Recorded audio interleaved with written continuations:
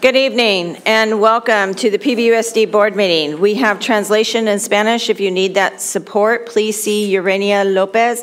Bienvenidas, bienvenidos a la reunión de la Junta Directa de PVUSD. Disponemos de transición en español. Si necesita ese apoyo, consulte a Urania Lopez. I also see a lot of new faces here tonight, so I want to make take a moment to establish some ground rules. There may be differences of opinion, sometimes strong differences. Please give those speaking the same respect that you would like to receive when you are speaking.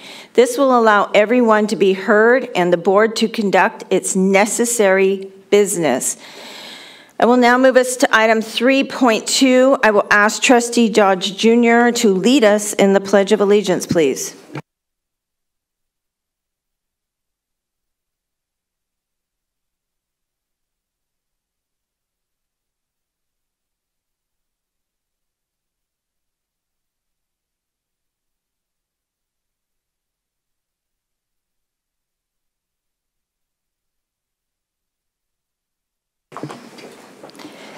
Thank you, Trustee Dodge Jr. I will now move us to item 3.3, Interim Superintendent Reports. This will be the time for Interim Superintendent, Mr. Scheckman, to make a few comments.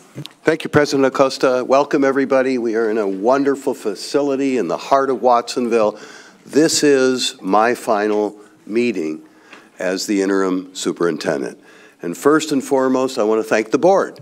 This has been a wonderful opportunity. I hugged every one of them uh, before the meeting, and I really am grateful for this opportunity. I appreciate your leadership and working with you this year.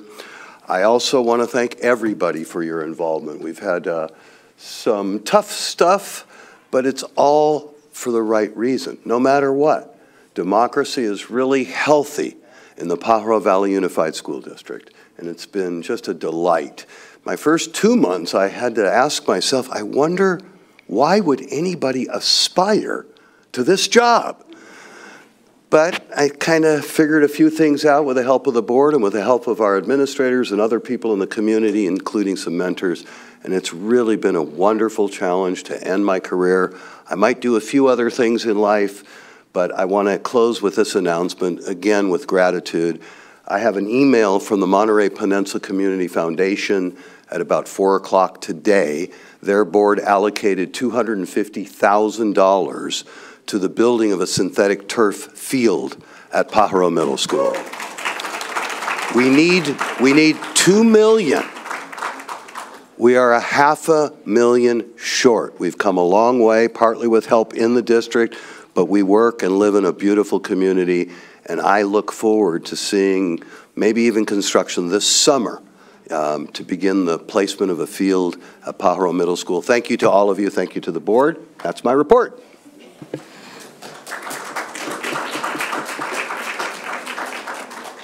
Thank you, Interim Superintendent Mr. Scheckman. We will now move to item 3.4, Governing Board Comments and Reports on Standing Committee Meetings. This is the opportunity for each board member to take a minute um, to comment. Each board member has one minute, and we will start with student trustee Ruby Maya. Thank you. Thank you, President Acosta. Um, good evening to everyone. I wanted to briefly introduce Empower Watsonville, a youth-led organization made up of youth from all comprehensive high schools in our district here tonight. Empower Fo Watsonville focuses on helping youth voices be heard in the community. Their goal is to advocate for youth striving to prevent substance abuse in their lives. They were established in 2019 and are currently on their third cohort.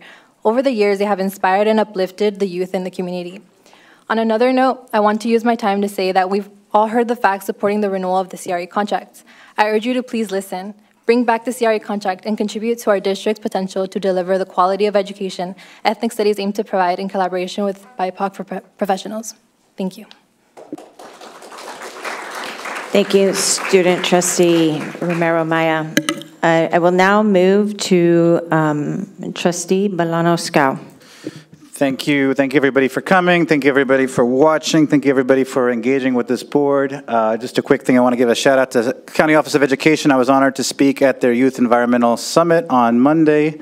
Uh, We had a lot of great representation from PVUSD, and I just want to thank everybody, all the students and staff who uh, participated.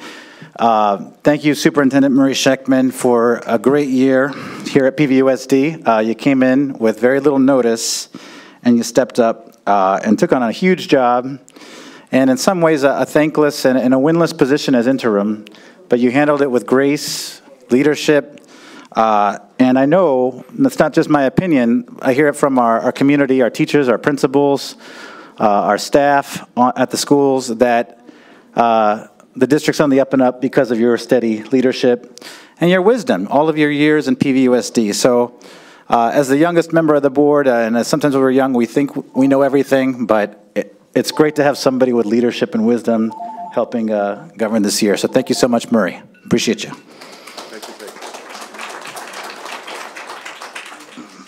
Oh, Russia. I will now move on to trustee DeSerpa. Thank you. Um, This last weekend, we um, laid somebody very dear to re- to rest, and that was Willie Yahiro. Willie uh, was a wonderful board member um, for this district, a wonderful teacher and coach, and graduate of Watsonville High School. After board meetings, Willie, I, and Bill Beecher, and sometimes other board members would go to Taco Bell sometimes 11 o'clock at night, and we'd sit there and rehash a lot of the meeting and talk about um, how to do things better. I didn't always agree um, with Willie, but we had a, a love for each other and a deep respect. And we will miss him. In the fall of this year, I visited him in his assisted living over in Salinas, and we had a wonderful visit, and he was still very, very sharp. And I'll miss him as a friend and a colleague. Um, I have more to say, I'm sorry. Um, Regarding uh, interim superintendent Murray Scheckman, Murray, thank you for answering the call um, and for steering the ship along with our cabinet this year. Um, You were uh, wonderful to work with the first time and even better the second time. I've appreciated your input, your humor, your um, you're just a lovely human being, and I think that's what this district needed, was somebody with an open heart and an open hand uh, to steer us uh, through some difficult times. So thank you very, very much. Really appreciate you. And um, finally, um, I think all of us potentially talked to um, our new superintendent, Heather, this week. We had individual meetings with her, and I'm very excited. She's a very sweet person and a really accomplished human being, and I look forward to having her as our superintendent. Thank you. I will now move on to, thank you, trustee DeSerpa, to trustee Dr. Holm. And I'd like to remind everyone that it is one minute. Thank you for the kind reminder. The Pajaro Valley Education Foundation held its spring fundraising event this last week, and I want to thank all the board trustees, PVUSD staff, and community members that attended. Our incoming superintendent was also able to attend, and what a beautiful introduction to how community comes together to support our students. It was a very successful evening. I want to use the remainder of my time to express my appreciation to Mr. Scheckman. Murray, you returned to serve the district during a key point of transition and led with wisdom and kindness. Your steady guidance allowed what could have been an incredibly difficult and tumultuous time to instead be a solid foundation for the district's next chapter. I won't minimize the difficulty of your job or the challenges we still face, but you were instrumental in moving us along in a positive direction. And our students and community are the better for it. For that, you have my deepest appreciation and sincere best wishes for your next chapter. Yep. Thank you, trustee Dr. Holm. I'll now move to trustee Dodge Jr. Uh, Good evening, everybody. Just to be quick, um, you know, thank you for the Watsonville City Council for letting us be here this evening. Uh, It's kind of ironic, there's another Dodge and Acosta here this evening, so just a little joke and sense of humor that I get from my dad. Uh, You know, also, I just also wanted to mention Willie Yahiro, uh, coach, teacher, uh, Watsonville legend, uh, local hero and business owner. Uh, You know, thank you, Willie, you know, Go Cats, once a Wildcat, always a Wildcat, I like to say. Uh, Thank you, Mr. Murray Scheckman, we've come full circle. You know, you were my principal in E Hall, and here we are again. And uh, I, I learned a lot from you and, uh, you know, some of the teachers that were my teachers at EA Hall Mini White. And I'd like to say thank you very much, you know, for letting me be here and, and letting, the people letting me be here. Uh, I'd also like to thank the Watsonville City Council members that I've reached out working with. You know, I know traffic is an issue here, and we're on it. And uh, thank you very much, Gina Castidiana. Thank you. Thank you, Trustee Dodge Jr. I'll now move to Trustee Flores. Hello, everyone. Thank you for being here tonight. Um, I also was able to attend the PVEF Spring Fling, and what an amazing night it was. Um, I loved seeing uh, the students' performances and the community heroes that they um, acknowledged that, that night was just amazing. Um, and so, and I also want to say thank you, Mr. Scheckman, Superintendent Scheckman, um, for your time with us and helping us during this transition time. It's been great. Thank you.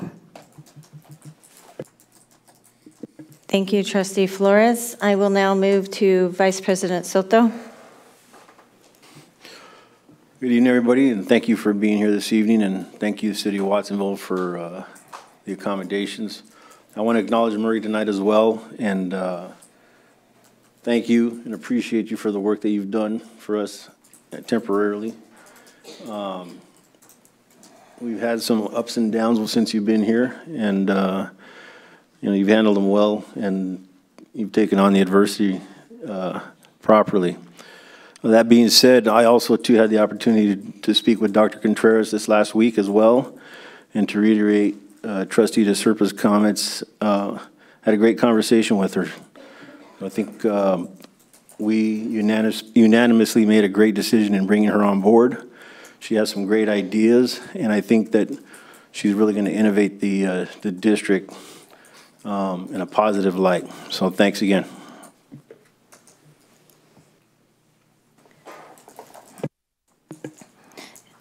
Uh, Thank you, Vice President Soto. So in the interest of time, um, and for my colleagues who went over on time, I will just say thank you, everyone, for being here this evening. Thank you to the City of Watsonville for allowing us to host our meeting here. And thank you, Mr. Scheckman, for your 10 months of service to PVUSD. Um, Now moving to item 3.5, High School Student Board Representatives Report, Aptos High School. Do we have a report from Aptos High School?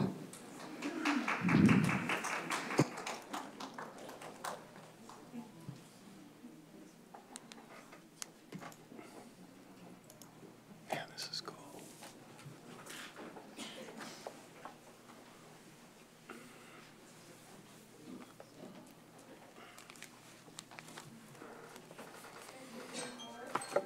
Oh, good evening and thank you for having us.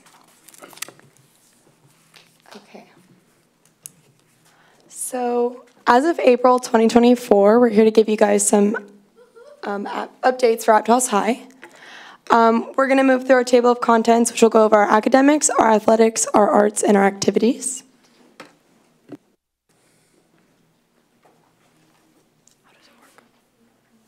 Okay. Um, so for our academics, we're going to be covering WASC, the PSAT, SATs, and our finals week. So for WASC accreditation, which was April 14th through 17th, we are very pleased to share that the WASC team was really complimentary to our school. They highlighted our students, our culture, our staff, and our parental support in a variety of our classes and opportunities.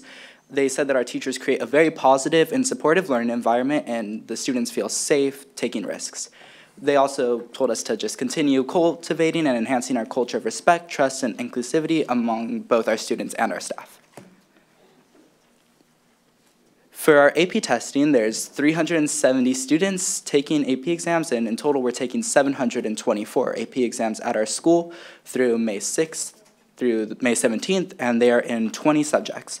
Our finals weeks for seniors are the 30th and the 31st, and for the other three grades, they're the 5th through the 7th. Okay, and now we'll move on to our arts. So we have our current theater production. Um, it's called The Pajama Game. Um, it's it's a sold out show, um, three weekends in a row. Um, it's very, very inclusive and exciting for our um, community. We're actually participating in a school-wide pajama spirit day um, this Friday to promote the play even further. And then some upcoming events. We have our band concert um, on the 2nd at 6:30, um, and then our vocal jazz concert at um, on the 11th. Oops. And then our variety show on the 17th. Um, and moving on to athletics, we have some news for sports, scholarships, and events. Um, right now, our boys' championship tennis game was on the 24th at Seascape at 3:30. It was for singles and Aptos doubles versus Santa Cruz High School. For lacrosse senior night, that was on the 22nd, and girls lacrosse had a very good win against Santa Cruz. And also, Kathleen Alari won the Joyce Ridgeway Scholarship.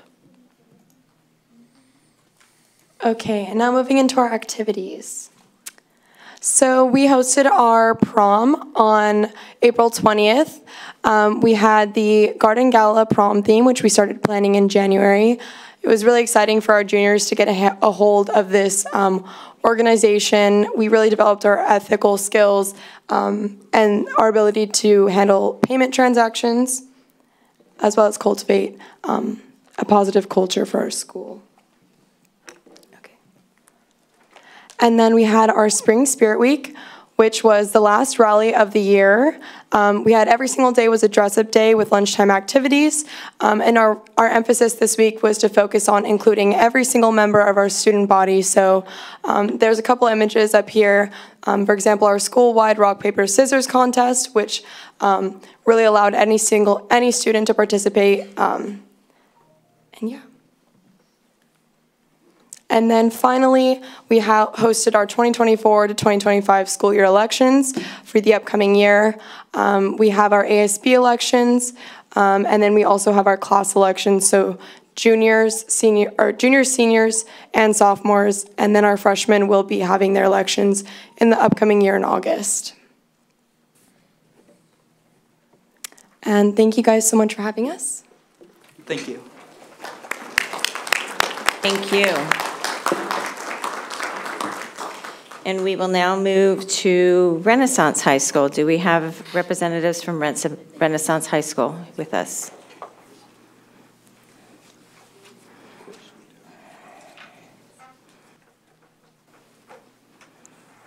Welcome. Thank you.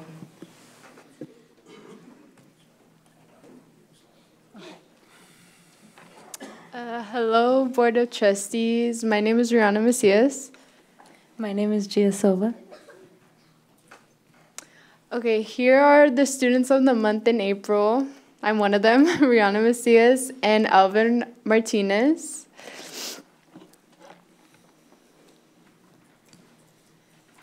Here are some ac academics. We have 20 new students enrolled in the fourth quarter.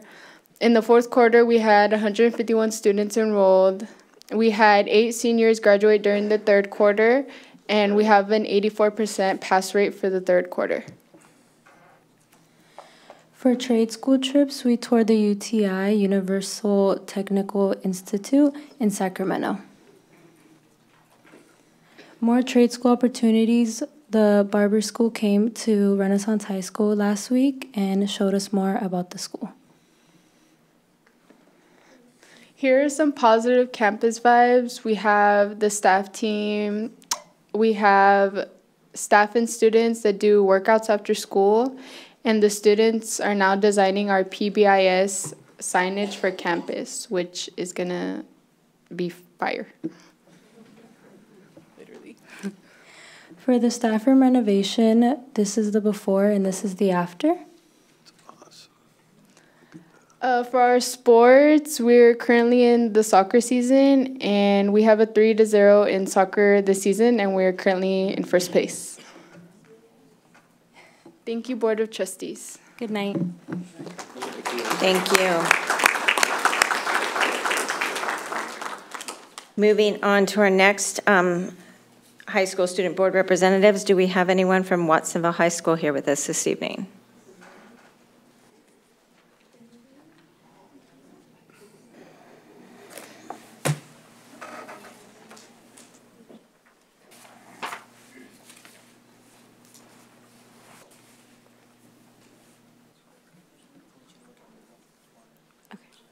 Sounds good. Welcome. All right. Good evening, Board. Um, My name is Argelia Sanchez Mauricio, and I'm here to represent Watsonville High. Okay. So I'm junior class president, and these are our other officers. Um, So this past Saturday, we had a successful prom. It was pretty fun. We had banda, DJ, catered dinner, taquero, photo booth, a 360 photo booth, and over 435 students attended. And there's some pictures. So prom is a fundraiser. Um, all money that we earn from prom goes to Grad Night Club. We're projecting our sober grad night tickets to be between twenty to forty dollars. Also, this money will be used for senior and graduation events towards the end of the school year. Thank you to Driscoll's and Mr. Luis Guerrero for partnering with us to help fundraise money for prom, grad night, and ASB clubs. Students successfully sold a total of 890 barbecue tickets. Part of the fundraiser went to students to help pay for their prom ticket, and over $24,000 was raised to go towards ASB clubs, events, and our sober grad night that's on June 7th. So our Cinco de Mayo food sale is a variety of our school clubs will be selling food of their choice as a fundraiser for their own clubs. A car show takes place too where approved students and, and staff can participate in. This traditional event helps promote cultural awareness within our school community. And Senior Spirit Week and graduation. With our upcoming graduation, we're looking forward to activities for seniors like Senior Spirit Week that goes on from May 13th through the 17th. There's seniors and staff let the games begin, which is every day there will be an athletic game like softball, basketball, relays, etc. Um, senior sunset and a rally called Kiss a Senior Goodbye. And then we have graduation on June 7th at 2 p.m. And later that night, we have our sober grad night from 8 p.m. to 2 a.m. at the Santa Cruz Beach Boardwalk. And as aforementioned, tickets are projected to be between 20 to 40 dollars. So with state testing, um, we just had state testing, which I thought went well. And next one, please. And then we have upcoming AP testing, which our students are studying hard for. These are some of our upcoming senior nights for some sports like boys golf, boys volleyball, baseball, and softball. And our Youth Environmental Action Summit. Watsonville High participated in the Regional Youth Summit among the Watsonville High Esner teachers and Esner Academy and Save Club, getting us closer to our mission to become, to become green certified. Thank you, Ward. Thank you. I will now move us to item 4.1, approval of the agenda. Can I have a motion to approve the agenda? Uh, President Acosta, I have a question. Yes. Uh, I would like to ask if we can make a motion to put agenda item 7.1, public comment first, before report and discussion.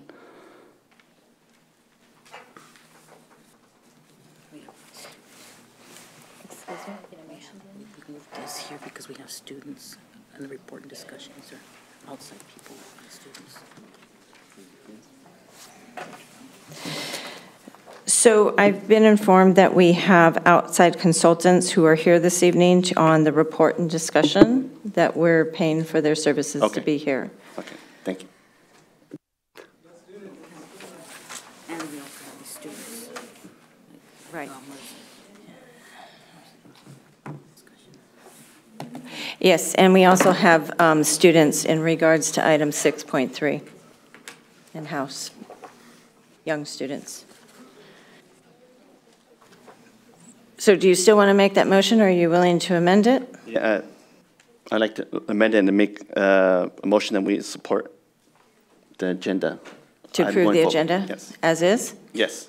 Okay, I have a first. Can I have a second? Second. I have a first and a second. All those in favor? Aye. Any opposed? Any abstaining? The motion carries 7-0. Moving on to item 5.1, approval of the March 13th, 2024 board meeting minutes. Can I have a motion to approve? So moved. Second? I have a mo- a first and I have a second. All th- those in favor? Aye. Any opposed? Any abstaining? The motion carries 7-0. For item 5.2, approval of the March 27th, 2024 board meeting minutes, can I have a motion to approve? Move to approve. Second? I have a first and I have a second. I'll call for the vote. All those in favor? Aye. Any opposed? Any abstaining? The motion will carry 7-0. Moving on to our report and discussion items. Item 6.1, a comprehensive infrastructure renewal and sustainability program progress update on the first, second phase, and new funding. This report will be presented by our interim superintendent, Mr. Scheckman, and Bernadette Carter from Climatec. And I'm going to say a few words and ask Tyler Gertman and Bernadette to come on down to the microphone, and Silvestre will put up your slides. One of the delights of this year has been working with a green team, a group of dedicated educators in our district who have one goal, certify every school green and the district office. Climatec has been in our lives for a few years, and they have done incredible work improving the, the infrastructure of our school district. And they will report out how they're saving us money, how they're helping us improve the planet. And they're just a really progressive, a very effective company, and it's just been a pleasure. So they're going to give us a brief presentation about the good things that are coming up with their company and the work they're doing in the Pajaro Valley. Thank you. Thanks for being here, folks. Perfect. Thank you. Good evening. Appreciate the time. President Acosta, trustees, staff, interim superintendent Scheckman, and the community. Thank you very much for the time to be here and to provide an update of the progress that we've made um, since the selection and the implementation of our programs. Um, we're very proud and fortunate to be a partner with the district and, and now have been on the green team here, um, helping drive those efforts um, even further. My name is Tyler Gertman. I'm the regional manager for Climatec, and this is Bern Carter, business development manager for our uh, company as well. Before I before I jump in, I want to say I want to say one thing. You know, it's been it's been a, a complete joy working with the district, and I really want to call out a few staff members that have put quite a few hours in, not only into our program but into other programs to really help the district thrive. Um, Richard, Herlindo, and Sergio, um, the countless hours that they put in as staff, and the day to day that we've worked with them has just been amazing. And so, you know, obviously great hires and advancements for them, but they have just poured their heart and soul into this district, and I just wanted to acknowledge them because they've just been great. And we work with a lot of districts, but your team is excellent, so um, kudos to them. Next slide. Just to back up and go through the process of how, um, you know, how we got here today. Um, so back in 2021, the district put out an RFP. They conducted quite a few interviews, um, and we were fortunate enough to be selected as the design build provider. We've, we help fund and address aging infrastructure and renewable projects for districts and public entities and cities, such as the city of Watsonville. Uh, utility, so once we were selected, utility baseline development, engineering site assessments, um, and then obviously brought back the projects for approval um, and proceeded forward with the implementation. We are finalizing the presentation for phase one right now uh, that you approved, and we are uh, underway on phase two as well, and I'll go through those briefly. So high level scope of work really focused on a lot of the heavy main users of your utility expense, which comes out of your operational budget.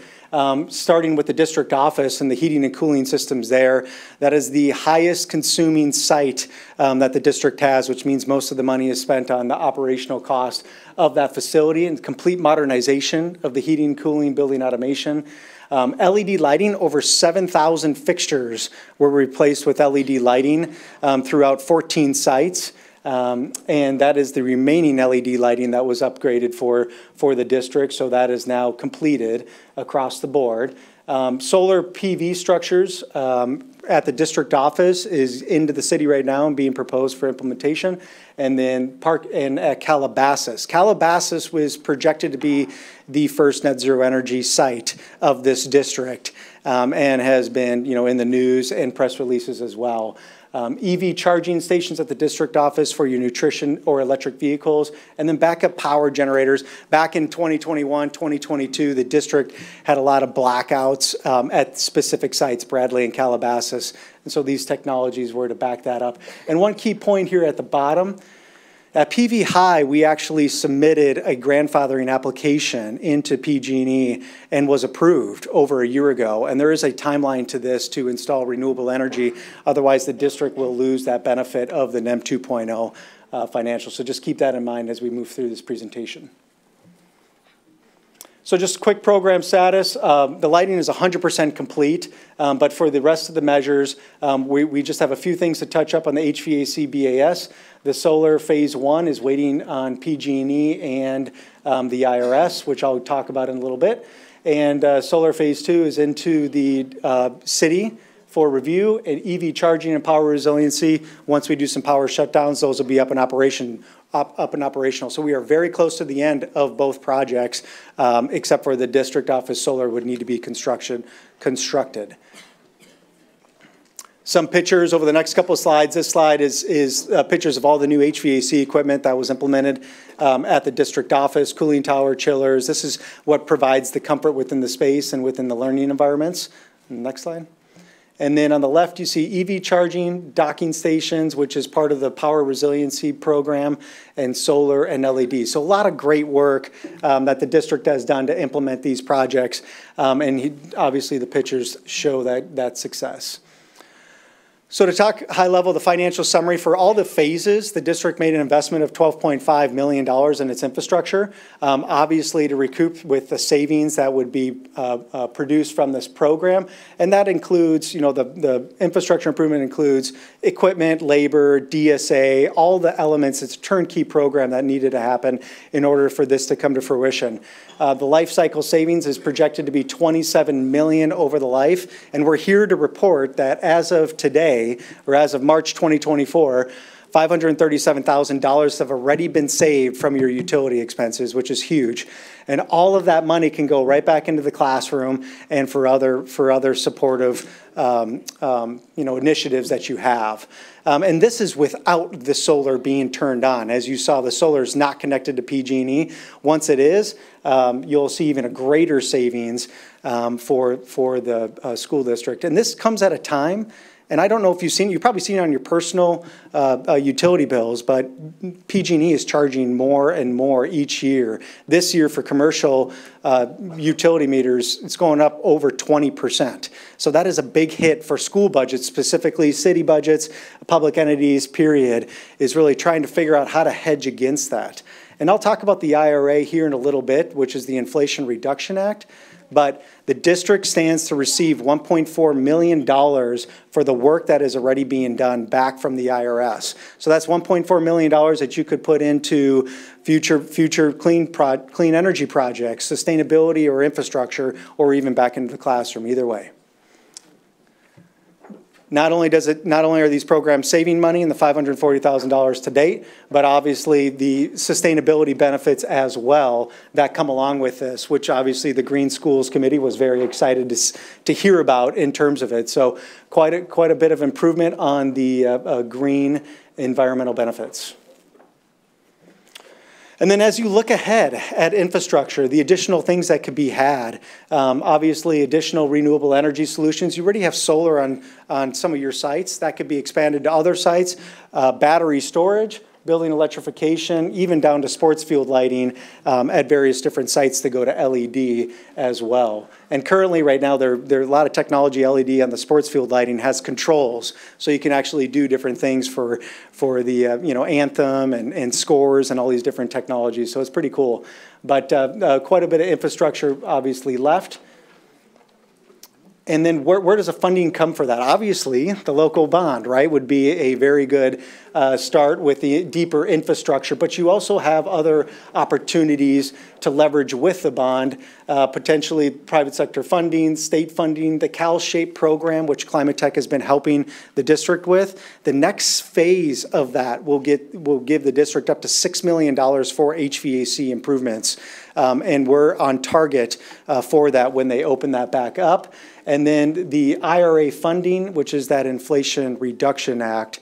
So we worked with staff to look at additional sites that could receive renewable energy and battery storage, and the district sets to make could receive over $10 million, 8 to $10 million in just federal funding alone as a reimbursement grant for doing future programs with renewable energy. That is above and beyond the 1.4 that you would get with the work that you've already done.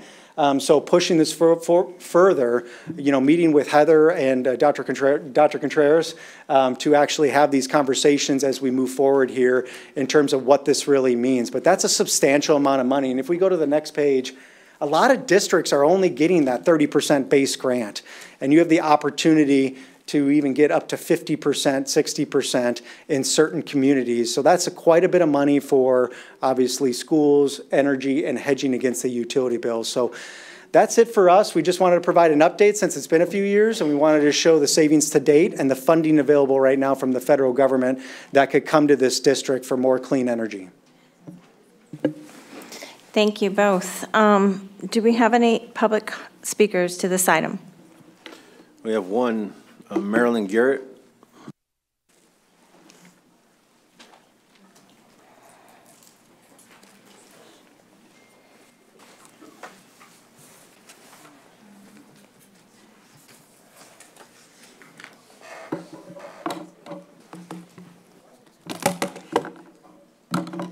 Well, it all sounds very good, but is it? Electropollution is a huge problem, and that's what we're talking about here. These LED lights are biologically harmful, and I refer you to a book called The Invisible Rainbow A History of Electricity and Life. And it shows that each time, it's by Arthur Firstenberg, each time there's been an increase in electro pollution, there's been corresponding illnesses. Flus did not exist before electrification. There have been increased illnesses and increased mortality rate especially since the Telecommunications Act of 1996 with wireless technology. I refer you also to Barry Trower, who worked in the British Secret Service in the 60s and 70s. I believe this is dangerous and a poor use of money. Thank you.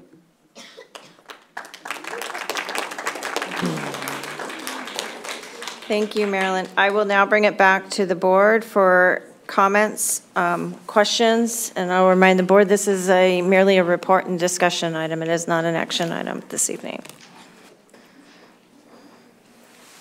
Trustee Bolaños-Scow.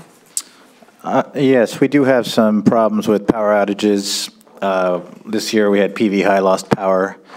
And so is this, um, do you envision this, is, is this a way that when it comes to fruition, that the schools would be, would have enough power to be able to stay in, stay in service? So the two, the, this is happening all across the board. I mean, we're doing full site microgrid systems, which is full power backup for high schools, wastewater treatment plants, that's been happening for a few years. For your specific sites within this program, Bradley and Calabasas, you will have the power needed to keep, you know, the students in session and learning through blackouts um, at, at your sites. And that could be expanded to other district sites depending on the priorities given by the district. So this is power that we would be, PVUSD would own in a sense, and, and what would the relationship be with the grid in terms of the financial relationship? So, so the, the uh, uh, power resiliency at Calabasas, so when the power goes off, um, you actually will have what is called portable generators connecting to a docking station for the meters to actually operate the school. So when the, when the disconnect or when the automatic transfer switch senses that there's no power coming from the grid, it turns off that connection and turns on the generators immediately to actually power that. You also have solar PV there, um, but the solar PV can't provide backup power based on rules from PG&E because of safety concerns. Okay. Um, so that's, that's the solution for your immediate element. Now that there's more money coming from the Inflation Reduction Act, you could look at uh, future battery storage in tandem, but that only gives you two hours, two to four hours, depending on your space. So there's a different, you know, solutions for each, but now with the Inflation Reduction Act, you can get some more money from the federal government for those types of solutions. Thank you. Now, so when you say microgrid, do you mean per each site, or could it Yes, that- so okay. Calabasas will have a, its own microgrid, like it could operate without the utility um, as long as those generators are running. So you, have- that's what a micro, microgrid is, just that site. I think it's very exciting. Those of us, uh, and many of us in the unincorporated areas of this county have suffered from blackouts and higher rates from PG&E. Um, I won't go off about that, but this is a a very important project and and important for our district, so thank you. Thank you. Trustee Dr. Holm. You just answered my question about the solar and the backup, because I learned myself, you know, I had just put solar in, and then it's like my power went out, and I'm like, hey, what the heck? Why, yeah. Oh, yeah, it turns out you don't want to have it connected because of the workers working on the line. So I was wondering how we were getting around that. So it sounds like the battery backup, And there's even more money for your house. yes. State and federal funding for that, so something to definitely consider. But I, I, I know, you know, we heard so much from our, especially from, you know, Bradley and Calabasas, you know, during the outages, and that's, we have such a strong commitment to continuity of learning. Yeah. That, you know, that was really tough to, it's like, okay, we need to have a safe environment for our students to learn in. How can we work with this? And I, I really appreciate this path forward. Yeah. Thank you. Thank you. Thank you, Trustee Dr. Holm. Trustee DeSerpa. Are the microgrids sort of like power walls, like, it like energy is stored there on the site and then it kicks in, or how does it work? So um, um, microgrid is just a small um, site-specific ability to produce power. And it's not a battery storage, which is a Powerwall technology. It is actually, for, for Calabasas and Bradley specifically, it would be, it is generators um, connected into the grid or into the meters to provide power when the power goes out from PG&E. So when PG&E turns off the power, a squirrel runs over a line or something were to happen, um, it turns on the backup power right away and you can operate the rest of the school for a couple days um, for, you know, education. And I'm sorry, I missed something. So they're not gas power generators, they're, They are gas power They generators. are gas They are gas power generators, correct. okay, yeah. And now with the new funding from the Inflation Reduction Act, it starts, battery storage starts to make more sense. Because when we looked at battery storage, because we were looking at both options, it was just far too expensive for the battery storage and for the time duration that was needed, because they only supply two to four hours typically, depending on how many batteries you have. But it gets, it's really cost prohibitive to do batteries. But now with the federal funding, that's something to look at with, you know, new projects moving forward. Yeah, I, I think um, using some type of batteries rather than a generator would be a cleaner It'd way definitely to be do it cleaner. and less noise. What is happening? Um, Can you remind me, so i- when we passed the first bond uh, in 2012, we did a bunch of solar projects at that time that were sort of shovel-ready to go. And can you remind me of the schools that we have solar arrays on? Do you have a list of that? I do have a list of that, thank you. Um, Aptos, Aptos High, uh, Bradley, uh, Hall, and um, Watsonville High, and then obviously uh, Calabasas in the district office as part of our program is, um, So Calabasas I was just going through the list here, but yeah, okay, so we have, we have some room to put in some new solar arrays then. correct. And there's roughly, there's roughly 15 to 16 more sites that financially make sense to put solar PV. We've done the analysis, we've walked the sites, um, we've put it together, and that's how we came up with the numbers, obviously, to claim about $10 million in IRA grants. Okay. So I want to remind the district, and I'm sure uh, Dr. Contreras is, is watching, that when we um, had had these discussions to begin with, that some of the money that we were saving with PG&E on these solar arrays were to go into a fund to support our science programs here at the district. And so I'd like to see that continued. If we're going to be saving extra money, I'd like to make sure that money goes um, where it was promised in the first place. Thank you. That's awesome. Any other board members? Seeing none, and uh, trustee DeSerpa, I'd like to encourage you to make sure you do follow up directly with Dr. Contreras on that and maybe have it brought back. Thank you. Thank you. Thank you both for being here this evening. Thank you so much, appreciate it.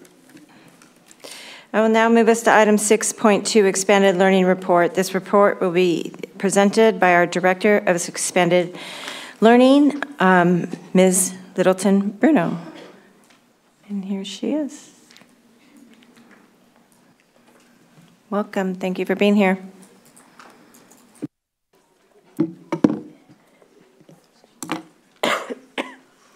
Good evening, President Acosta, Board of Trustees, and Interim Superintendent Scheckman. I'm Jen Littleton Bruno, the Director of Expanded Learning. And tonight I am giving the Expanded Learning Board Report. Expanded Learning, oh. okay. Expanded Learning has five guiding principles. Provide equity and access, and opportunity and access, ensure engaging activities and social emotional learning, priority of culture, culturally specific and culturally responsive programming, a commitment to youth voice and leadership, and value to build upon student, staff, and community partner ecosystems and assets. Our funding, we have both state and federal funding, and we do not use any district general funds. So our federal funding is 21st Century Community Learning Center programs, and that's for our elementary and middle schools. We have after school safety and enrichment for teen program, our assets programs, and that's our Watsonville High School, so that's for both Watsonville High School and Pajaro Valley High School. For, and then lastly, we have our ESSER 3 funding that we will be talking about later tonight, um, and that is for summer learning funding. Our state funding is our Expanded Learning Opportunities funding, and then we have our ASES grants for our elementary and middle schools.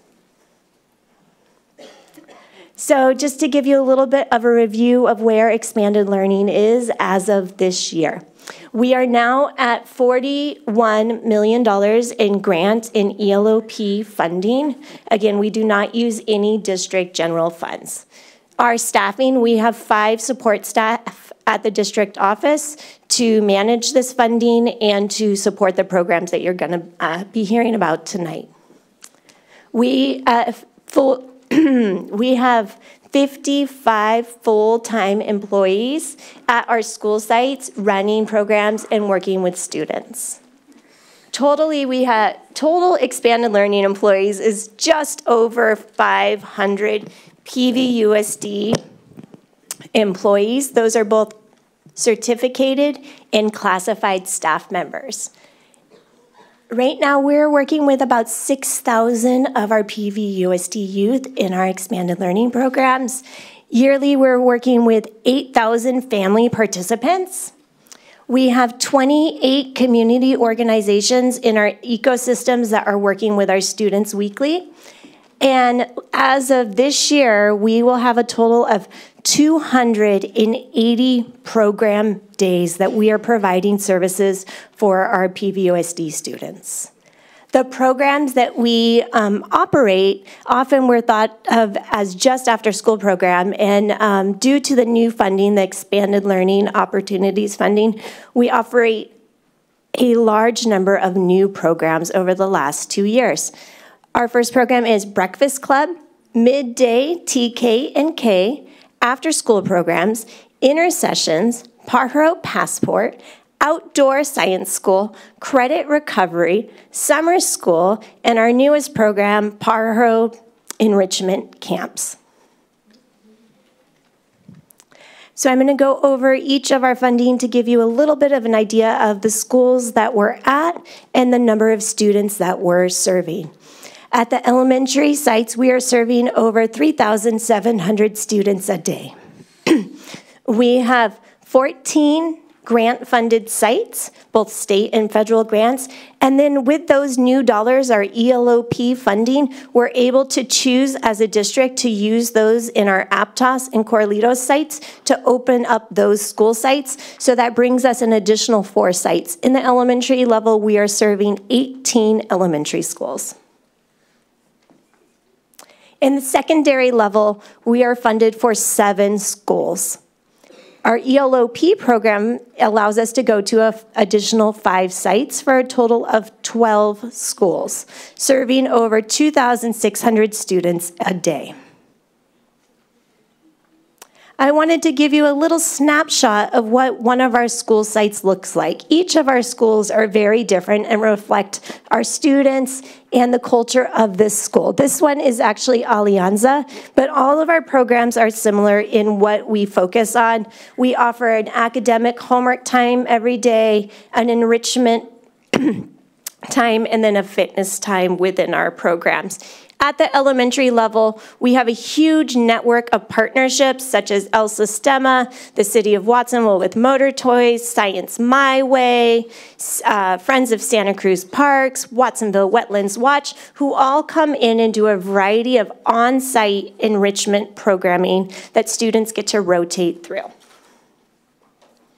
At our middle school level, I really wanted to highlight EA Hall. Um, they are just shining. Ashley Euro in the EA Hall program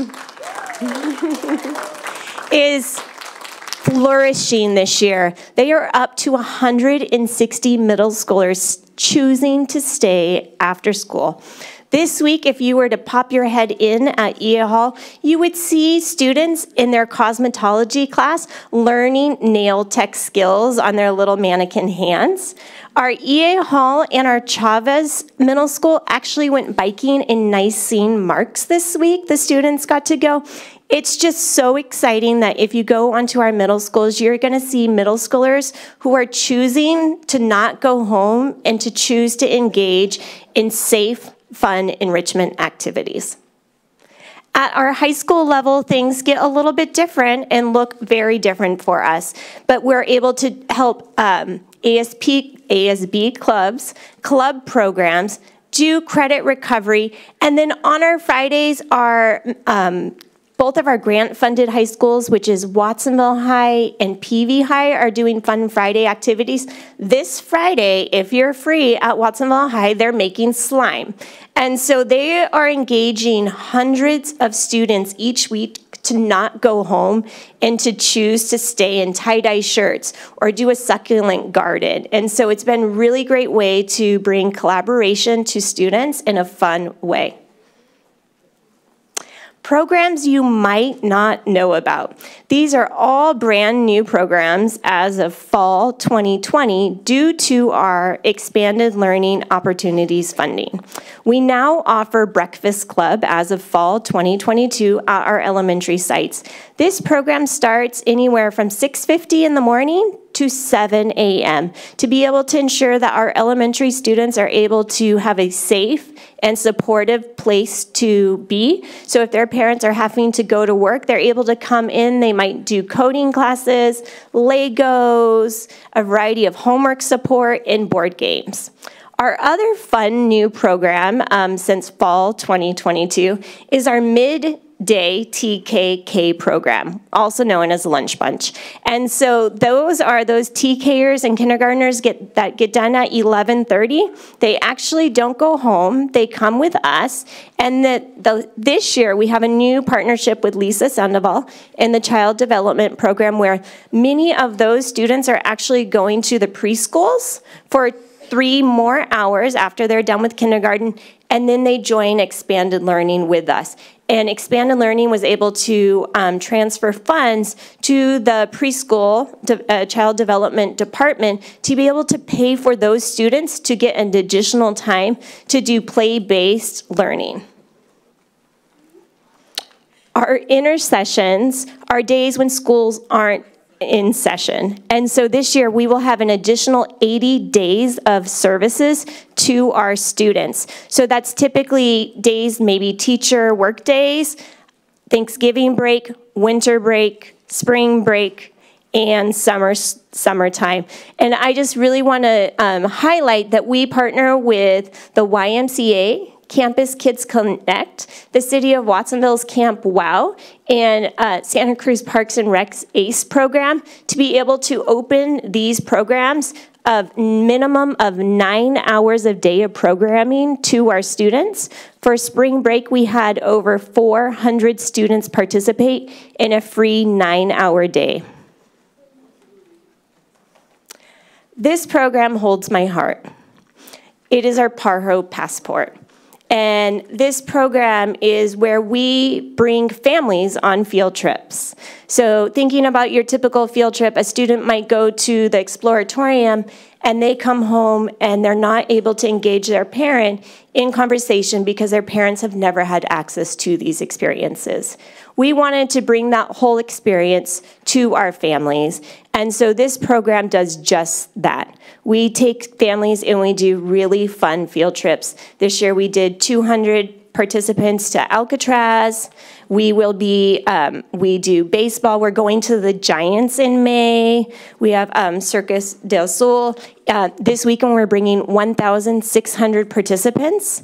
And so when these families go, they go as a family unit. Transportation is offered. If families do not want transportation, parking is paid for, and there is a food item provided as well so that families can do this and not have to worry about how they're going to pay for rent or how they're going to pay for food and they can focus on being a family. Our hope that this will build our capacity and our relationships with our families so that they see us as an ally. Our credit recovery program for our high schools is going strong.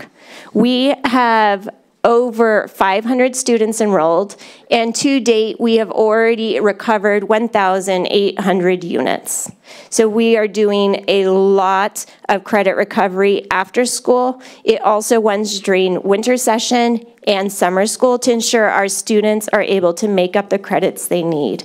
We run both hybrid options where there's teacher teaching and online courses, and we also offer online courses per our grant funding, those online courses do have to happen on a school site. That is due to our regulations and our funding. Another unique piece to our programming that we're able to offer our sites is our outdoor science school. So we have 18 schools, our 18 um, schools participating in outdoor science school.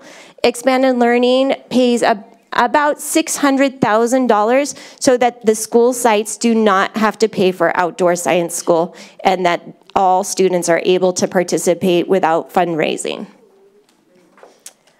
Summer school is just around the corner, and I have great news to share with you. I just looked at the numbers before coming up here, and we currently have 4,200 students enrolled in summer school. To give you an idea, last year we were at 2,800 at this time. By June, July, when we ended summer school, we had 3,600 students last year. Our numbers are growing. Families want to participate, students want to be here. We had 270 teachers, certificated PVUSD teachers, apply to work in our program, and we are just looking forward to a wonderful summer school. We changed things around a little bit this year, and we are opening 20 school sites so that students can stay in their community school for the most part, and that teachers can often teach in their own classrooms. Our summer program is a nine hour day with 6.5 hours of instructional time. Our high school program will offer credit recovery. We will also offer credit retainment this year for ethnic studies to ensure that our students who may need ethnic studies before they graduate and looking how can they add it their senior year or they just want to be prepared and take an extra class, we're going to be offering that in our summer school program and we're very excited to be able to do that. And we can skip the video because I don't think I have time.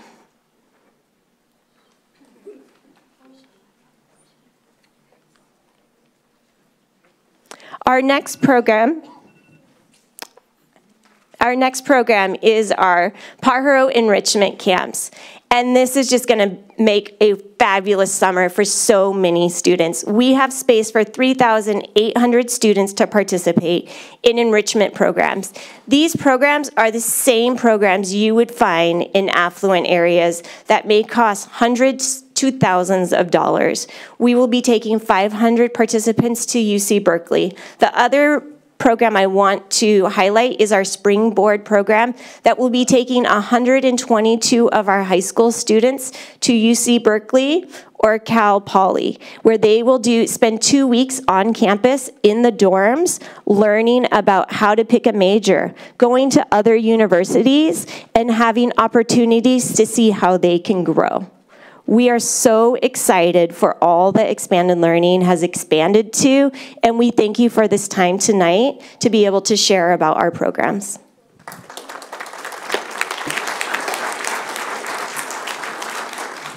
Thank you, Ms. Bruno. Do we have any public speakers to this item? Yes, we do We have Brandon Dinitz.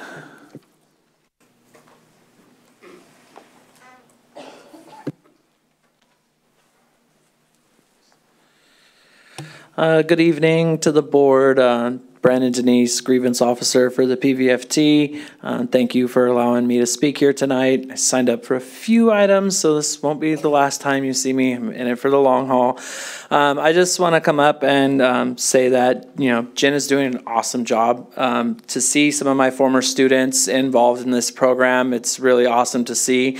Um, I don't know who they're playing when they go see the Giants, but if they're playing the Dodgers, I might volunteer to go to that one. Um, But I just wanted to point out that one challenge that some staff have when working the extended learning program is the taxes they pay. They pay a lot more taxes than they would traditionally otherwise pay. So you might see that you're getting paid $70 an hour, but then on your check, that's being taxed at a higher rate than you're used to.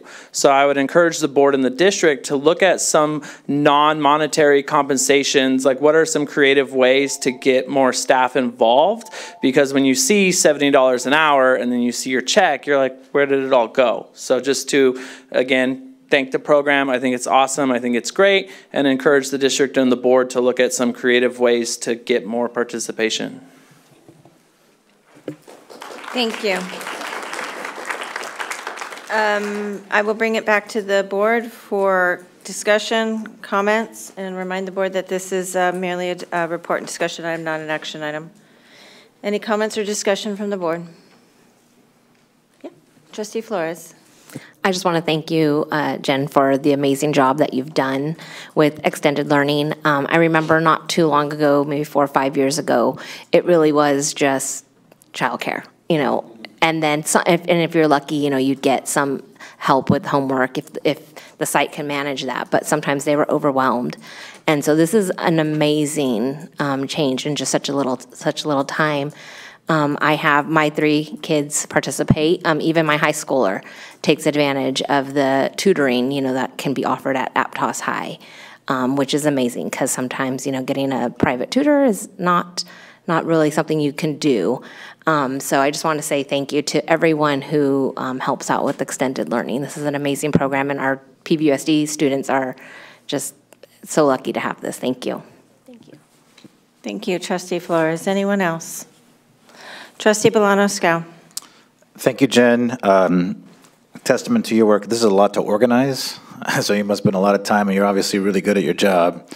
And everybody's talking about these programs in, in the area, so just thank you for all the hard work. It must be a, quite a task to organize and, and do contracts with all these organizations, and it's really paying off. And it's really making, uh, it's, it's a good light on our district, too, uh, to see this. And um, so thank you for that. Uh, Thank you for the comment uh, from Mr. Denise uh, as a freelance consultant. That's the name of the game on the tax uh, system that we pay. A question I think I've asked you before, but I think it might be good for people to hear it. How many teachers are, are participating or working in Uh, expanded learning? Yeah, we have just about 250 te- certificated teachers, and then the remainder of our staff are classified staff members in various um, positions. That's, so that's about a quarter of our teachers participating and, uh, and making some extra money. Uh, So thank you. Yeah, thank you. There we go. Thank you, Trustee Bolaños Scow. Trustee DeSerpa. Thank you. I'm going to echo what my colleagues have said. Usually I get ir- irritated when I watch other board meetings and the board is thanking staff for doing their job. But in your case, you do a phenomenal job. And, I- and all of us, I think, well, I'll just speak for those, the three of us. I mean, well, I'll speak for Jen too, maybe. I'll speak for everybody.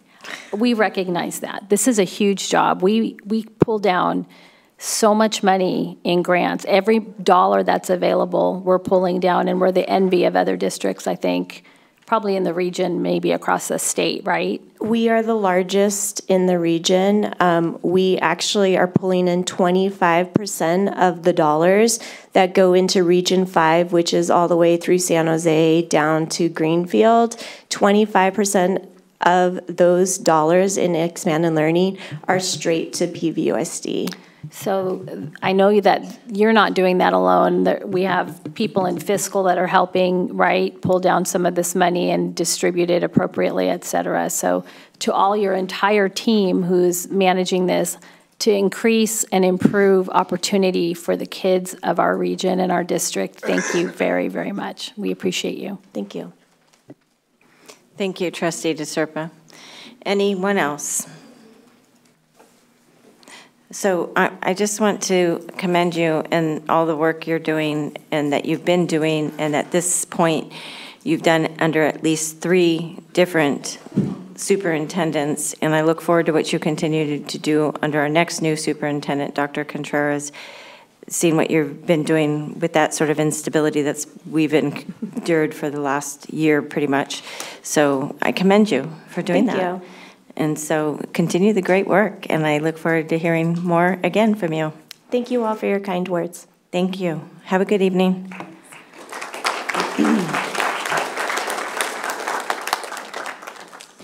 All right, I will now move us to item 6.3, the TK Roundup um, update. And this report will be presented by our Assistant Superintendent of Elementary Education, Ms. Monjaras.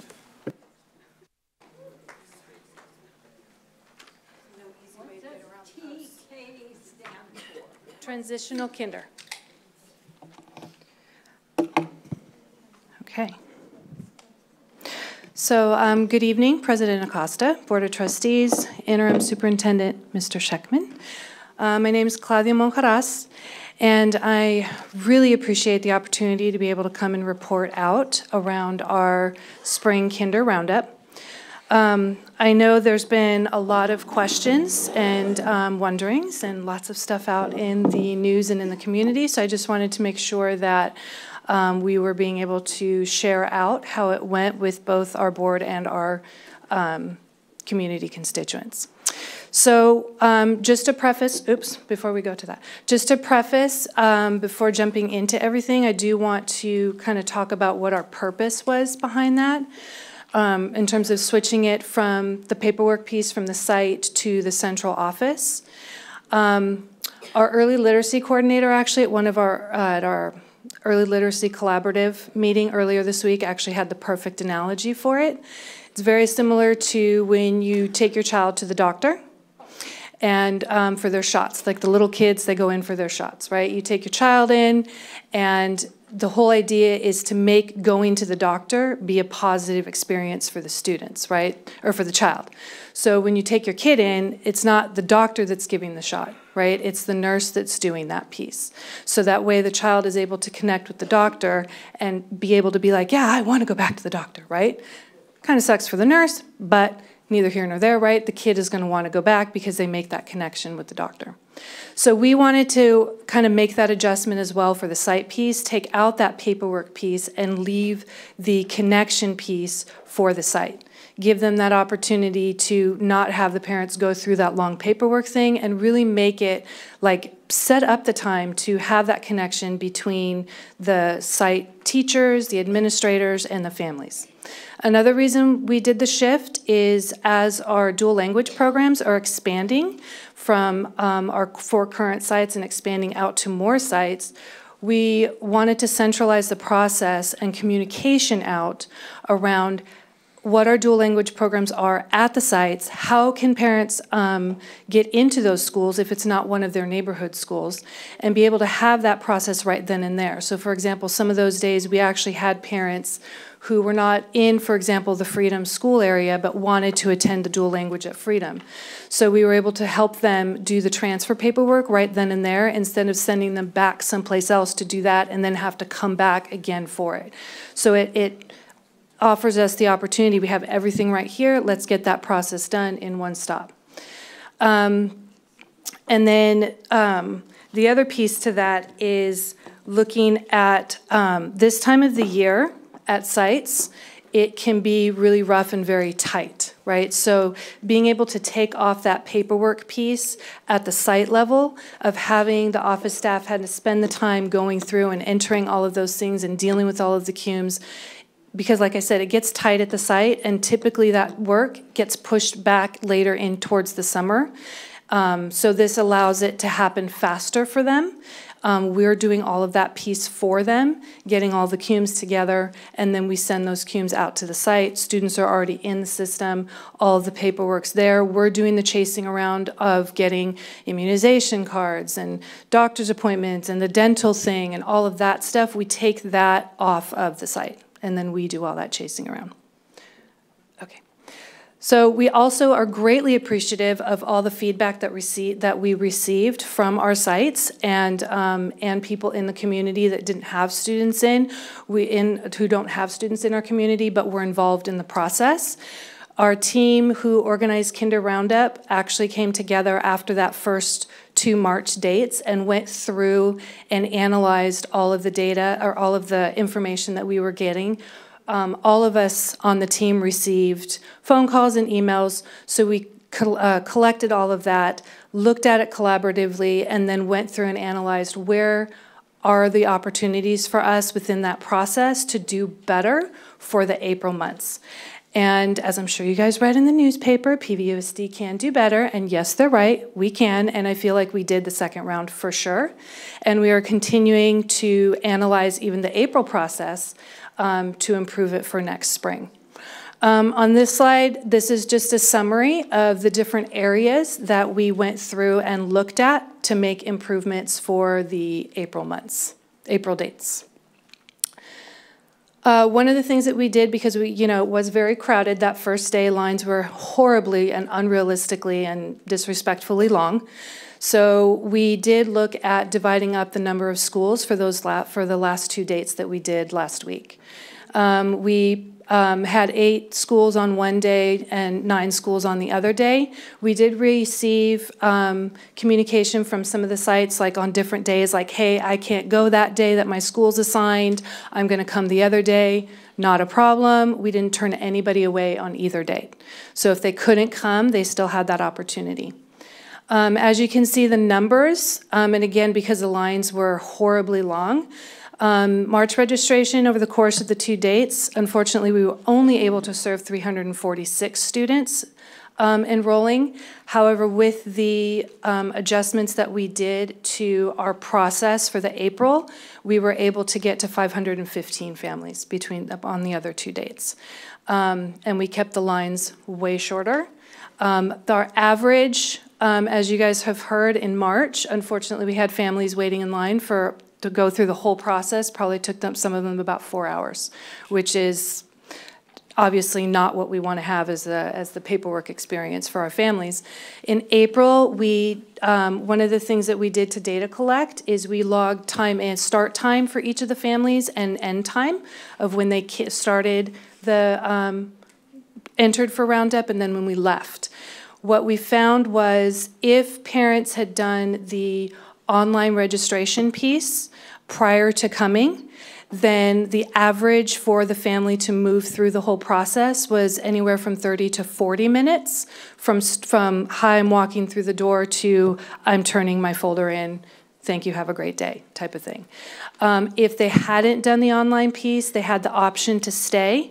So we were giving them the opportunity, if you want to stay and have us help you with that online piece, we can do that. That typically added another 30 minutes to that time. Um, and then if they were like, nope, I got to go, I have to get back to work, or, you know, I've got an appointment, which we did do that with, some, many of our families did have that, then um, one of the adjustments we had made is on the student survey piece uh, we asked for them to fill in the critical information we need so that we could start the online process for them. Um, let's go to the next one. So um, Going back to this, we did schedule our times a little differently. We put 7:30 to 6 PM. However, both days we were able to open the doors early. We had families get in line at 7:15, and as soon as our families got in line, we went ahead and opened the doors instead of waiting till 7:30. We didn't want to have them standing out there for 15 minutes just staring at us through the glass. So we're like, let's just go ahead, get the doors open, let's get people moving through.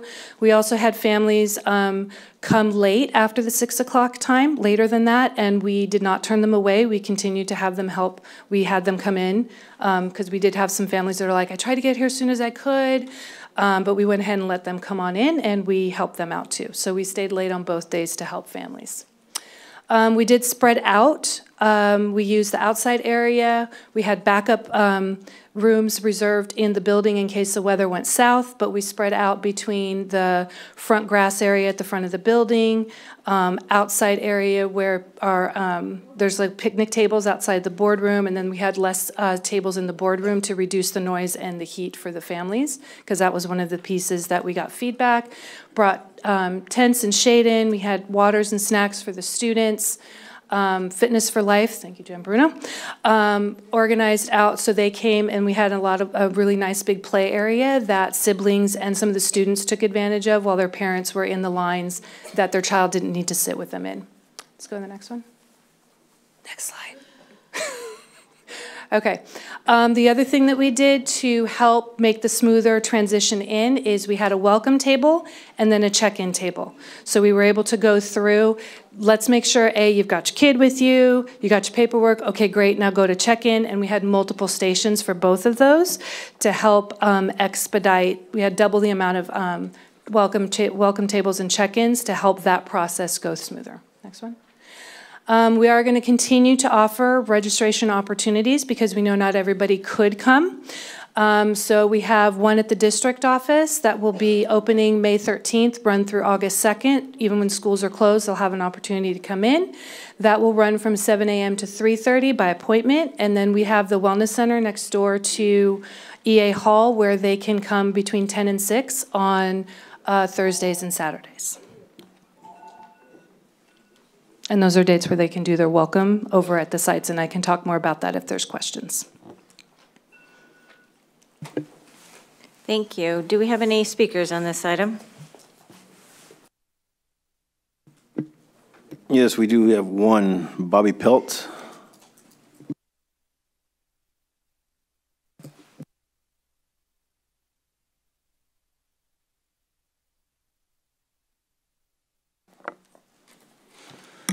Um, thank you. Uh, to all the uh, young people in the room, thank you for sitting through this presentation and uh, the last two. They're making you wait, they're hoping you leave, and you're still here.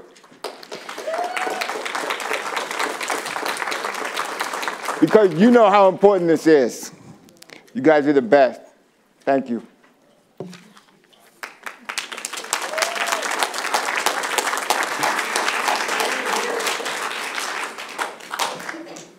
I'll now bring it back to the board for discussion.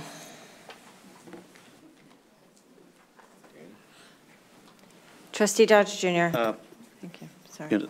Thank you very much for your presentation. Uh, I, I know you're, you know, I, I heard it as well from the north and from the south. And uh, I, you know, you saw my email and I would like, you know, to put my two cents in and to say, bring it back to the sites. You know, you're, you're, you're making parents who live in Rio Del Mar drive down Highway 1 to the towers. And we all know how coming back after 2 p.m. on Highway 1, you, you're making parents who live in Las Lomas and there's only one bus route to Watsonville, the MST. And then you're making them go to the towers.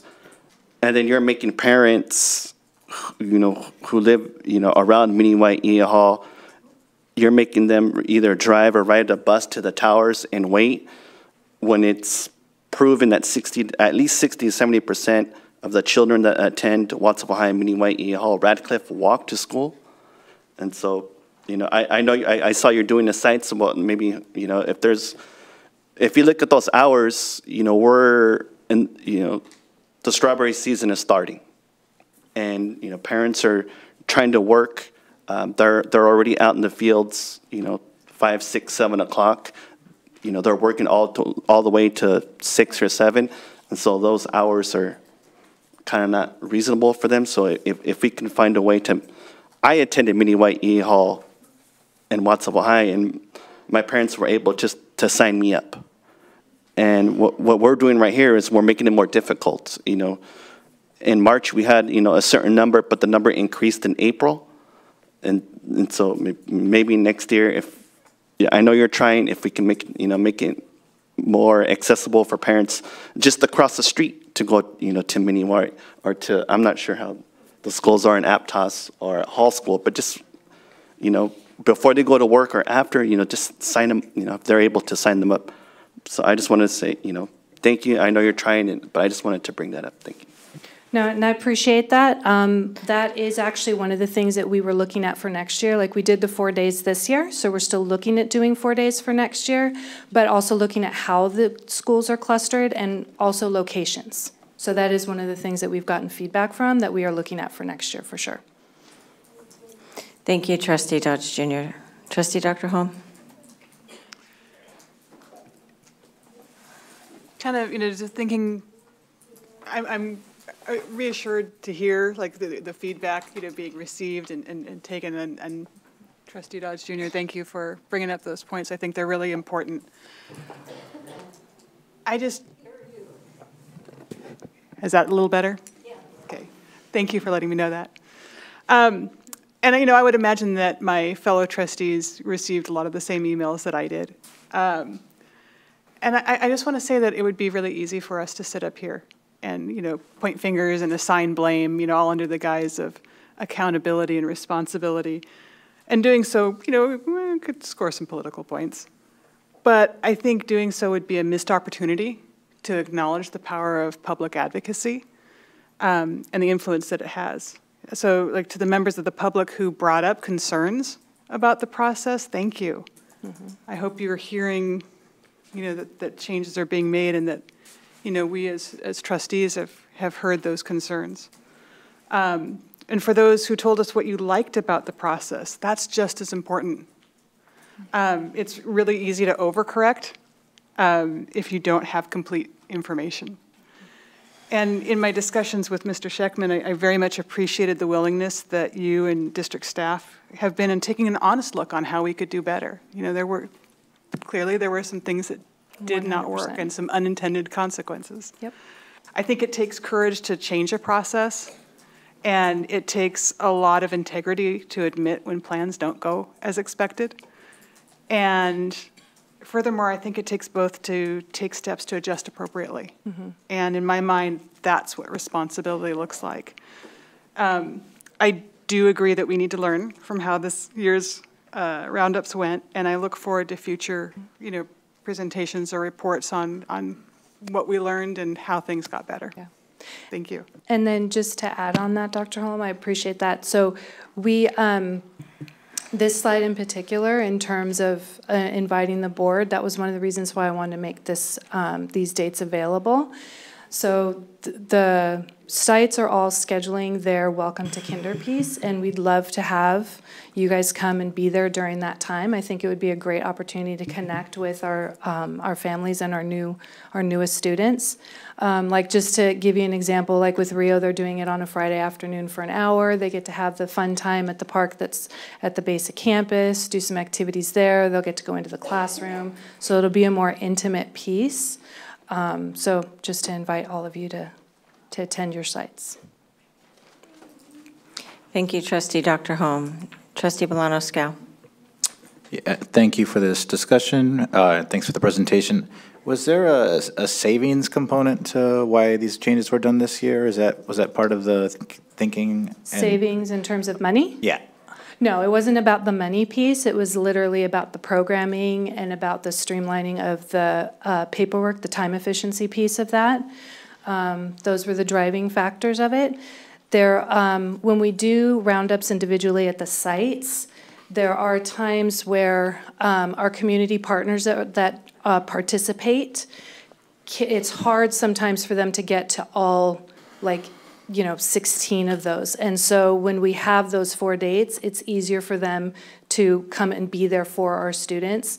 Um, And it also, you know, when we're talking about, um, like, for example, our migrant seasonal Head Start, they were also doing their registration um, at the same time. So there was that opportunity for our families who were coming in to make appointments with them. They would do that piece and then they would come downstairs and finish up the registration process. Whereas in the past, they would come to the second floor for migrant seasonal registration piece and then have to go back to a different building at a later time. So it's for efficiency. Okay. All right. Uh, th- no, Thank you for the explanation. Uh, One feedback I got, and maybe some of my colleagues got it, they appreciated the improvement, but felt it was a little impersonal. And because it wasn't, they had an older child, and they went to the school, it was much more personal. And, and the only, I think why it's important is because when we have the concern around declining enrollment, which, when you have TK though, I've looked, pulled at some of the numbers, and it's actually not it's going to help quite a bit. And I always feel like we're always recruiting, right? All of us here at the district, whatever our role is, our title. And so I know this is going to be exciting. This is positive that we're opening up these, expanding these programs. So whatever we can do to get people excited about our, district and want to stay uh, is important. So, so thanks for your work and thanks for the questions uh, from my colleagues. I agree with those as well. And with that, um, in terms of numbers, that declining enrollment thing is one of the pieces that we were looking at. So between the four dates, we actually had a total of about 861 families enroll, which when you look at how many kindergartners we currently have, we're at 1148. So we've already hit 75% of our current kinder enrollment to match numbers, which, um, and we're not done right? Because we still have between now and the beginning of school year to continue to recruit families to join. So it's giving us those pre-numbers and giving us a good idea to match our FTEs for the sites as well. Yeah. Thank you, Trustee Bolaños-Scow. Trustee DeSerpa? Um, How are we doing with numbers so far? Is it what we expected, or?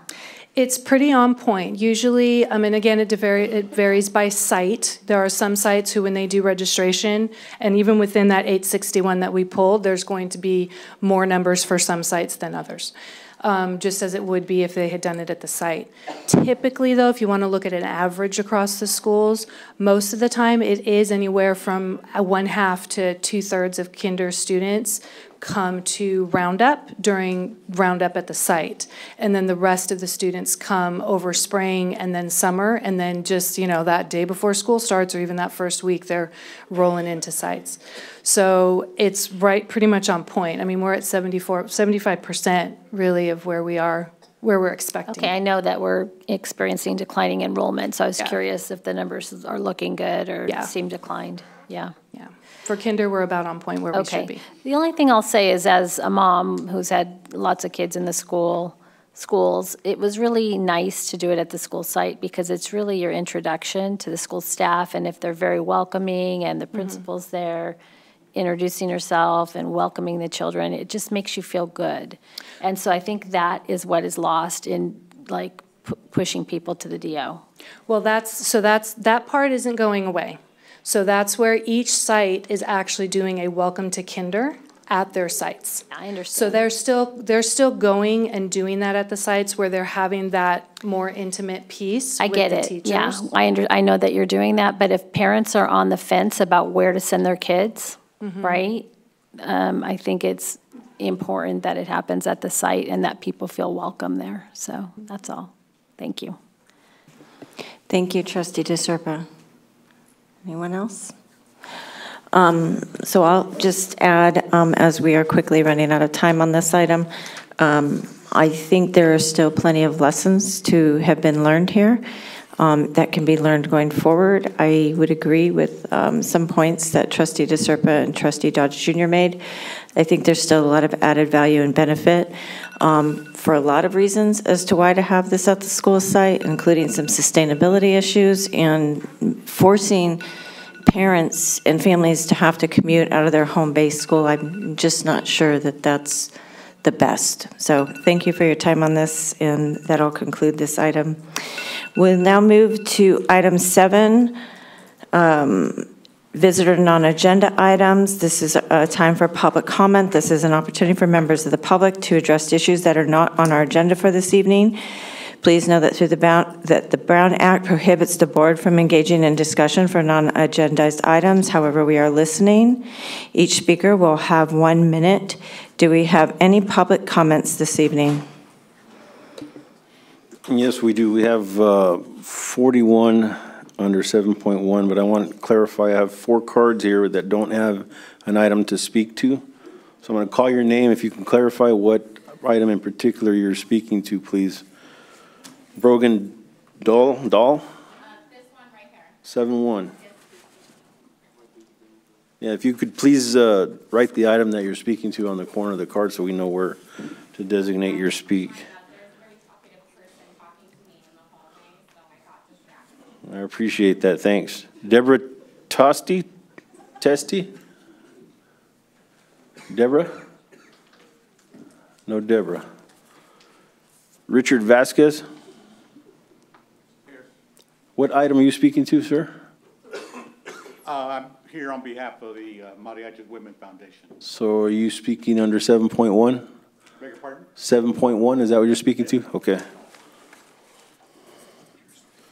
And then last, Ron Sandage? No Ron Sandage. All right, that uh, brings us up to 43 in the first three. Call you up, uh, Edward Montesino, Jessica Gonzalez, and Tony Nunez. Uh, Good evening, and thank you for using our facilities. You're welcome to use them any, anytime. Um, I just uh, came here to acknowledge the great work that uh, Murray did around the district. Thank you for helping out, and, you know, in a, in a time of need, you have done a lot of good work, and we continue to work with, uh, you know, the school district, because, you know, my- for me personally, the, um, uh, the school is in my heart, uh, you know, my kids grew up in a school. My, my, I still have a, a, young girl that goes to Rolling Hills. Um, that is a wonderful school, and uh, you know, uh, doing really well. And uh, I and I also want to report out that we're wor- uh, working to get a, you know a beacon light over a landmark in my district. So we're going to get a beacon light for people to cross the street, and we're also working with the school district, hopefully in the near future with Radcliffe, working with um, do another beacon light there for safety uh, safety reasons. Um, you know, these uh, we take uh, safety reasons and. Uh, uh, really serious. We want to work with uh, all you all in the school. Thank you very much.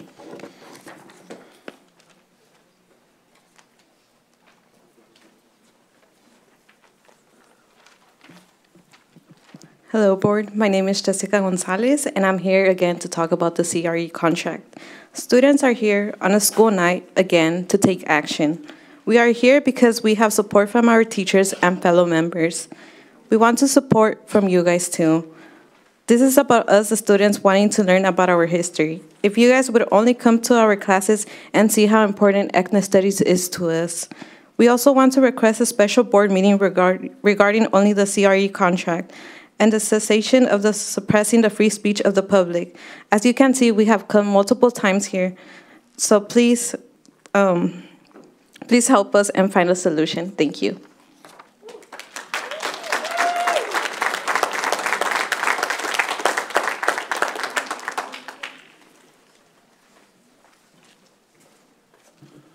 No Tony, no Tony Nunez. All right, next three. Uh, Bobby Marchessault, Chris Webb, and Richard Vasquez.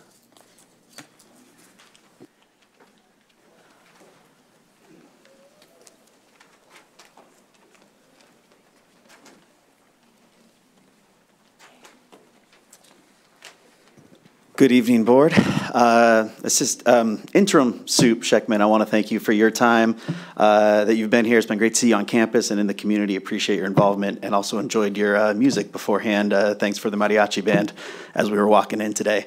Um, I am here again about the CRE uh, contract, and I will say that the flow of this meeting has been very disheartening, uh, the time that we're at before public comment shows up.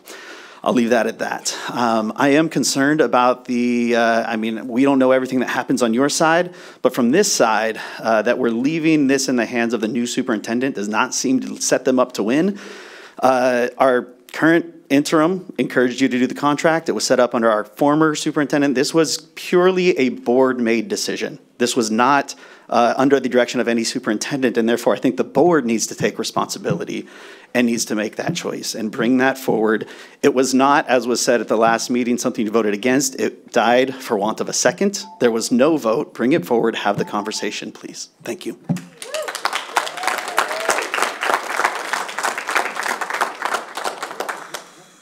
Um, I want to thank Mr. Murray for his work uh, with the PMS field, and I would just like to remind the community that uh, Renaissance could still use a field, and uh, it's a, a safety issue to have the championship-winning team there practicing on the current field. And I'll also add that um, when the last survey data that we have showed that the staff and students really did want a field, but they didn't want a staff room so much. Um, also, at the last board meeting, I was pretty disturbed to see that only one board member um, subscribes to the all-American idea of innocent until proven guilty. I'm talking about the personal necessity days. And those personal necessities can come up at any time. So to have um, it's just the, the way things are operating right now, that's not making for a positive work environment when you can't have your personal necessity. And if you're going to leave it to um, an HR person, that sets the district open to, lie, to litigation just in case like inequities come up or hostile work environment or quid pro quo situations. It reminds me of our Keenan training. We, we learned that you don't want that kind of situation. Thank you. Thank you to the one board member, whoever it was, who supported the teachers.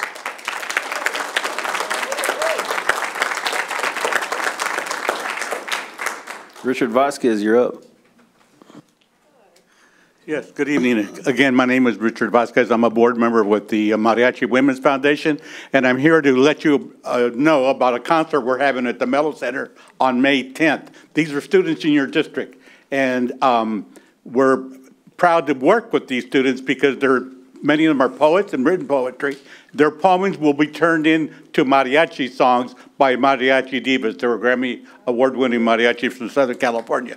And this is the third year they've been playing at the Mello, this group. So um, Bob uh, Gomez, one of your uh, retired teachers, has helped us uh, and the young people with the poems.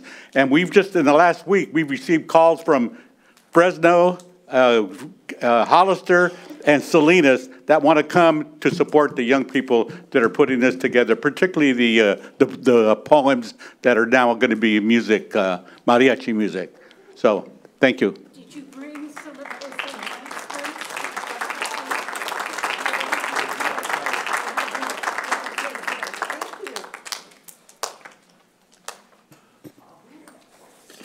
Right, next three, Kristen Spencer, Austin Martin, and Karina Moreno.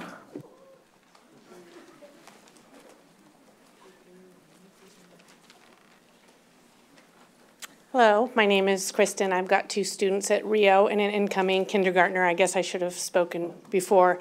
But I am here to ask that Kindergarten Roundup go back to the sites. It was extremely difficult only having four dates to choose from. I had to take time off of work. I had done everything on ParentVUE and coming to the district, I had to stand in lines at tables just to be presented with forms that I had already turned in and done, or to be asked a single question. And when I answered no, I just got it check off and to go. So the only reason that I went and spent an hour not counting drive time and taking time off of work was for a 20 minute assessment that was outside. It was impersonal, although the staff was very kind. And I just feel like it was a missed opportunity for my child to get to see a prospective classroom and a teacher and to have that one on one time to get excited about the school. So I really ask that maybe keep it as an option for people that want in person registration and need assistance, but otherwise, please give us the option of keeping it as our home school.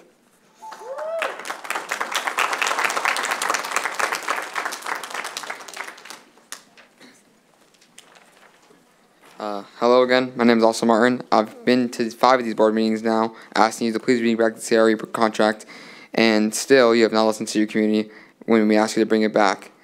We have tried every way to make our voices heard. We have spoken in emails, we have spoken at board meetings, we even invite you to our classrooms, and still no conversation. So I like to propose the idea of having a CRE contract only board meeting which we can just discuss it, where you guys can discuss back and have a discussion about it instead of having us talk to you guys and feel like not talked to back. Um, I will also like to ask you, what more do you need to, for us to do? We have come to the board meetings, you know, we check on the emails, and still, no, nothing works. I, but I will not give up. I will keep continuing to come to these board meetings to ask you to please bring it back. Me and my fellow peers will keep coming back, and I'd like to thank uh, Trustee Daniel Dodge uh, for trying to move this up and not having to sit through two hours of no public comment. Thank you.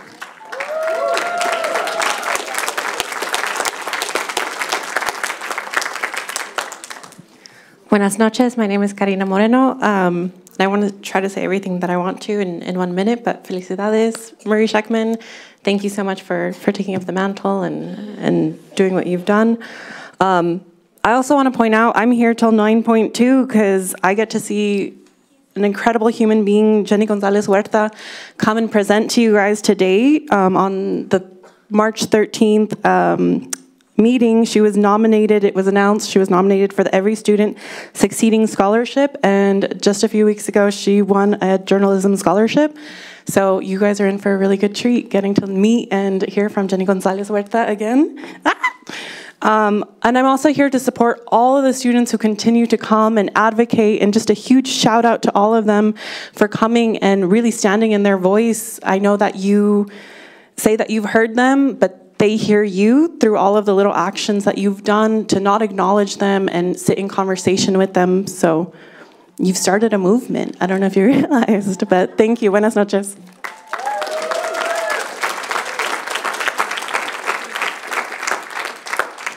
All right, next three. Uh, Mateo Rodriguez. Uh, the next one's kind of illeg- illegible. It's, uh, I'm going to say, is it Omar De Solo? De Sulo? Delgado, sorry. Thank you. And Carol Turley.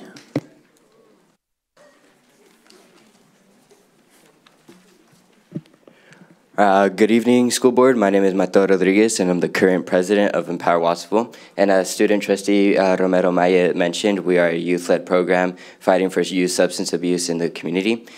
Um, I wanted to speak a little bit about my personal experience with youth substance abuse in the community. I see it a lot uh, around our school, especially in the bathroom. I remember one time during my sophomore year, as I was going to class and passing period, I stopped by the bathroom and I saw a group of guys just huddled around uh, the sink. And as I went to go wash my hands, I had to maneuver myself around them to uh, go ahead and wash my hands. And when I left, uh, one of them stopped me and said, "Hey, I don't want to see you in here again." And I, at that point, it infuriated me, and it was in one of the reasons why I joined Empower Watsonville in order to stop youth substance abuse in this community. And I hope that you can help uh, help us achieve that goal. I also want to say thank you, uh, Mr. Scheckman, for stepping up and being the interim superintendent. Thank you for your time.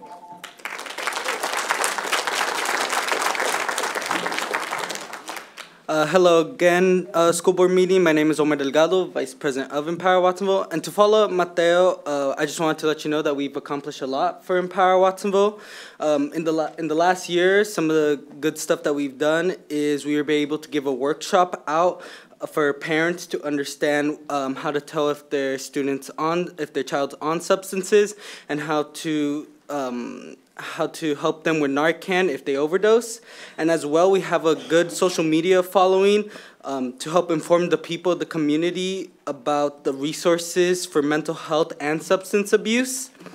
And we would love to work with you guys and build a relationship to get your view on substances, not only in our district, but in the whole community of Watsonville. Thank you for your time and what you do for our amazing district.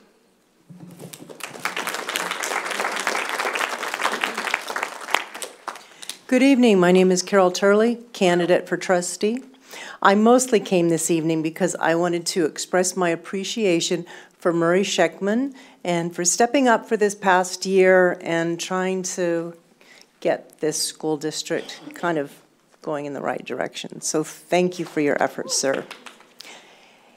And I strongly encourage you, you have some amazing young people in this room who are practicing democracy and demonstrating that they care about their education. And I just hope that you all recognize that and want to partner with them. You're here for them. So let's listen to them, eh?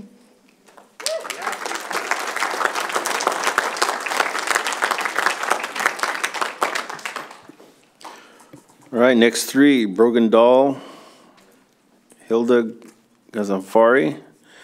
And the next card has two names, so you guys can decide which one of the two can come up or is gonna come up and speak. I have Ava Banuelos and a Nicholas Yurtone, Yurtor.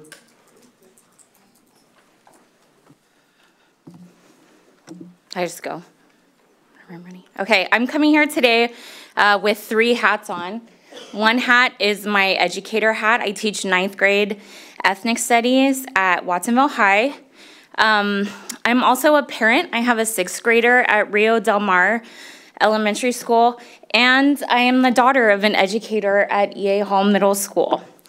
Um, brief note on the CRE I do not want my daughter going to Watson or to Aptos High learning that white supremacy doesn't exist. I don't want her going to Watsonville High learning that um, the genocide happening in Palestine is not real.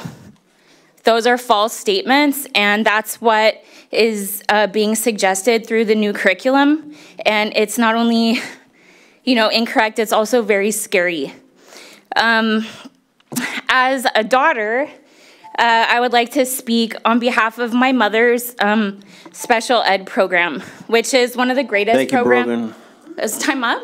Yes, I thought I got two minutes. one. Okay, Sorry. I'm I'm going to keep talking. Wrap it up. Okay, uh, students, this is an example. What's happening with my mom is an example of ableism and ageism. Um,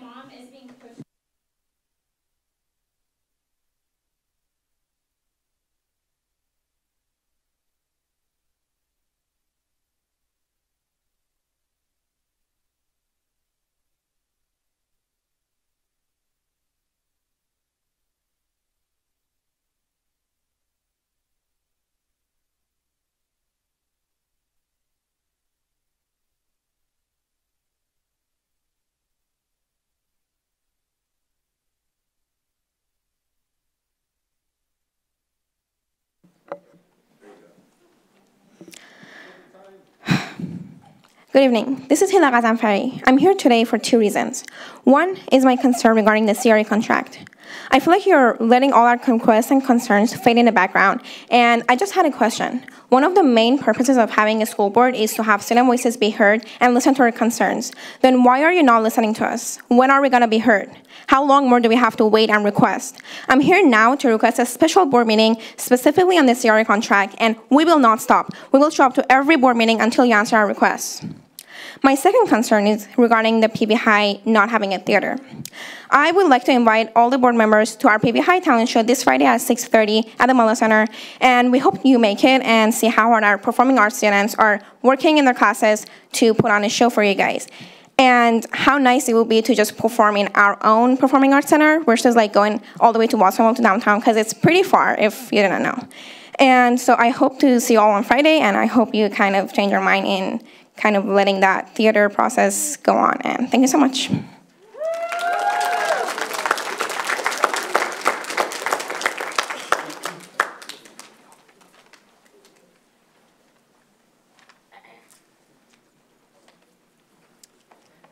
Hi, um, we're here from Aptos High, and we came to talk about the PVSD balloon ban. So we know that in 2021 there was a dedication to reduce plastic waste, and in that balloons were banned. Um, we're addressing this because we have graduation and other events coming up where we feel that balloons would add a lot to the events. And we are pitching bio, we pitched that the board could bring up biodegradable balloons because while normal balloons are made out of latex that does degrade, they are infused with other materials that don't, and biodegradable balloons will not cause long-term harm, unlike normal ones. And our main proposal is that we are proposing a clause to the general PVSD ban of balloons to maintain the protection of our environment. We would keep the balloons inside so they don't fly into the atmosphere and harm birds and other animals. We'll make sure they are securely in place, and when disposed in the trash, the balloons will decompose over time. And basically, we just wanted that to be brought up. Thank you.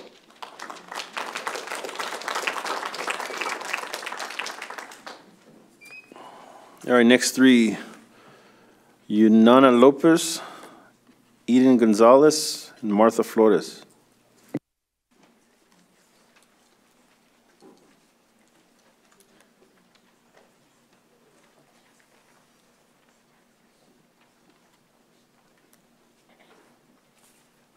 Are these folks in the uh, room tonight?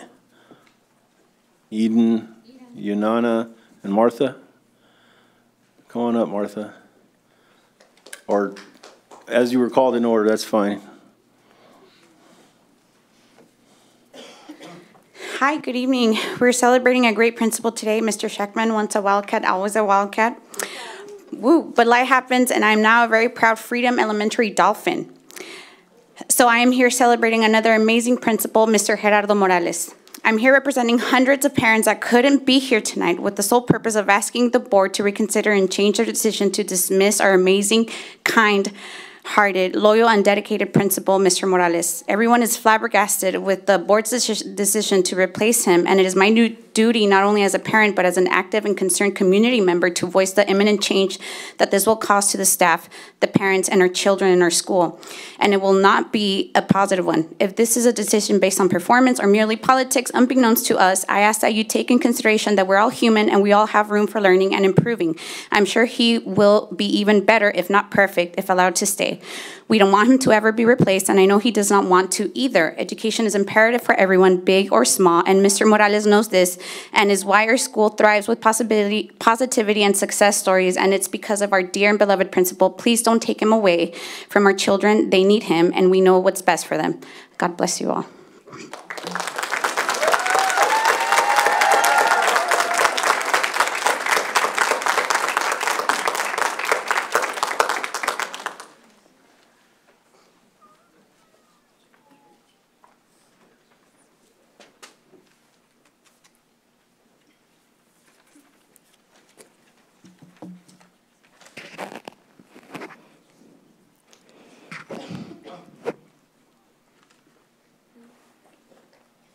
I started speaking.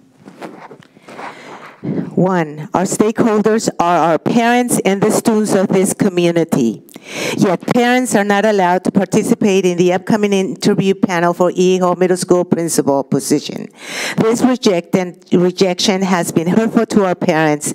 They were looking forward to participating in this panel. I ask you, when did this change occur and when did you notify us, the community? To clean up the disaster left at EA Hall, parents have stepped up to address the mess that was left. They have shown up to work with the district, but now they are being marginalized in this important process of selecting a principal at EA Hall School. Furthermore, before you, you have an example of an article from the Pajaronian where life skills uh, teacher uh, and students participated in Mi Casa es Tu Casa uh, community art display. Per- long periods of hard work with our uh, parents and students, and now you want to dismantle this program? Accountability, please. You have an EL, ELL example of the travesty that happens to our ELL students in our community. Four, I want accountability. May I please have the budget, a transparent budget you, of the last two years for EA Hall School, please. Thank you for your time.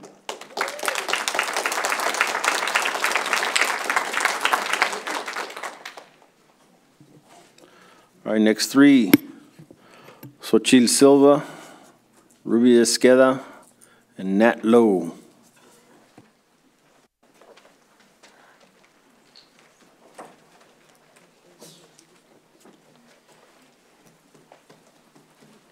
Hi, good evening. My name is Ruby Esqueda. I'm a parent of Freedom Elementary School, and I'm here to please ask you to reconsider removing um, Principal Gerardo Morales from the school as a principal. He is one of the best principals, and I know he is very dedicated to all his students. Um, he greets every student in the morning as they come, um, saying, um, What are you? And the kids respond, You are amazing. We are amazing. And he's always there with a smile. He is always there for parents. He encourages parents to attend meetings and to partici- participate in the school as much as he can.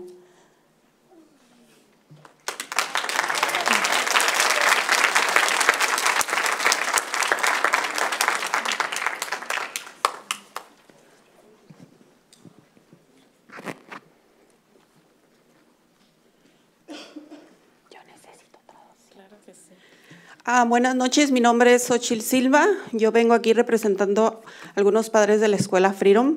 Este, queremos. Silva. Uh, Good evening, my name is Xochil Silva. I am here representing some of the parents for uh, Freedom School. Am, queremos pedir que el director se quede con nosotros porque para nosotros es un buen director. Nunca hemos tenido un director como este anteriormente. We're asking to um, keep uh, our principal because we've never had a principal as good as the one we have right now. Juntamos aproximadamente, sé que para ustedes a lo mejor son pocos, 300 firmas de los padres de su escuela Freedom School solamente hoy en la mañana, al salir y a levantar a los niños de la escuela. We, um, we, I don't know if this is too many or too little for you guys, but we have collected 300 signatures this morning as kids were being dropped off and in the afternoon when they were uh, picked up. Uh, that's what we did just today. Para nosotros, en lo personal, para mí es algo muy, he sentido algo muy desagradable porque ha sido para nosotros el mejor director. He pasado por dos directoras anteriormente.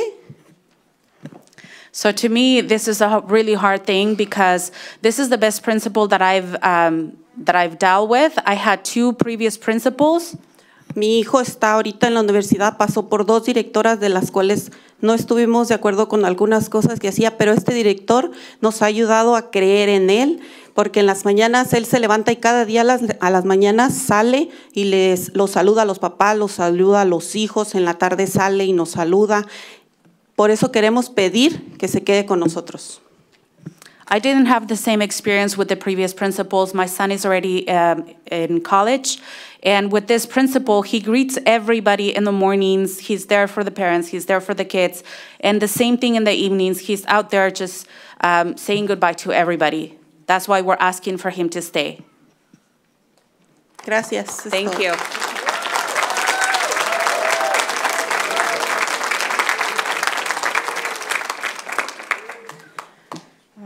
Hi, my name is Nat Lowe, Area 7. I'm here for the eighth time. It's been seven months, almost a full academic year of the Ethnic Studies program being disrupted because trustees Acosta, Soto, Flores, and DeSerpa, you have placed your own agendas over the, and your own comfort over the best interests of the students. You say that this, you know that this is a priority for the community, but your actions do not show it.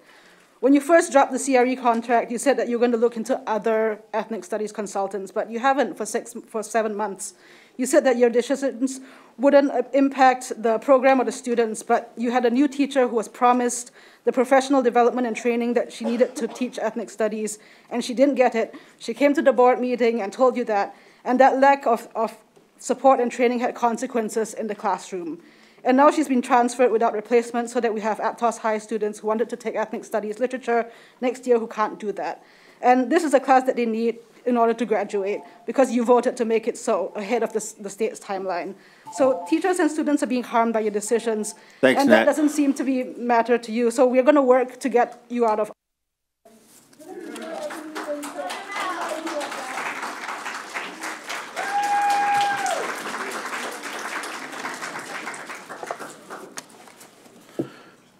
Next three, Griselda Munoz, Eli Davies, and George Lopez, Jorge Lopez.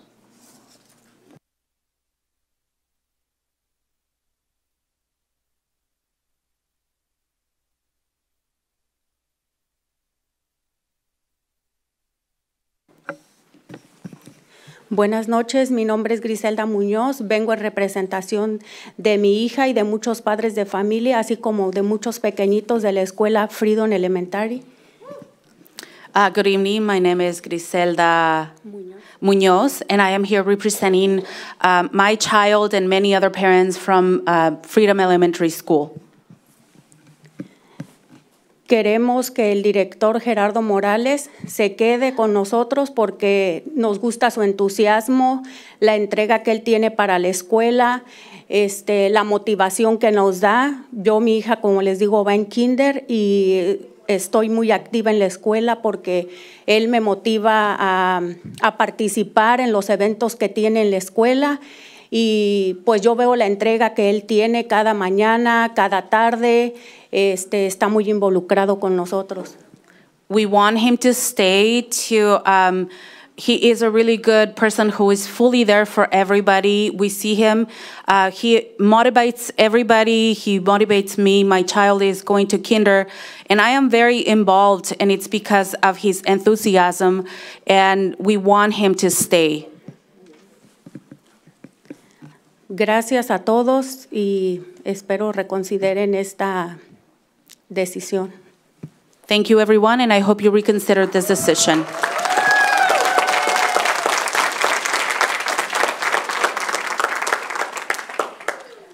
Good evening, board. My name is Eli. I use they, them pronouns. I'm here again to say, please put the CRE contract back on the agenda and renew.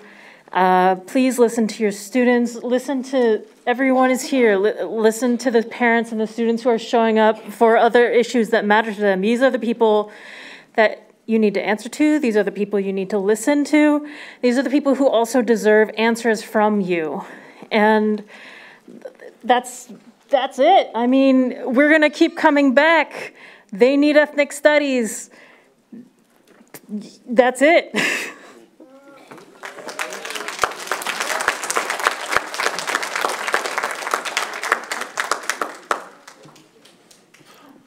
Jorge Lopez, are you out there?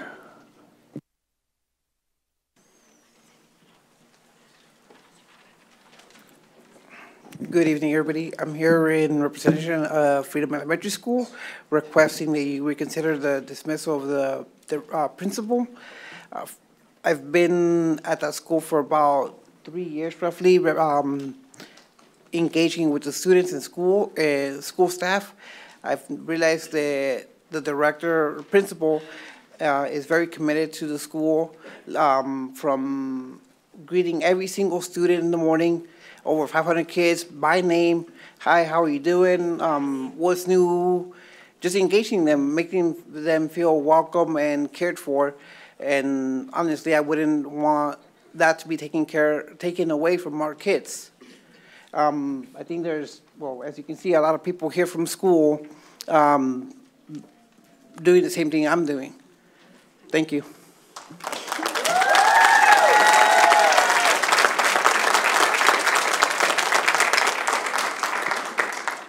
All right, we're going to pick up the pace here a little bit and call six at a time, and there's plenty of room in the aisle. You can line up uh, as you're called. Patricia Lopez, Guadalupe Valentin, Christine Hung, Abby,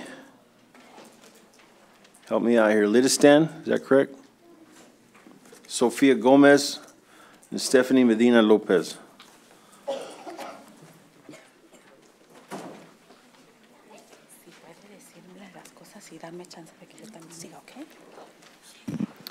Buenas noches. Mi nombre es Patricia López y vengo de parte de mi escuela Freedom ah, pidiendo de favor que pues ah, dejen al maestro Morales. Uh, good evening. My name is Patricia Lopez. I am coming from my school, uh, Freedom Elementary, asking to please keep Mr. Morales. El cariño del señor Gerardo Morales a los niños y al personal de nuestra escuela Freedom nos gusta cómo nos trata, nos da respeto y amor, sinceridad y afecto en nuestra familia. Um, the care that Mr. Morales uh, shows to all the kids, staff at our school, Freedom, we like that. He treats us with respect and love and uh, sincerity, and we like it. That that affects our family in a positive way. We like that. Muchas gracias y que tenga buenas noches. Thank you very much, and you have a good evening.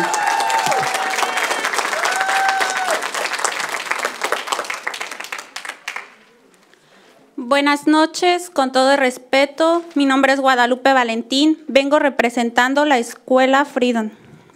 Good evening. With all my respect, I am here. Uh, my name is Guadalupe Valentin, and I am here representing my school, Ele- Freedom Elementary. Con el respeto que se merecen, necesitamos, la verdad, que nos escuchen. El director Gerardo Morales es un buen director.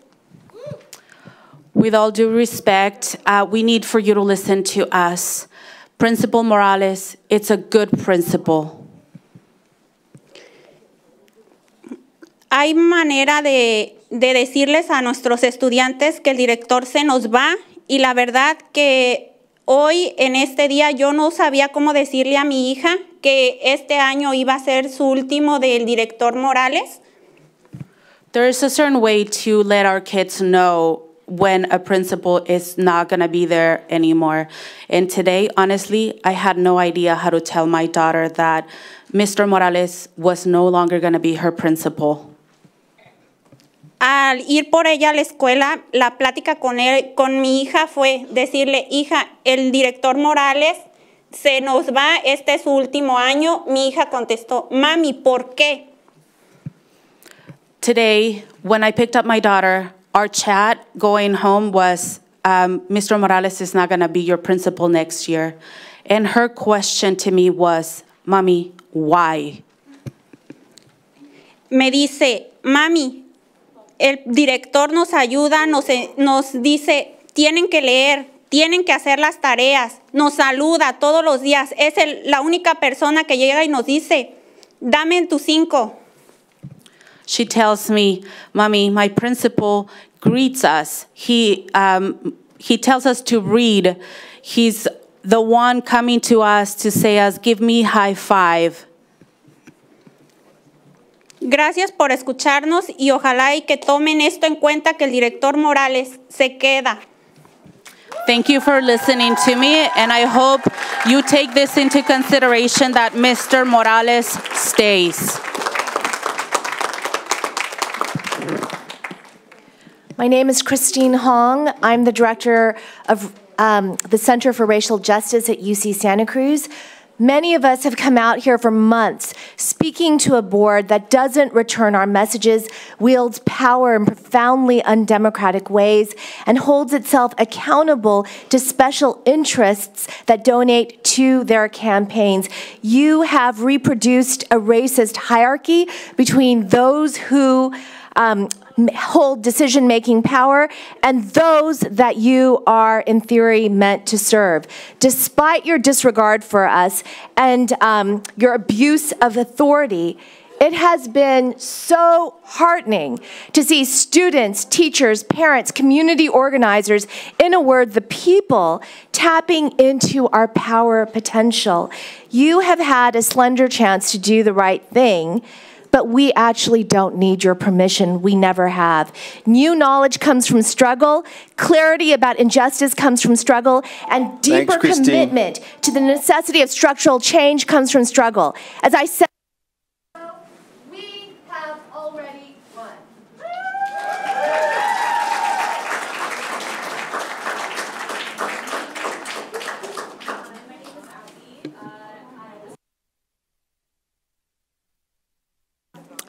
Hi.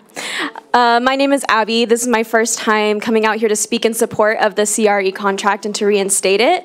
Uh, I was born here in Watsonville, and I can't express enough how important ethnic studies would have been for me if I was their age. And seeing all these amazing students struggle for ethnic studies is the next best thing to having ethnic studies. Actually, part of the ethnic studies curriculum is this right here these students fighting for their education, and you have a responsibility to respond to them. Um, I have nothing much else to say other than that it's really disheartening to see you make all of these students wait, these parents with these elementary age kids wait until past their bedtimes while they have SATs. You heard the reports. They have SATs, they have exams, they have applying to colleges up ahead, and they're here in this room right now. So I would invite you to take a moment to really listen to these students, do your job, and uh, bring back the CRE contract.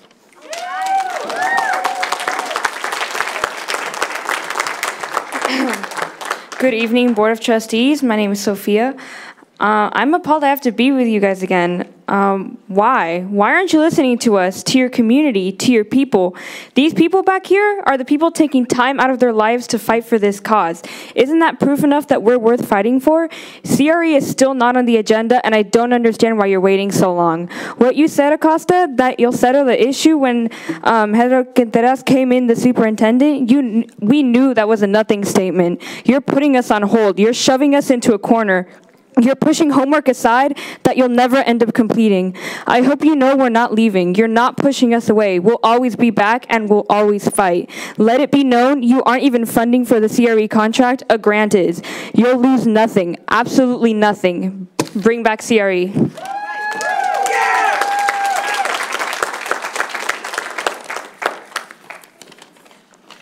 Good evening. I'm here today to express my feelings towards the removal of the CRE contract. I am mad to see people like you try to change something that has made me more aware of my place in this community and how little we mean to you. You only care for the money you'll be getting, while people like us get more and more oppressed by the actions you do. You claim the CIE, the CRE contract is anti-Semitism, yet you have not done anything to prove it does. You people are the same. The secret of liberty is the enlightenment of men, as that of a tyrant is to try and keep them ignorant. You basically want to wait the next generation of students who take S ethnic studies to be unaware of their heritage and their stories by not renewing the CRE contract. People like you who take and never, and I mean never, want to see the actions that are negatively affecting make me sick. I want you to listen to all of us right now, all the students here, and bring CRE contract back now.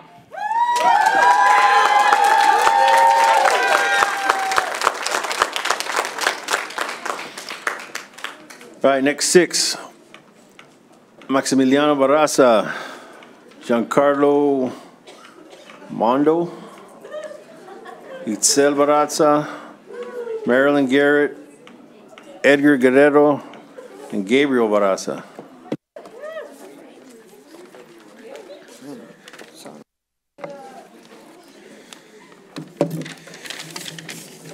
All right. Evening, board. My name is Maximiliano.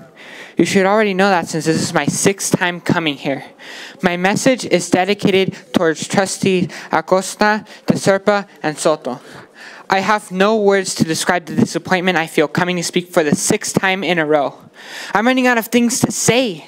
How can you continue to ignore us for so long? I didn't expect this to take so long because I had trust and respect for you. My parents taught me to respect my elders and figures of authority, but I have to say, I cannot respect you, let alone trust you, after you have forced the communities to speak out for so long. You're public servants. Your job is to do the people's bidding. All you have to do is listen to the majority of people. Is that so hard? We've had over 30 people show up to these meetings consistently, with a climax of over 80 people showing up. What will take you to listen? My disappointment truly is immeasurable and my day is ruined, thinking about your disregard for the people's opinion. Acosta, you should really consider listening to the people since you're going to be Thank up you. for election. Anyone who runs against you will use your disregard of the people's opinion against you. Think about the reputation you are giving rise to. Please listen to us. And if you're not going to do your job, then at least be honest. Thank you.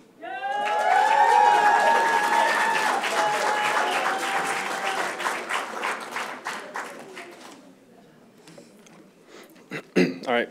Good afternoon. My name is John Carlo. Um, this is my second time coming here, and sadly, nothing has really seemed to change. I don't really understand why nobody seems to be listening to us. I mean, we've had countless people come here and also express their worries, their concerns, and just how they want the contract back. Uh, to be honest, I'm pretty disappointed about how the contract is being removed once again. And please just listen to us. I mean, just look at all of us here. I mean, we clearly care for our education and we also want this contract back. We are tired of not being heard. Thank you.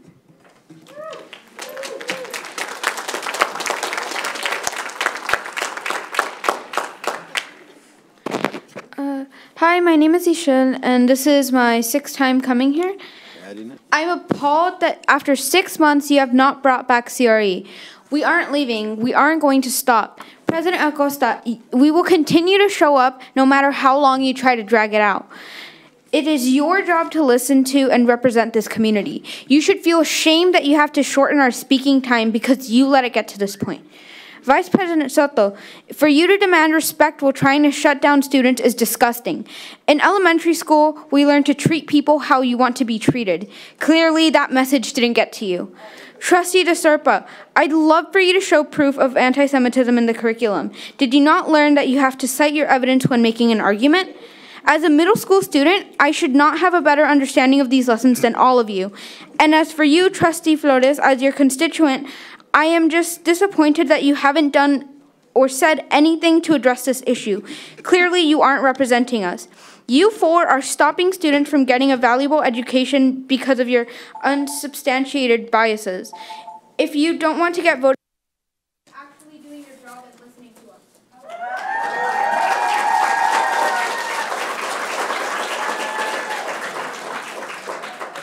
There you go.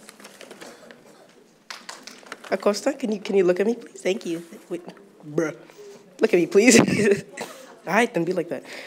Hello again. My name is Edgar, and I am disappointed in you. How many times do people need to remind you that you need to bring back CRE? You've been told this countless times. It is about it, it's about time you do your job. Nobody here is going to give up on this. If you truly believe that this is anti Semitic, you need proof. Prove to us that anything in the curriculum is anti Semitic. I hope you follow Trustee Holm in researching instead of accusing with no proof. This isn't the Salem witch trials. Thank you.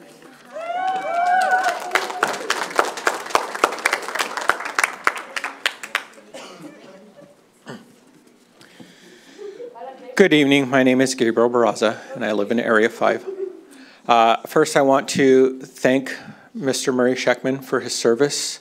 Uh, We didn't get off to the greatest start when you, we first met, but uh, you realized that you needed to do some research, and you came back and corrected the situation, uh, which is what public servants are supposed to do, so thank you very much. Unfortunately, I can't say the same thing for some of the members of the board. We have been here for months asking you to bring back the CRE contract, which you arbitrarily decided not to renew. Now, you guys are public servants. You guys are voted in by the people. And yet you are not listening to the people as they come to speak to you. I've told you that you will suffer political consequences, and I will make good on that promise. Thank you.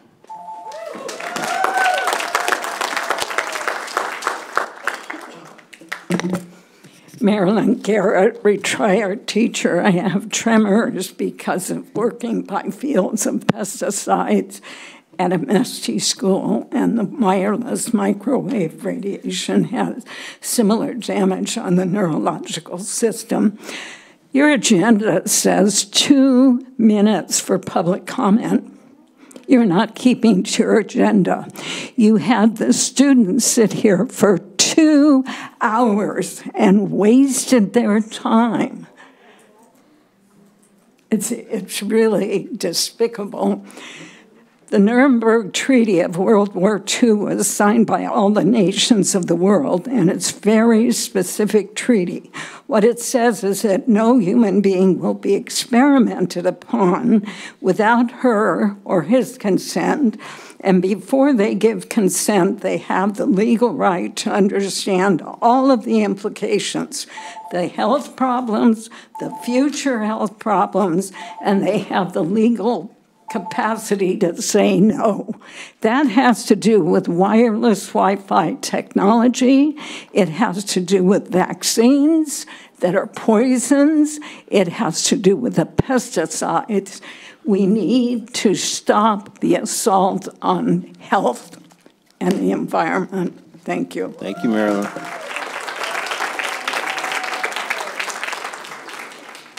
All right, last group, and that's actually seven left. Uh, Miguel Martin Villalobos, Alyssa Rocha Rangel, Desi Salinas Holtz, It- Italis Arias, Arias, Bobby Peltz, Lourdes Barazas, and Jacob Chapnick. Ese sí es en español. Miren, no hay fecha que no llegue ni plazo que no se cumpla. Quítense los audífonos porque eso sí va a ser en español.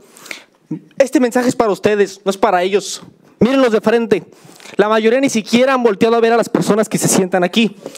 Señor Adam, ¿está usted con la gente o con el verdugo? Y lo pregunto seriamente, cuando termine dígalo en inglés, no hay problema. ¿Los ven? ¿Los ven? No les importamos. Esta gente siente desagrado por nosotros. Esta gente es profundamente racista. Muchos de ellos se creen mucho porque hablan inglés. ¿O me equivoco, señor Soto? Muchos de ellos se dan el lujo de no mirarlos a los ojos. Se creen los defensores de la comunidad judía, pero ¿saben qué son? Son los perpetuadores de las injusticias. Las personas como el señor Morales, el contrato CRE, porque vaya que por eso estoy aquí es lo que hace que valga la pena Watsonville. Mi nombre es Miguel, esto es Watsonville. Watsonville es nuestro. Venimos a reclamar lo que es nuestro y les pedimos la alianza de todos. A la cuenta de tres les pido a todos.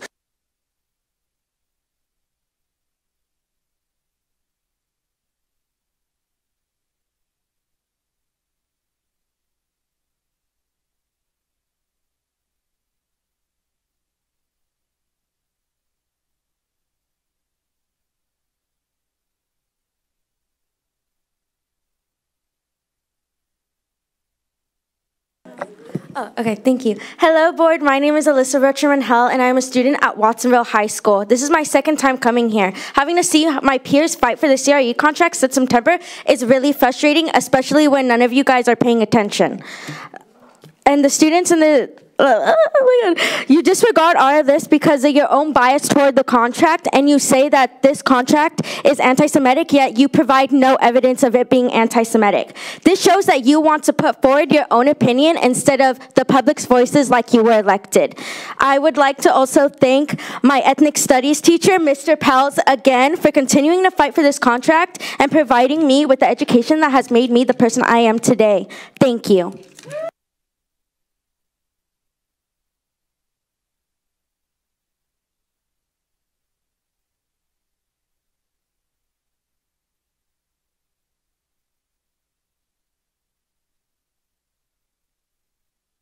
Okay, thank you. Um, I'm, I'm not going to restart. And I urge all of you to rethink your decision on not renewing the CRE contract. I'm upset that this has not yet been put back on the agenda, and it has been months of us advocating, and you still refuse to listen. When I first found out about the decision to not renew the contract, I was disgusted and confused why such a thing would happen. First, I wrote an email to the board requesting to bring the CRE contract back on the agenda. Then, the next time, I came to the board meeting not expecting to speak, but then after seeing everyone and the struggle, um, sorry, and the struggle and work they were putting in for my education, I decided to write something up fast and speak shortly on it. And now, I am here for my second time meeting, and this time I'm prepared because it has been long enough that we have been ignored and treated like our voices don't matter. My ethnic studies class has changed my point of view on others and has shined a new light on many of my classmates who I once thought did not care enough to be part of their community and stand up for others. But yet, here they are defending their, for their education. Thank you, and please reconsider bringing it back on the agenda.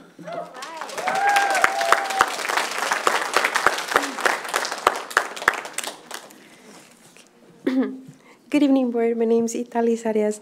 For months, I've seen my peers come up and tell all of you many different ways to bring back this year contract. In my ethnic studies class, I heard a quote that inspired me to come tonight. What's the point of having a voice if you're going to be silent in those moments you shouldn't be? Being in ethnic studies has taught me so many different things about myself and others around me, and about my ethnicity. My teacher, Mr. Prowse, has encouraged so many of us to come and try to be heard. But when will you finally listen to us? Us, the community who voted you in those seats. Us, the community you're supposed to respond to. Please bring back this year contract.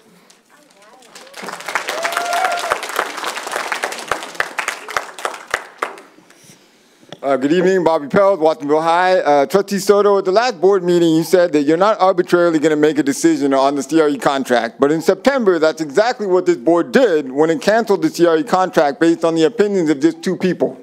You yourself pointed that out when you said that you didn't think we should disrupt a viable program because of an opinion. But in March, as part of the agenda committee, you voted not to bring the, uh, the CRE contract back to the agenda.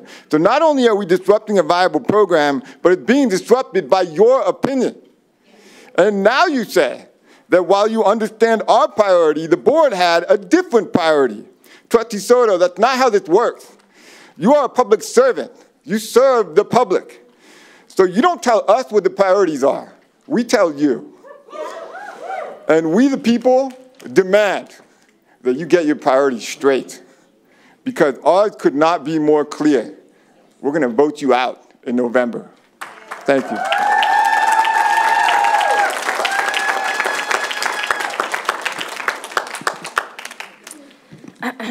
I just want to ask that you all sit up, open your ears, and open your hearts. I demand that you all con- reconsider the removal of Mr. Morales from Freedom Elementary. He is an outstanding person on an educational level as well as a personal level. He encourages not only students but parents as well to keep on getting involved and being a great example in our community. Please do not take out such a wonderful person that now leads Freedom Elementary. He is achieving great standards, and even though my youngest will be moving out to middle school next year, I do not want other younger students to miss out on the chance of having an exceptional leader as, as an introduction to their education. To everyone in the audience, always stick up for what you believe in and always double check who you vote for.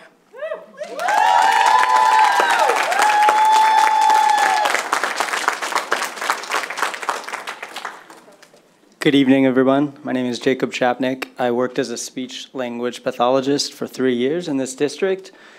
And I'm here to speak tonight about my best friend and colleague, Miss Dee Gonzalez. Some of you may have seen the pictures. They're right here by the front. I would encourage you to take a look on your way out. I've seen some things over my time in this district that have certainly given me pause, but of the most shocking is someone who came out of retirement, got two separate credentials to teach special ed, broke both her legs, and still wanted to come back and teach. And now the SELPA wants to close her program. All of her students are sitting right here, way past their bedtime, because they're here to support her. EA Hall has one of the most inclusive life skills programs in the district. Don't shut it down.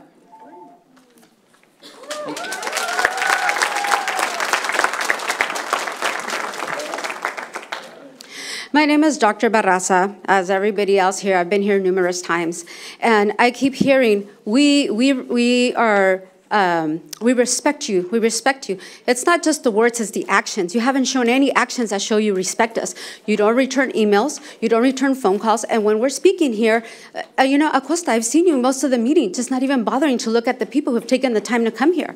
And, you know, I, I wanted to thank um, Trustee Dodge for actually saying that our time mattered but apparently not to you. I guess we have to be paid consultants in order for our time to matter because it's almost 10 o'clock and you made the students stay up this late just so that you can make them suffer through something they didn't do. They don't need to listen to Kinder Roundup. That could have waited, but you chose instead to make them waste their time. And DeSerpa, I'm sorry, but you know what? You're exactly the kind of person that um, uh, Dr. Martin Luther King warned us about, the well-meaning progressive, who instead of serving the public, you're serving your own personal interest. And that's what you guys are all doing. But we'll vote you out.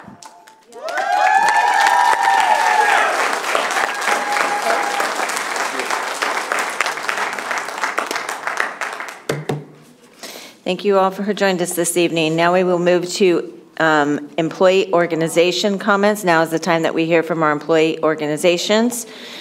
We will start with 8.1, Pajaro Valley Federation of Teachers. Do we have anyone here from PVFT?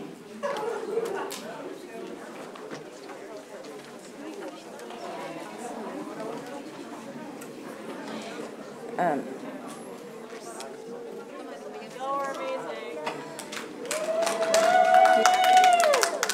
We're gonna wait until, we're gonna wait until they clear up. No, here. Yeah, bump you?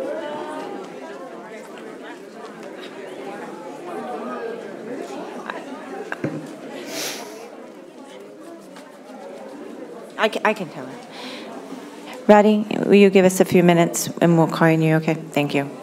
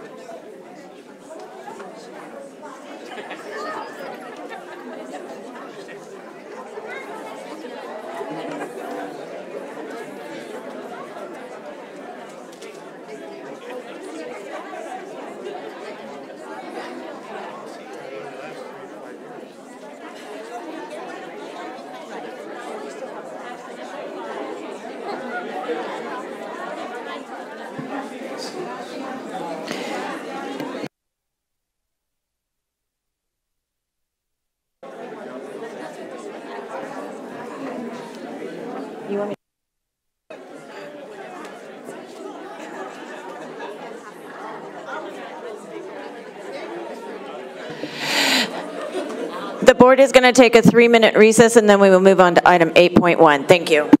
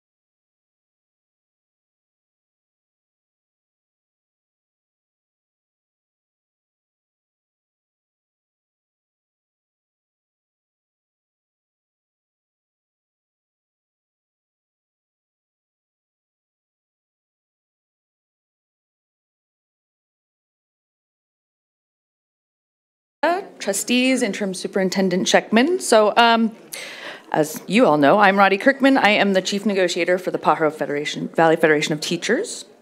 Um, and I'd just like to start off by thanking Mr. Scheckman for your service to the district over these past uh, 10 months, I believe. Um, the PVFT is excited and have already begun collaborating with Dr. Contreras as she begins her tenure in PVUSD. So uh, one of the things we're hoping to collaborate with Dr. Contreras on is bringing back the CRE contract that this board has terminated without cause and that this board continues to keep off the agenda, failing their community and their constituents. There are also another a number of other items on your agenda that I would like to speak to tonight. You have two MOUs that were negotiated with the district that I would like to speak to. The first MOU is addressing our Migrant Seasonal Head Start program and our Buena Vista Children's Center. These programs serve our migrant families and they run seasonally. Um, typically, they run from May and their contracts that they receive each year state that they run through October. However, every year that I have been in this position, every season, um, a majority of those teachers actually work into mid-November or towards the end of November. By claiming that the season ends in October, the district is able to terminate their health benefits for that month while these employees continue to provide this invaluable service to the migrant and seasonal families of the district. That is a disservice. These employees also, just like numerous bus drivers in our district, are required to work split shifts. I don't think I need to explain what hardship a split shift is on an employee. They deserve better. The second MOU that you're going to see tonight is to address a practice that has been happening at one of our middle school sites. At this site, the teaching periods are 51 minutes. When these teachers sub during their teaching periods on their prep, they are being paid a proportion of an hour. That is adding insult to injury. Interestingly enough, the former assistant superintendent of HR, who is now working at this site, chose not to correct this when she began. So we are here presenting an MOU to correct this practice that has been going on at this site all year.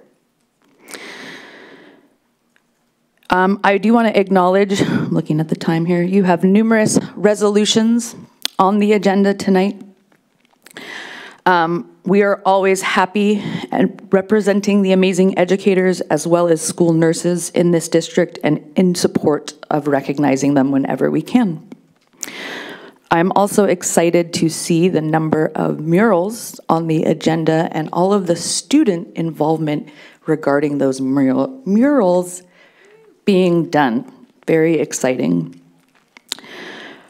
Finally, on your consent agenda tonight, you are approving a contract with Lindamood-Bell to provide one-on-one services for one student in our district totaling $18,400. I am struggling to justify this in my mind. Today I met with an adaptive physical education teacher who travels to seven different school sites a week to see the students on her caseload and provide adaptive physical education to them. We heard from public speakers about the life skills program being disassembled at EA Hall, creating a disservice to families in that area whose students have those needs. What you really need to be doing instead of entering into ridiculous contracts is you need to be looking at how we are looking at caseloads, the work that our special education professionals are being asked to do, and stop all of the waste in that program. Thank you. Thank you, Ms. Kirkman. Moving on to item 8.2, CSEA, California School Employees Association. Do we have anyone here from CSEA this evening? No. Uh, moving on to Pajaro Valley Association of Managers, PAVAM. Do we have anyone from PAVAM this evening?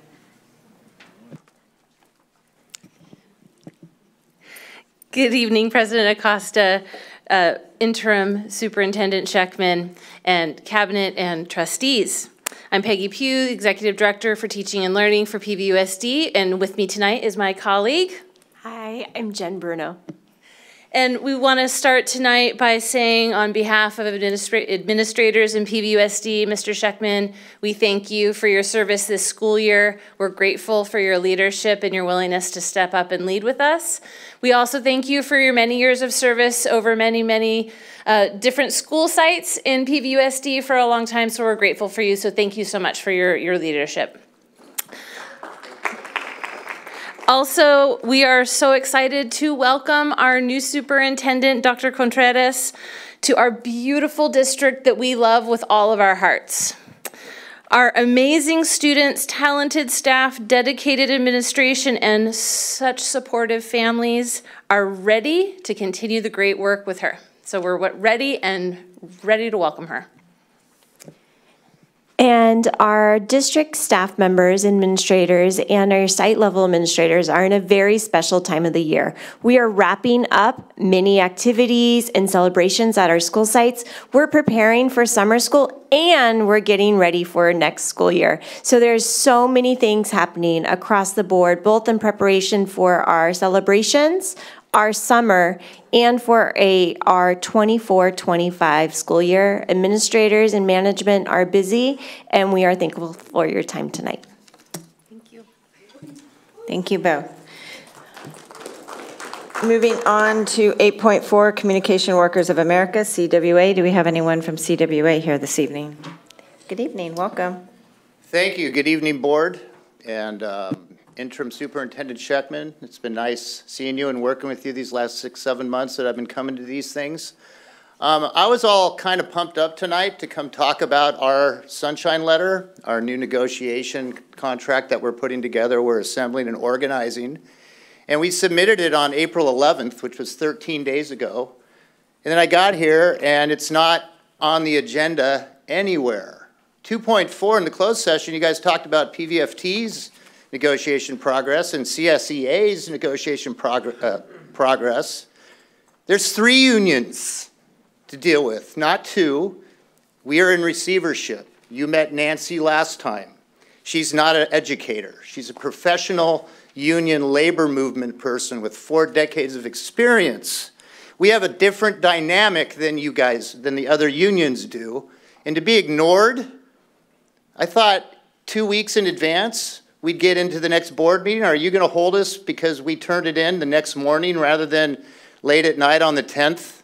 That seems pretty chintzy to me, and it seems a bit unfair. Nowhere on the agenda tonight is CWA's sunshine letter. We worked hard on that. I've been working hard on that. I've been working since 7.30 this morning doing ELPAC testing. I did initial tests at Radcliff. I got two um, autistic kids that wouldn't test with any other tester to test with me because I joined their group. I made them feel safe. I have an understanding of autistic kids. I've done a lot of special ed assignments. I've done over 3,000 sub days in my 20 years. I'm a valued employee in this district. I'm a certificated teacher, and I'm being ignored. We're being ignored as a group of people. There's about 30 to 40 people with similar statuses to mine. We're not PVFT contracted teachers, yet we're being treated like second-rate citizens, especially when it comes to pay. So this new contract is all about wage increases for the subs, for long-term subbing. I was going to get into that more, but I'll wait till next time when it's actually on the agenda. But Nancy sent all of you a copy or an email yesterday about the meat and bones of our contract. The Sunshine Letter was received by Mr. Saxton over there. He acknowledged it in emails. I was CC'd in the email. Um, I'm just confused. I want to know why we're not on the agenda tonight. Why? It's ridiculous. And for the virtual world watching this and the subs that are watching this, this is how we're being treated by HR. This is going to be the struggle that we're facing when we want to get what we need.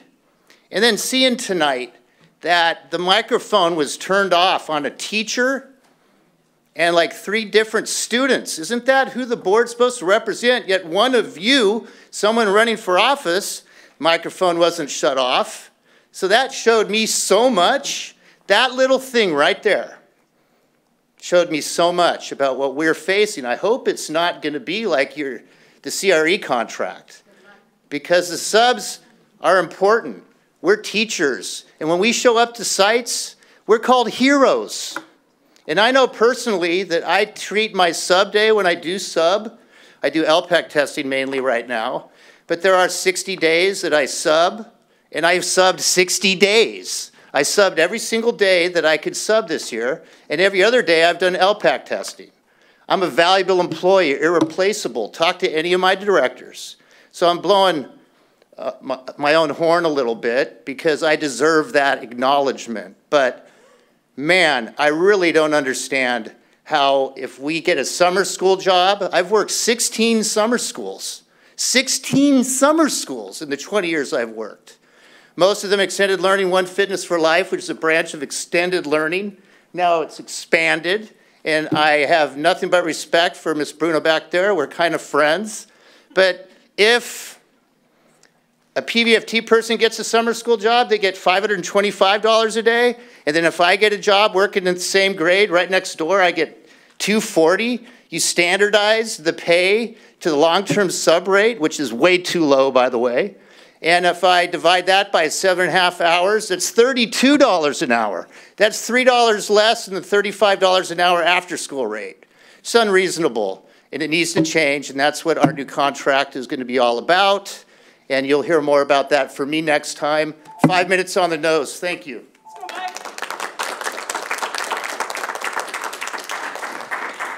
We'll now move to item 9.1, the Aptos Sports Foundation Youth Recreation Agreement. This um, report will be presented by our Director of Purchasing, Mr. Ariano, and Mr. McFadden with the Aptos Sports Foundation. All right, good evening, President Acosta, Board of Trustees, Superintendent Scheckman. Um, I'm proud to present the, bo uh, the board the Youth uh, Recreation Agreement with the Aptos Sports Foundation and also say it's, it's always a great day to be a Mariner. Uh, the agreement for your approval will formalize and memorialize the framework for future project de development at Aptos area schools. The agreement was developed in collaboration with the foundation, and I'm pleased to be joined for this item by a familiar face and representative of the foundation. And I'm going to turn the podium over to him so he can introduce himself and share the purpose and function of this agreement with uh, Aptos Sports Foundation. Thank you, Rich.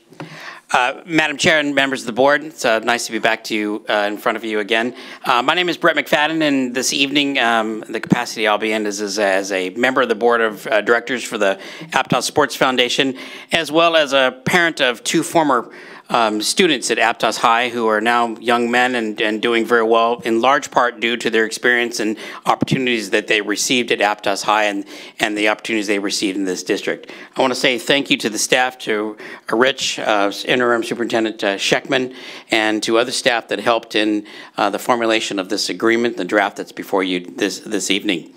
In the interest of time, you'll drive? All right, wonderful. Great. I don't. I'm not in a condition to drive, so that's wonderful. So, um, all right. So what we're going to cover this evening, real quick, we'll we'll make sure that we're um, moving quickly through this. As we'll give you a little bit of background about the foundation. We'll talk about how we support PVUSD and Aptos area schools. We'll talk about our partnership that we've uh, worked with the Watsonville as well as the Pajaro Valley Sports Foundations and how we work in concert with them. And then finally, we'll talk a little bit about the agreement that's before you. There's a number of speakers that are here tonight, and following me will be our president um, and the founder of the foundation, uh, Mr. Paul Bailey. So if you could please, thank you, sir, very much. So I don't have to say uh, this uh, uh too much, but the role of athletics uh, in education great schools, whether they're elementary, middle schools, or high schools, have great athletic programs, as well as visual and performing arts. They're part of what makes a great school and what makes a culture, and the data is clear in that. If you could move on, please. Thank you. So the Aptos Sports Foundation, we have actually been around for 45 years, and we are a nonprofit local foundation, 501c3 uh, program with one single purpose. We support Aptos area schools in their athletic programs. Specifically, we dedicate our time, effort, and funding and the fundraising that we do in order to improve athletic facilities in the six Aptos area schools. We have countless hours of in-kind support. Over the last few years, we've raised more than $6 million of direct funding support. But when you count our in-kind support as well as uh, indirect donations that we receive from other large donors or from members of the community, we believe that uh, overall contribution that we've uh, been able to bring in over the past 10, 10 years is $15 million plus in the overall services and programs as well as uh, facility enhancements. We also provide financial and administrative support services to 15 Aptos High School teams in terms of their booster funding, the funding that they receive the, from the uh, community. We help to administer that on their behalf um, through our process with that. We are 100% volunteer driven. Every single dollar that we raise goes back into our projects and, and services for the Aptos uh, area schools. And I'm proud to say we are former students, we're former and current parents, community members, and leaders. Our, our president and founder of the, of the uh, foundation was one of the first graduates of Aptos High um, and uh, started this because of his dedication for the community. And it's an honor to work with him with that. If you could do the next slide, please. This is our mission statement, but I basically won't read it to you, but we have one singular purpose. We are focused on students and making sure that they have the opportunities through our athletic programs and the facilities to be able to do that. We are a partner to the district, and that is our, our primary purpose in that process. This is some of our accomplishments. This is just a partial list of our accomplishments, but we have done projects as large as the stadium in Aptos High School. Most recently, we uh, helped to oversee and, and provide services and pay for the painting of the Aptos High Junior High, Junior Aptos Junior High gym, which had never been painted before. Um, and so we were able to, to do that and raise the funds uh, from the community to do that. If we can go to the next slide. We also actively work with in cooperation with both the Watsonville and the Pajaro Valley Foundations.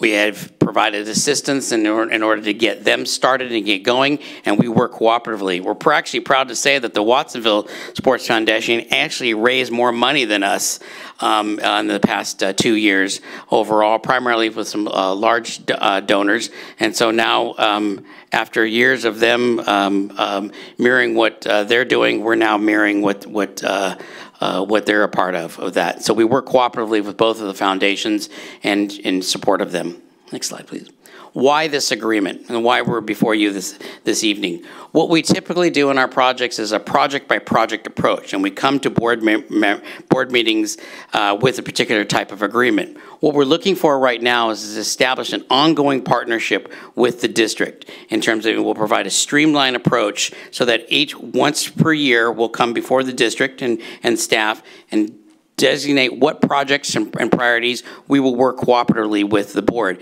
as opposed to coming to board particular board meetings with particular agreements for project-specific uh, items.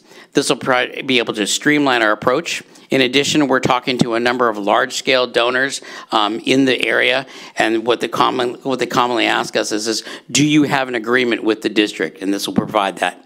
The one thing that this agreement also does is, and we're proud to say this, is we will continue to maintain compliance with all your district board policies, compliance with federal, state regulations. We have extreme experience. A number of us are also educators in other districts in the area, and we have experience with the DSA process and such, and so that the board as well as the district will continue to maintain authority over its facilities and over its programs and policies. And we are proud to say that we have always adhered to that and we will continue to, to do that, and that is specifically enumerated in the agreement. That's our presentation for this evening. We're very uh, proud of the work we've done. Again, thank you very much. Uh, we have some speakers on this, and then we'll be ready, uh, stand ready for any questions you may have. Do we have any public speakers on this item? Yes, we do. We have three. Uh, Travis Fox, Paul Bailey, and Gina Castaneda. Good evening. Um, Madam Chair, Board of Trustees, um, Superintendent Scheckman, thank you for the opportunity to do this. My name is Paul Bailey, live out in Aptos, and after what Brett just said, I don't know that uh, I can I can do better, but I'm going to take a shot at it. 55 years ago, in 1969, I walked onto a new Aptos campus for my first day as a senior, and I graduated in the class of 70. Aptos High School is a new, unfinished campus. No lights, no fencing around the football field, no lights on the football field. Grass was sprayed on, no curbs, crushed granite track. Small set of stands, no pool, no tennis court, no baseball field. The first baseball field is bladed in um, and sprinkled with grass, and spr- sprinkled with water and seeded for grass by the Glom egg family on a series of weekends. This began a tradition of the community stepping up to help Aptos High School. In 1998, we scraped, Sports Foundation scraped that field, and as an example of what we like to do, built that current field for $38,000. And it should have been about 350,000, but we got the rest donated, and that's our stick. Um, Sports Foundation created in 1979 for the purpose of improving, do I stop now? I can walk away. We're at time. Thank you. Pardon? Thank you.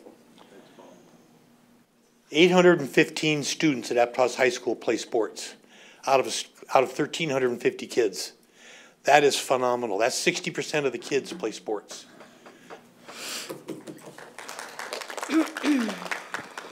Good evening. It's way past my bedtime. President Acosta, Board of Trustees, thank you, Murray, for all that you've done for the community. My name is Gina Castañeda. I'm the Aptos High School girls soccer coach. This is my third year, two league championships. I'm also a U.S. state coach for the OD Olympic Development Program, and I just got selected to be the United States West Region soccer coach for out of 15 states. So we'll be traveling to Utah. I'm a community coach. Um, my girls' team, local team, just won the state championship. We'll be traveling to Hawaii in um, June. Um, but I'm here to talk to, about myself as a student. Um, I went to Valencia, Aptos Junior and Aptos High School. I was plagued in my family. I grew up in a gang family, um, domestic violence, um, living in a gang culture. Um, there's six of us, five of us were system involved. Um, I suffered neglect, physical abuse, and emotional abuse. I didn't start believing in myself until I joined the sports team, and this was at Aptos High School. It was coaches and teachers that believed in me and um, I and helped me be successful. I played volleyball, soccer, and track and field. I could not afford any of my uniforms, and if it wasn't for coaches that actually bought the stuff for me out of their own pockets, I would not have been successful. Um, when I took the position of Aptos High School soccer coach, I was criticized by the Watsonville community. How could Gina, how could you go to Aptos? But I had to explain to them that I was a Mexican kid that went to Aptos and had nobody that looked like me or anybody that I could look up to. I want to be that person for the Aptos community because I have many little girls, Mexican soccer players from the Watsonville community that need somebody that talks to them, that understands and looks like them. Um, as a coach, I need to have a safe environment to lead my team, to lead individuals, to for, provide a safe space where children can thrive as people, athletes, and coaches shouldn't have to stress about um, facilities. Um, I have a son that's graduating from San Jose State that coaches at Aptos. I have a daughter that plays at CSUMB that coaches at Aptos. It's as important to them to be role models in this community as, as it is important to me. Thank you, Gina.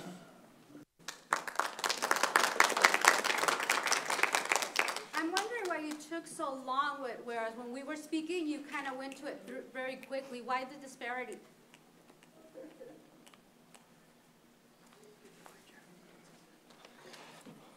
Hello, everybody. Um, my name is Travis Fox. I'm the athletic director at Aptos High School. This is my fifth year at Aptos High School, and I just wanted to be here tonight to show support for both the district and the Sports Foundation. Um, thank you all for the support. I mean, I truly feel that this district supports interscholastic athletics. Um, and you know, we've been working a lot with as a, as a the three high schools together over this year.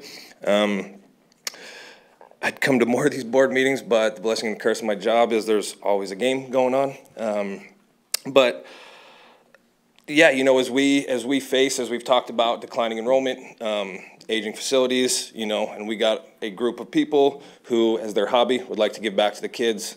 Um, I think it'd be it, it'd be a really cool opportunity just to kind of set this in stone for the future um, of all the kids. And I made notes, but I was trying to be quick. Um, just thank you all. Thank you all um, for everything. Yeah, thank you. We, we consider ourselves the last class of the day at Aptos High School, so thank you. Thank you. Is that the last? All right, I will bring it back to the board for comments and discussion. Trustee Dr. Holm. Thank you. Um, Mr. McFadden, I think the questions, well, well, Rich, maybe both of you. Stay with me. Yeah. So I'm, I'm very familiar with the projects at, you know, Aptos High School and, and Aptos Junior High, and like particularly the, the, the gym at Aptos Junior High, the, the painting job is, is beautiful. I got to see that, and it was, it was like, my, my older two kids went to Aptos Junior High before the paint. Actually, all three of my kids went before the paint. So it's like, ooh, that's Big a difference. Nice, yes. Um, can you tell me a little bit about the projects you're planning or are considering for the elementary sites? Because I'm not as familiar with those projects. Yeah, unfortunately, at this point in time, um, we don't have anything in the sort of in the hopper about that. We've begun discussions. Our, our um, emphasis and our time has been with Aptos High School. That's why we then moved to, in the past two years, to Aptos Junior High with the intent to, to uh, broaden into the elementary schools. So if there are ideas, um, either coming from the sites or from the board, um, we're open to that um, at this point in time. But we don't have a current project with this, but we're exploring that actively. Thank you, Trustee Dr. Holm. Anyone else? Trustee Dodge Jr. Yeah, I just wanted to, to, to quickly say thank you to the Aptos Sports Foundation. Uh, I remember, I didn't know Gina Castaneda personally, but I remember uh, they needed help working at the field at Freedom Elementary. And she, she reached out to me, and like, hey, we, you know, I'm working with this group, this organization, Mr. Billy and a couple others who help behind the scenes. You know, uh, we have this money, we need more fields, and we still have this issue today where we need more fields. But not only did they raise the money, they went out there on the on the weekends. You know, they got the shovels. You know, people in the community um, brought tractors. You know, there was just all volunteers, dug up the pipes, put in the grass, and so it, it's not just about raising money, but it's volunteering. And I know there's others behind the scenes, like I said. Um, you know, Coach Coach is also doing well fundraising, trying to catch up. You know, but um, I you know I just wanted to say you know thank you, Gina uh, for not really talking about it and doing doing the work. And thank you to the the, the Sports Foundation and to others out there um, who are raising money, but also putting in the work, picking up a shovel, um, and tearing up grass. And so, thank you. Thank you, Trustee Dodge Jr. Anyone else? Trustee DeSerpa. Thank you. Thanks for this great presentation tonight, and thank you to Paul Bailey, um, who's the founder of the Aptos Sports Foundation. We really appreciate um, your heart and soul being put into this work. Um, Aptos High happens to have the number, I think, Travis, you can correct me, the number one largest athletic program in the whole county, bigger than UCSC, bigger than Cabrillo College. The biggest program is at Aptos High. And what that means is that kids have the opportunity to work collaboratively, learn teamwork, work their bodies out, develop skills that they otherwise wouldn't have access to. Um, I want to thank Travis for your good work at the school. Um, we're really happy and proud that you're there. And to Gina, thank you for coming tonight past your bedtime.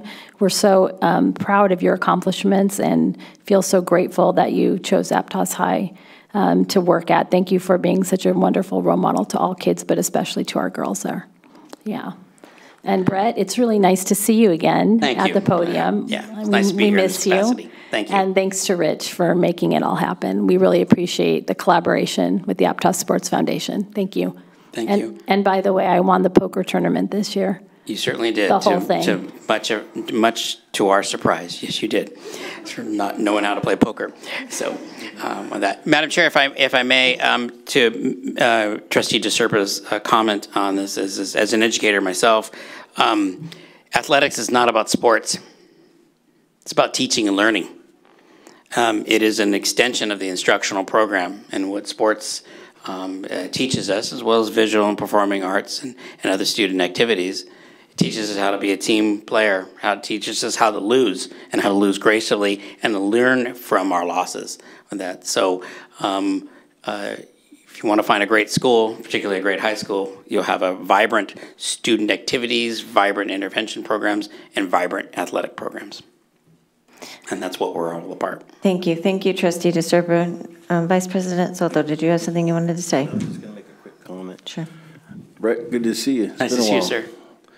Uh, yeah, getting back to the uh, team spirit aspect of the sports. You know, it's good, you know, like to hear Gina's story coming from where she came from to where she's at now. You know, sports is an out for, for a lot of kids, and it's a good out. Uh, you know, I involved my kids in sports as they were coming up playing softball and football and baseball and different things. And they didn't stick with it, but they learned a few things, like you said. So uh, it's good to see that you're also involving our local schools as well with Watsonville and PV and collaborating with them to get them involved as well. So thanks. Thank you. Thank you, Vice President Soto. Okay, Any further deliberation? I'd like- Comments? I'd like to make a motion if we. Thank you. I have a motion from trustee Dr. Holm, a second from trustee Bolaños Scow. All those in favor? Aye. Any opposed? Any abstaining? The vote carries 7-0. Thank you. Moving on to item 9.2, the new mural Pescando en Pajaro at Watsonville High School. This report will be presented by our Assistant Superintendent of Secondary Education, Ms. Aguirre, and Ms. Huerta. Good evening, President Acosta, Board of Trustees, and Interim Superintendent, Mr. Scheckman. This evening, um, I have the honor of introducing student Jennifer Gonzalez Huerta, who uh, created a beautiful mural. Um, It's a commemorative mural for artist Juan Fuentes, and with that, I'm going to go ahead and hand it over, and if we can put up the picture, uh, not the location, there'll be one with the, one more, there we go. So good evening, Board, Board of Trustees. My name is Jennifer Gonzalez Huerta and my pronouns are ella, she. I'm a senior at Watsonville High School and this evening we are here to discuss the commemorative mural propo proposal for Juan Fuentes. In collaboration with Expanding Learning, co-founder of Watsonville Film Festival, Consuelo Alba, teachers, counselors, and students of PVUSD, we want to honor the hard work of Juan Fuentes, who graduated from Watsonville High School in 1969. Art heals. Fuentes grew up in Watsonville and graduated from Watsonville High School. It will be an honor to showcase his artwo- artwork in our high school. He's a local artist with a broad vision of success. Becoming an artist for Fuentes was a dream because he was primarily exposed to working in the fields. Picking strawberries seems like his destiny. He didn't got, get much encouragement when he discovered his sensitivity into art. He needed it to raise his voice about the injustice and realities of his community. A local filmmaker named Eugenia created a film named Strawberry Picker. When I watched the film, I felt inspired. Hasasi Fuentes has a possible, positive role model who overcame adversity and now he's a famous artist. With the help of Ms. Webb, one of the art teachers at Watsonville High School, a, group of students and I started to paint back in August. But, but this is now all a representation of our dreams, like forming artists. Please realize that representation matters. I'm a proud daughter of a farm worker, a newcomer student. I'm a rising artist and kindly ask you to join us in recognizing the hard work of farm workers in our community with this mural. Thank you. Thank you. Do we have any public speakers to this item? Hello, my name is uh, Maribel, and I am a first generation. I'm sorry, hold on. Ms. Gary, are we still in the midst of a presentation, or is this public comment? Did you put in a speaker card? No. Yeah. So it's one for the one, the presentation. It's a present, part of the presentation. Yeah. Okay, we'll continue. Hello, my name is Maribel. I am first generation from both sides of my family and the daughter of farm workers that have worked here in Watsonville over 15 years in the fields. I would love to see more representation of hardworking agriculture workers since it's not that easy working in the fields, and which I have experienced it myself. And having people come to this country leaving everything behind is a big challenge, and that's what some workers had to go through, which wasn't easy and very inspiring how they were able to do that as I stay. I would love to see more morals like this in my community, which people can look up to.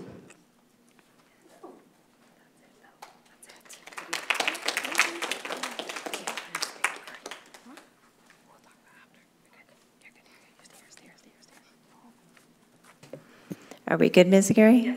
Okay, thank you. All right, do we have any public speakers on this item? Yes, we do. We have two, uh, Bobby Peltz and Karina Moreno.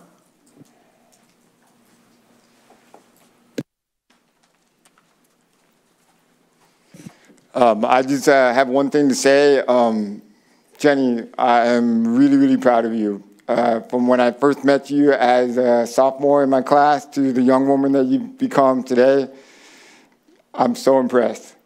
And you conceived of this idea, you put the work in, and you got it done. And now we're going to have this mural on our campus. And when I cross campus, I'm going to see it, and I'm going to smile, and I'm going to think of you, and I'm going to be inspired. So thank you for your gift. Um, and I'd also like to say thank you to Sarah Webb uh, for supporting these kids and making and, and helping to make this project a reality. Thank you.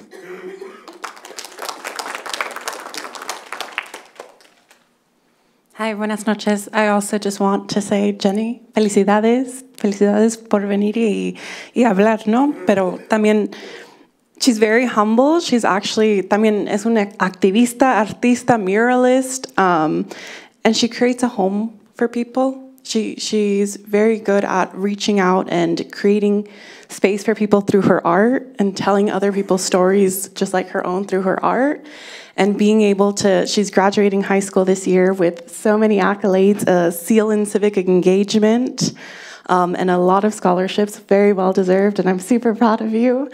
Um, and so I hope you'll support this, and también thank you, you know, Mrs. Webb, for, for putting this together, and I've had the honor of being in your class, and you create a space and a home for all of your students. So thank you guys for coming out and speaking today. I'm very excited to support your, your mural. Thank you. Um, I'm going to have to take a pause here, and I would like to um, call a point of order, and I'd be willing to entertain a motion to extend the board's meeting. Make a motion to extend until midnight? And you think that will be enough time? No, 1, I'll make a motion to extend until 1 AM. Thank you. I have a motion to extend the board's meeting until 1 a.m. May I have a second? I'll second. I've got a first, a second. All those in favor? Aye. Any opposed? Any abstaining? Motion carries 7-0. And now we will bring it back to item 9.2 for discussion from the board.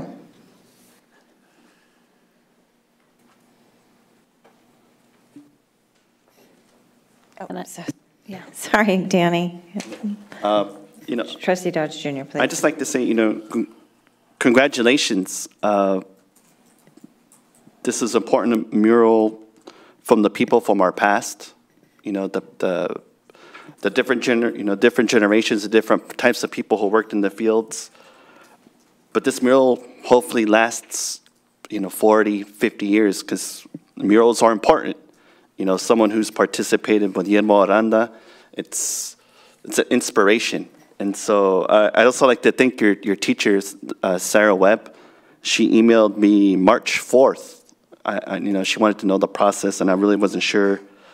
She's like, you know, she, she told me that you had this mural, you know, this is your vision. And so thank you, Mrs. Webb. And I know I had to, you know, somehow get in touch with Lisa and, and, and Coach Gogoro. But um, congratulations. And, you know, my daughter's in Watsonville myself, and um, it's something to be proud of. You know, something that's part of Watsonville. It's something we hope lasts forever. So, congratulations. Thank you. Thank you, Trustee Dodge Jr. Anyone else? Trustee Flores? I'm sorry. I just want to say congratulations also to all of you ladies. Um, this mural is amazing. I can see your your heart, your passion, and your talent, and I just I can't wait to see it up on campus. But thank you. Thank you, Trustee Flores. Trustee Dr. Holm? You know, we learned a, a hard lesson about the importance of murals when the one in the Watsonville High cafeteria uh, was painted over. And, you know, I think what that highlighted is just how much of an important part of the community these pieces of art are. And, you know, when I saw this picture, it's just, it's, it's so evocative of, you know, this community. And um, it's just heartening to, to see, you know, people, you know, bringing the community into our community schools. So thank you for all the work that went into making this happen. Thank you, Trustee Dr. Holm. Trustee Bolaños Scow, and then Trustee DeSerpa. Yes, thank you, and to thank you to the, the Watsonville High community. I got a nice letter from uh, Councilor Daisy Nunez today, and from Consuelo Alba in support of this, and um, and to Eugenia for making the film. Uh, I know several of us are, are are descendants of farm workers here in the Pajaro Valley, as my grandfather was as well, and um, and it's not. And the pro- and there are still many problems with the labor and the, the pesticide exposure. It's gotten better, but there's still many problems. And so um, acknowledging the work uh, where so many of our, our ancestors are doing and the need to improve it is very important. So thank you for bringing this. Thank you for your work. Thank you to your teachers as well. So I look forward to supporting it. Thank you, Trustee Bolaños Scow. Trustee DeSerpa. I'm going to keep it short because I want you guys to go home and go to bed. But that's, it's really, really special.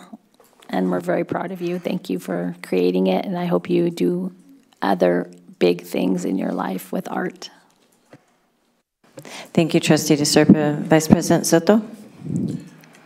Yeah, I just want to congratulate you, and uh, I'm proud of you, ladies, and what you've come up with and what you've done. Um, you know, I, I could see just by looking at this that you know you you got a lot going up in that head of yours, and you're very, very, very detailed and intelligent. So don't lose that. That's that's a gift from God. So keep up the good work. Thank you. Thank you, Vice President Soto. Um, I'm going to agree. I'm going to keep it short and sweet so you could go home and get some rest. Um, beautiful, I, and uh, it's a, just an amazing piece of work, and I think it speaks a testament to your talent. And I do hope that that sticks with you and carries throughout your life. So, congratulations, and thank you for bringing this to us. So, I believe I need a motion. I'd like to make a motion, we support this agenda item. Thank you, Trustee Dodge Jr. I have a first, I have a s- from Trustee Dodge Jr., I have a second from Trustee Bolaños Scow. All those in favor? Aye. Aye. Any opposed? Any abstaining? The motion carries seven zero. Congratulations again.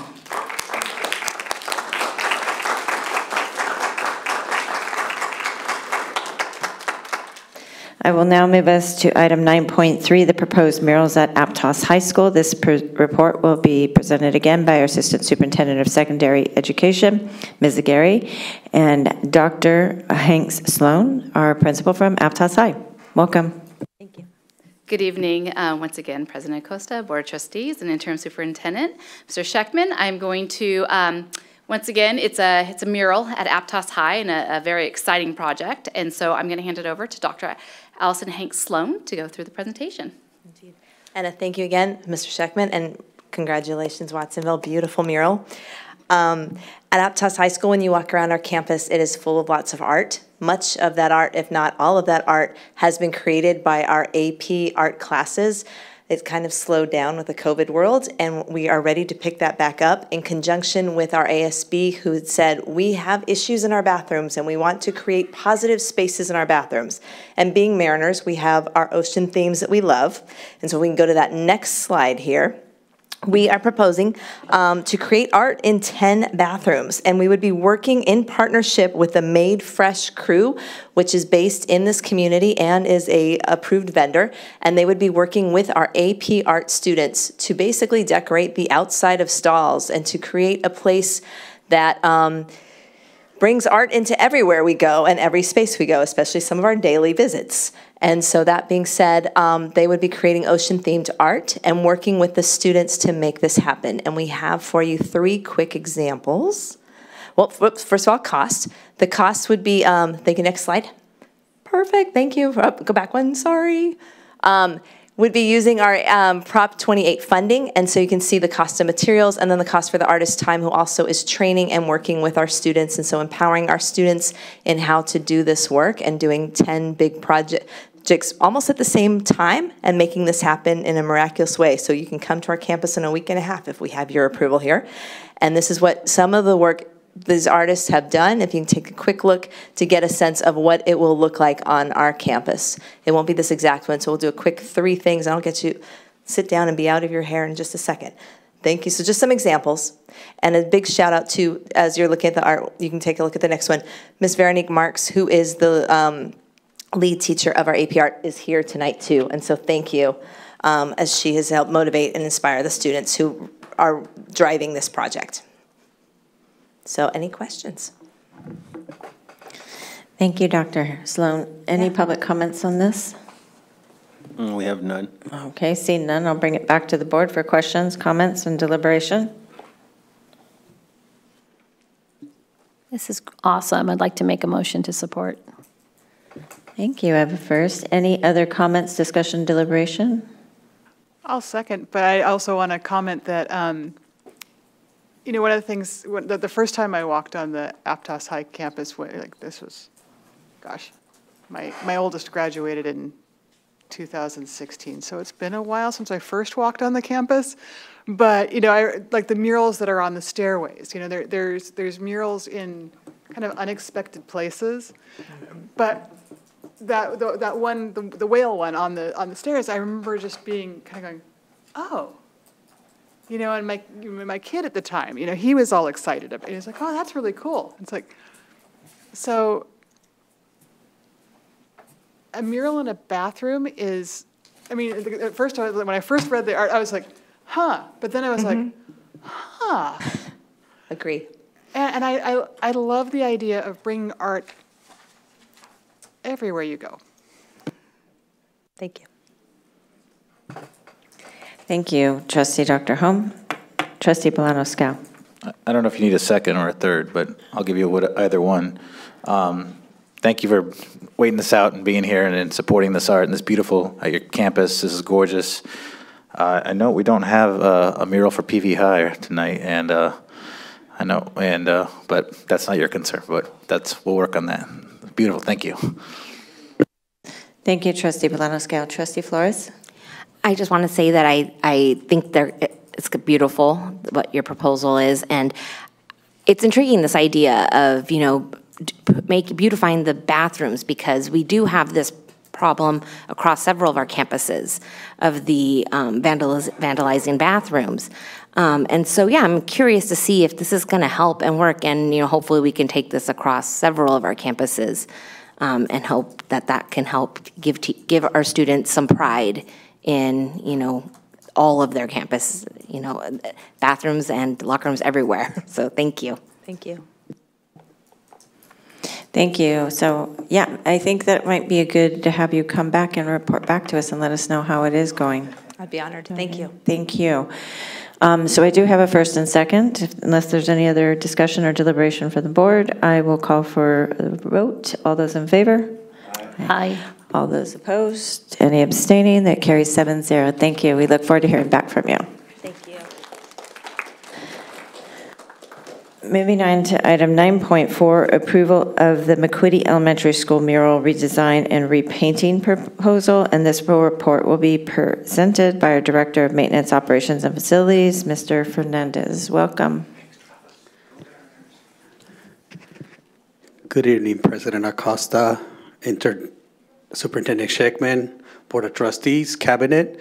My name is Arlindo Fernandez, and I'm here to present this um, mural replacement project for McQuitty Elementary School. So as you can see, this is the current mural that was built and painted in 2008 by Elijah Funhauer. Next slide. So in this slide, the school side wants to replace, to keep up with the changes with PBIS and HERD models. The school would like to align the mural to match that. Next slide. This is what the artist is gonna do to prepare for the mural. Next slide. So step three shows the complete pro- project cost. As you can see here, the cost, the, the school will not pay any, anything for this mural. They got a grant from um, Santa Cruz Foundation for $2,000 and Expanded Learning is covering the rest of the $5,400. So as you can see, this is the new proposed mural that they want to replace in that wall. So I'm asking for your approval of this mural so we could continue with this project. The project completion date would be May 30th, 2024, if this gets approved today. Thank you. Do we have any public speakers on this item? We do not. All right. I'm going to bring it back to the board, but I'm going to be the first one to make um, a comment on this as I um, toured this school with our interim superintendent and the principal at McQuitty, and we saw firsthand the need and had a little bit of a discussion around the topic. And um, did you want to add any comments, interim superintendent, Mr. Scheckman, on um, the feedback we had from our principal during that visit? No, just Uh, that- thanks. Just what I got to see before input? and what we're seeing tonight is absolutely stunning. And our student input on the mural. We, she spoke to us about the Yeah. student input, that we had This that. was a school-wide effort. Mhm. Some parents were involved. The main artist from before was involved. It was just really well done. And it's quite spectacular to look at. And as I told the folks at McQuitty, because it's a flat street in front, I'll be out in front on my bicycle. And now that I know on May 30th it'll be done, I'll stop Nice. and look at it. Thank you, President Thank- Acosta, for the Thank you. Um, So with that, I'm going to make a motion to approve this item, and I'm going to bring it back to the board for discussion, deliberation, or a second. Trustee Bolaños Scow. A s- a second, and I, I love McQuitty Elementary as well, so thank you for your work on this and to the entire school and all the great teachers and kids and parents and principal there. Okay, I have a first and second. Any other deliberation or discussion? Trustee DeSerpa? I have one question. Who's the artist on this? I didn't see that. Elijah. So Elijah's coming back to Woudenhauer. repaint it? Mhm. Yes, That's she is. very cool. Yes. Okay, great, thank you. That's my only question. Thank you, Trustee DeSerpa. Anyone else? Okay, seeing none, I have a first and second. All those in favor? Any opposed? Any abstaining? The motion, the, mo- ah, motion carries seven zero. Thank you. Thank you. Um, Moving to item 9.5, uh, resolution number 23-24-42, recognizing May as Asian American and Pacific Islander Heritage Month. This report will be presented by our Assistant Superintendent of Secondary Education, Ms. Aguirre. Welcome back. Good evening, and thank you. Um, This evening, I'm presenting Resolution Number 232442, uh, recognizing May as Asian American Pacific Islander Heritage Month. The rich heritage of Asian American and Pacific Islanders span the world in the depths of America's history. Generation after generation, Asian Americans and Pacific Islanders have forged a proud legacy that runs deep through our nation. Through times of hardship and in the face of enduring prejudice, Asian Americans and Pacific Islanders have persisted and moved ahead to help strengthen our country. The theme for 2024 is Advancing Leaders Through Innovation as a tribute to the visionaries and trailblazers who have shaped history and continue to influence the collective future. With this, I'm honored to present Resolution 232442 to acknowledge May as Asian American Pacific Island Heritage Month. Uh, we will continue our community partnership and work with the Tobera Project, whose mission is to educate and raise awareness of the plight, struggles, vitality, and contributions of the Manong generation who first settled in Pajaro Valley in the early 1920s by highlighting and depicting their experiences by firsthand family accounts through photos, artifacts, and oral histories to be displayed for the broader community. Parts of the resolution, whereas the month of May was chosen as National Asian Pacific Heritage Month to commemorate the immigration of the first Japanese to the United States on May 7, 1843, and to mark the anniversary of the completion of the Transcontinental Railroad on May 10, 1869. And whereas celebrating Asian and Pacific Islander Heritage Month provides our community with an opportunity to recognize the achievements, contributions, and history of Asian and Pacific Islander Americans, for our community to continue, uh, for our community to develop empathy towards all. Now therefore it be resolved that the Pajaro Valley Unified School District proclaim May 2024 as Asian American Pacific Islander Heritage Month to inspire equity and celebrate diversity within our community, to elevate the voices and honor the stories of, our local Asian American and Pacific Islander history. And with that, I am asking for approval. Thank you. Thank you, Ms. Aguirre. Do we have any public speakers to this item? Yes, we do, President Acosta. I'll call this first group of six up. Tony Tapiz, Lourdes Barraza, Gabriel Barraza, Brandon Dinitz, Chris Webb, and Bobby Peltz.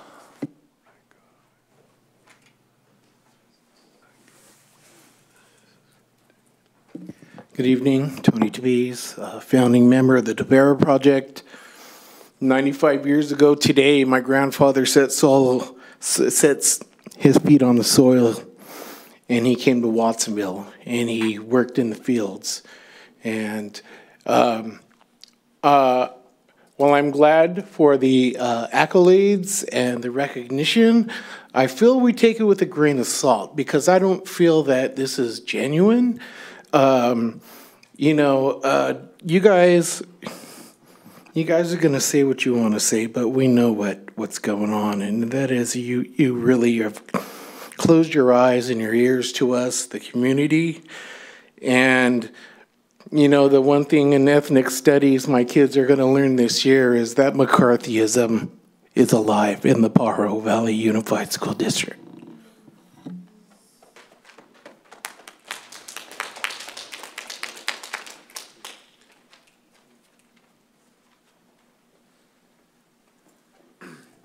Okay, um, I'll go next. So I think you know things like this, this are awesome, but they're also really self-serving because we need education on the injustices that this group has faced, not, you know, nationally or overseas, but here in our very own town, such as the violence perpetrated against Filipinos in 1929 and the 30s. So when we have resolutions like this, we need education and board members that are responsive to our community. Where have we heard that term before? So I find it really disingenuous how this resolution mentions the Tobera project, but this board is also deliberately ignoring the founder of the Tobera project who's asking you to reconsider the CRE contract.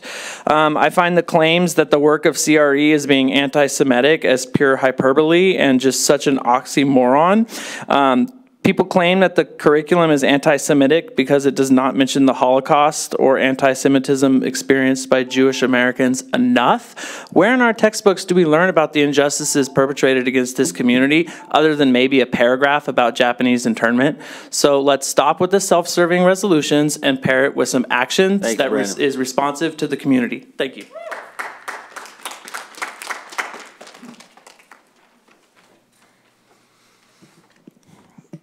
I would like to echo the sentiments of the speaker before me. Um, while it is always important to recognize the contributions of every group of Americans that comes here to make this country better, the problem is that when we don't have robust and academically stringent ethnic studies curriculum, we are studying ethnicity, not ethnic studies. We don't st study the struggle of people who come here and are rarely accepted as American. We don't study th the true nature of this society, the power dynamics, the people who are in charge who want to stay in charge and use anything in their power to do so. When we honor the contributions of Asian Americans and Pacific Islanders, but we don't tell their story and their struggle, then we fail the community.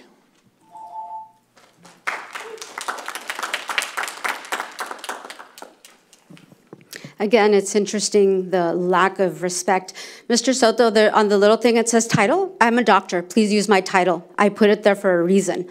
I worked hard for that title, and I would expect that you would respect it again. All I've seen tonight is so much disrespect, the inequity. Other speakers, their, their time never got cut off, and yet you cut off at the minute that we start speaking. So disrespectful here's here's a, a, a, proposal that says you know that um, we want to honor people who've made con contributions yet this board has maligned dr allison tintiangco cubales who has made great great uh, contributions to the studies, uh, to, to the ethnic studies. She's renowned. Anytime you look it up, that's, where you, that's what you see.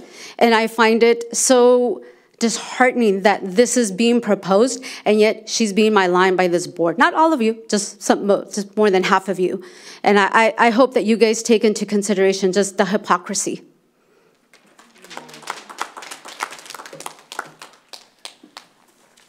Uh, as you know, I, I like resolutions that have substance, so I feel the way to add substance would just be to amend this and to include a renewal of the CRE contract and an apology to Allison. It's like pretty crazy to see this and know that what, what she was basically slandered. So, and I also, I, I don't put this, I mean, this is really like an unforced error um, produced by the board. I, I feel like our district leaders have done the right thing with ethnic studies. They're trying to do the right thing even now, and that they're they're kind of being hurt by by the board. We can be better, and, and like this is it's been disappointing. Um, also, I think. Uh, Board President Acosta, I would request that you dismiss the lone CRE critic, um, near lone, and um, channel the, the spirit of a superior steward of this district, Trustee Acosta. Trustee Acosta is one who would make sure to ensure proper time to deliberate and hear from the community, less finding herself at odds with the community by making rash decisions on bad information. Thank you.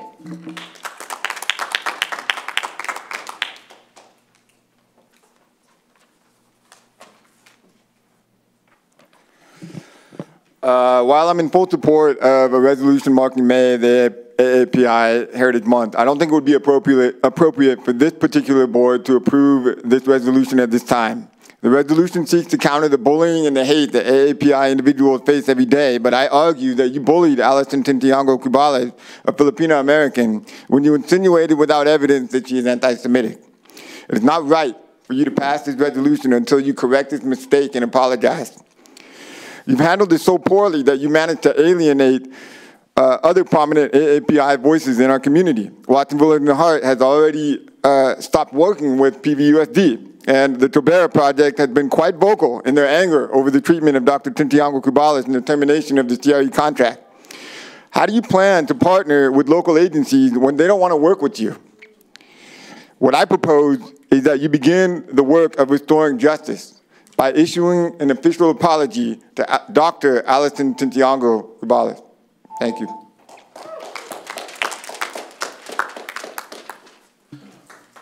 All right, last six speakers. Malia Reynolds, Christine Hong, Abby Iridisten, Nat Lowe, Eli Davies, and Takashi Misuno. Good evening. I'm Malaya Simon Reynolds. I'm a PhD candidate in history at UC Santa Cruz. I'm representing Watsonville is in the Heart. We work very closely with the Tobera Project to preserve Filipino American history in the Pajaro Valley and to create widely accessible educational resources and programming. I've come to reiterate our concerns about the board's inadequate deliberation of the contract with Community Responsive Education and to communicate our dismay with the board's disingenuous AAPI Heritage Month resolution. For over six months, the board has refused to provide concrete evidence and partake in a thorough review of the CRE contract. Because we value research integrity, WITH has suspended its work with the district. The AAPI Month resolution states that PVUSD is committed to working with local organizations like the Tobera Project. We are disturbed that the board would claim to engage in partnerships with community groups whose demand for an equitable ethnic studies curriculum have been been ignored. As Roy Recio, the founder of the Tobera Project, said, it is, quote, ridiculous that the board would slap us down with one hand and laud us with the other. We at Watsonville is in the Heart stand firm in our support USC teachers and students in their calls to bring back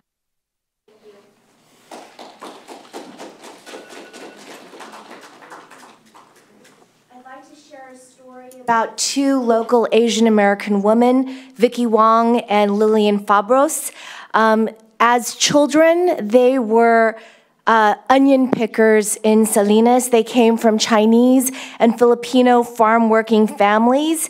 And um, when they, one, one of them was 12 years old, she started a local baby student nonviolent coordinating committee chapter. And um, when they were in junior high school and high school, they formed um, a, a coalition to support anti-war and draft resistors. They actually founded the Salinas chapter of the United Farm Workers.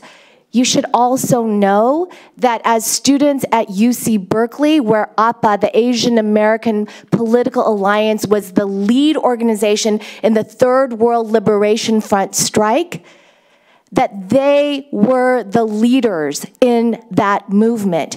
They looked at the education they had received locally and they actually tried to, to do a revolution in education through ethnic studies to get the education that they Thank you, deserve. Christine. Why do I mention this? I want to say something.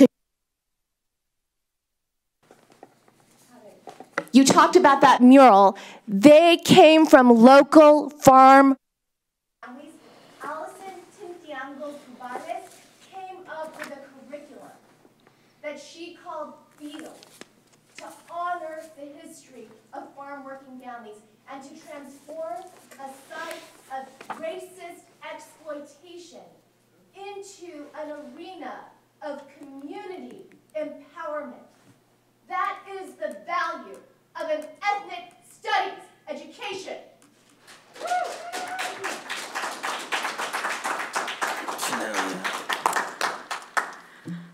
I'm here again to stand in solidarity with all of those fighting for the CRE contract. I think it's shameful that you all have slandered Ate Allison, who is renowned in the Filipino community, not just as an educator, but an honest activist, someone who has stood behind the Filipino students for decades now. Um, to say you want to celebrate AAPI Heritage Month is great. That's cool.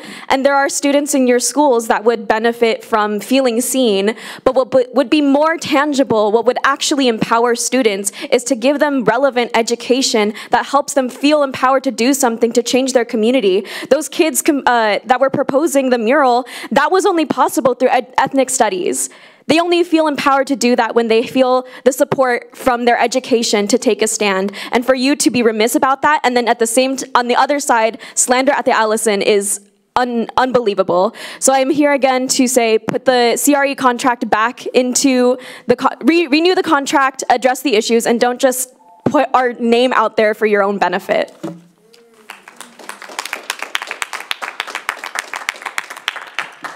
Good evening, I'm Takashi, and I have researched the history of the people in Pajaro Valley since 1820. And I came across a very interesting article in Pajaro Valley Times in 1866. The title of the article is Arrival, Arrival of Chinamen. I, uh, I quote, this week, some 20 Chinamen arrived in Pajaro, Watsonville, for the harvest fields. Laborers are so scarce in this valley that it was found necessary to send to San Francisco for these pests. Even digger Indians refused to work for less than $2 per day. I have a question to ask you based on what you have done since last summer against Asian Americans this item is very insensitive to Asian Americans.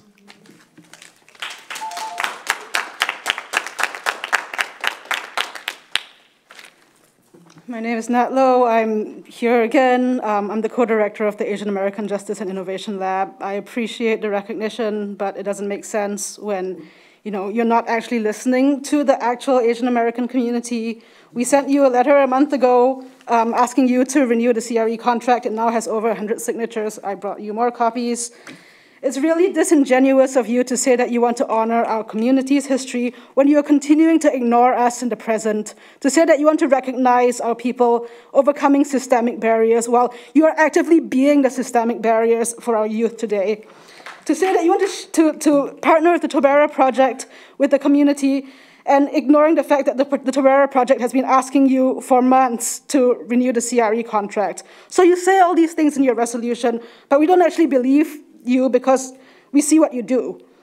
Persistence is part of the AAPI heritage. The Delano grape strikes lasted five years with the joining of Filipino and Mexican farm workers, and that's longer than any of your terms on the board. So our community is united, and like those that came before us, we will fight, we will persist, we're not going away, and we're not giving up.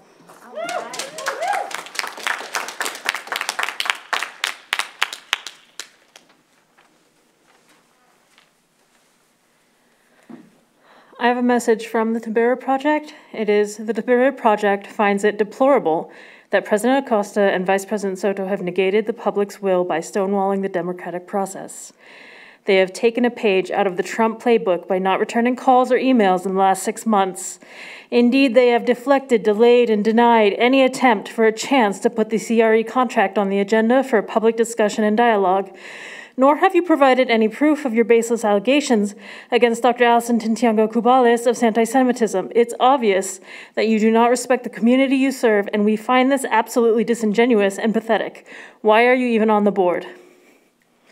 Also, just personally, for me, this is the API uh, resolution. Here's, here's the folks who are AAPI saying, you messed up.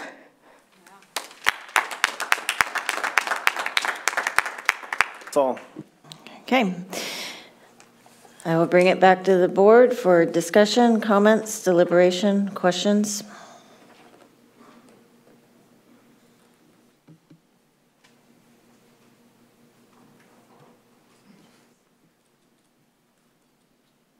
No.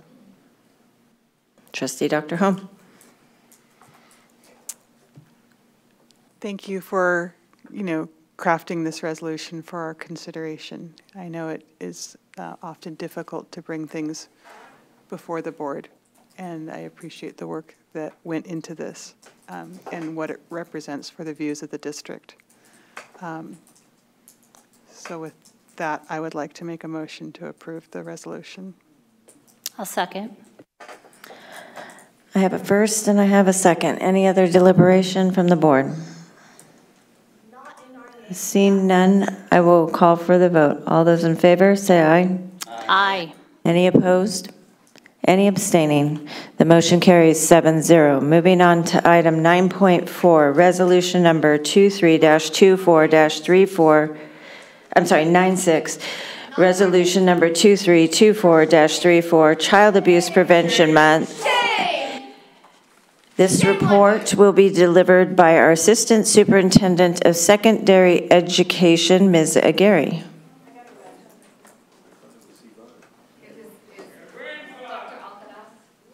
That's not what I have on here, but uh, would you like to move to, is Ivan?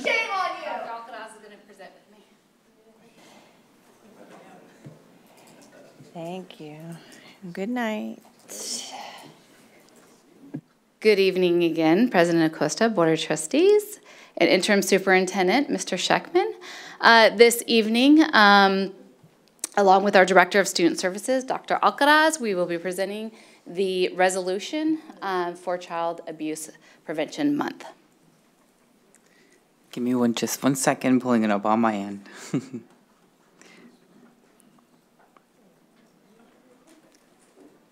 Is it up there? Yeah. So April is a National Child Abuse Prevention Month. Um, it's whereas the Pajaro Valley Unified School District is um, committed to making a uh, a stance against child abuse, um, whereas that we are um, the California Child Welfare Indicators Project, a collaborative venture between the University of California, Berkeley and the California Department of Social, Social Services, um, found that 416,901 reports of child abuse in 2021. And whereas um, safe, stable, and nurturing relationships and communities can break the cycle of abuse and um, mal maltreatment. Want to take over? Yeah. Whereas child abuse prevention requires a coordinated and comprehensive response by all systems supporting children, youth, and families, whereas everyone has a stake in ensuring that children have access to the resources and supports they need to be safe, healthy, and successful. And whereas sus suspected child abuse or neglect must immediately be reported to the appropriate law enforcement authorities. And whereas the suspected child abuse or neglect must immediately be reported appropriately to all parties. Now therefore be resolved that the Pajaro Valley Unified School District Board of Trustees um, adopts this resolution. Thank you both. And we have no public speakers on this item, so I'm going to bring it back to the board for discussion, deliberation, comments. And I'm sorry, I didn't have in my notes that you were supposed to present. Sorry. Um, So, This is a, can- it's okay to talk. Yeah. Um, It's a resolution that comes before us every year. I'm a clinical social worker that worked at CPS for many years, and so I'd like to make a motion to support this resolution. Thank you. thank you, tr- uh, trustee DeSerpa. I have a first, and um, trustee Scow. Second. Second, and did you have comment? Thank you for your work, and thank you for your comments, trustee DeSerpa, and I'm looking forward to passing this resolution. Anyone else? Seeing none, I have a first and a second. All those in favor? Aye. Any opposed? As, any abstaining? Seeing none, that carries seven zero. Thank you. Moving on to item 9.7, um, resolution acknowledging National School Nurse Day and School Nurse Week. This report will be presented by our SELPA Director and of Special Education, uh, Ms. Gorman. Hello, welcome. Welcome. Good evening. I'm glad it's still evening and not morning yet. Um, President Acosta, Vice President Soto, and Board of Trustees, and Interim Superintendent Mr. Scheckman. I've been lucky enough for the last few years to present this resolution celebrating school nurses. My mom was a nurse, and now my son is becoming a registered nurse. So I'm happy to shine a light on all the fantastic work our school nurses do every day, every year. This year's theme is Nurses Make the Difference. The American Nurse Association is honoring incredible nurses who embody the spirit of compassion and care in every, in every health care setting. I want to share a very short poem from Nurse Labs, the author's unknown, but it spoke to me about the difference a nurse can make in a student's life. Let me dedicate my life today to care for those who come my way. Let me touch each one with a healing hand and the gentle art for which I stand. And then tonight, when the day is done, let me rest in peace if I've helped just one. So many people get into this line of work not for recognition, but to make a difference in a child's life. National Nurses Week is May 6th through 12th, and it's part of a larger, larger National Nurses Month.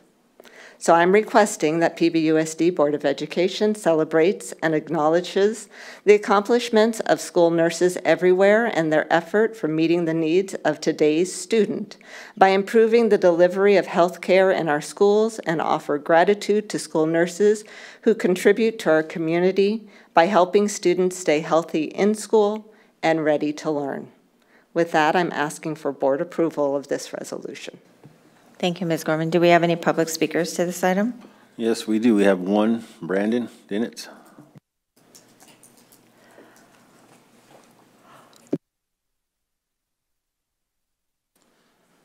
Um, all right, good evening to the board. Thank you for allowing me to speak again. Third time up here today. Um, I just want to shout out all the amazing nurses that we have in this district. I know many of them personally, and I know how hard they work each and every day. Um, they do a lot of special education assessments, especially the initials as our kids are coming in and getting identified for special education. Their workload is pretty outrageous at sometimes. So I again ask the board to find something to pair with this resolution because this resolution it's it's only words. So what can we do to improve the working conditions of our nurses? Last um, negotiation cycle, the PVFT tried to propose language to protect the workload of our nurses, to limit the amount of sites that they're going to, to look at equity amongst the nurses' caseloads. So you don't have one nurse serving six different populations while another nurse is maybe only serving two, and you have the comprehensive high schools, and there's so much that goes into it that I just hope that when we enter into reopeners, we can look at language to help retain our, te- our nurses, recruit more nurses, because the work they do is super important, and I respect each and every one of them. Thank you. Thank you. I'll bring it back to the board for discussion, deliberation, comments, questions. Trustee Dr. Holm. Well, you knew I was going to say something. And you knew I was going to call on you first, too. And- So I'm going to make a motion to approve, but, you know, it's, um, you know, in my, my work role, you know, we have, you know, our students, nursing students, you know, working alongside our PVUSD school nurses. And the experience that they have is pretty incredible. And so watching these soon-to-be nurses thinking about nursing in a community-minded way is so important. And I think about my own experiences as a student when I was young and going to the, the nurse's office when I needed, you know, help with something. And then so many people I know whose lives were profoundly altered in, in amazing ways because a nurse noticed things that were going on.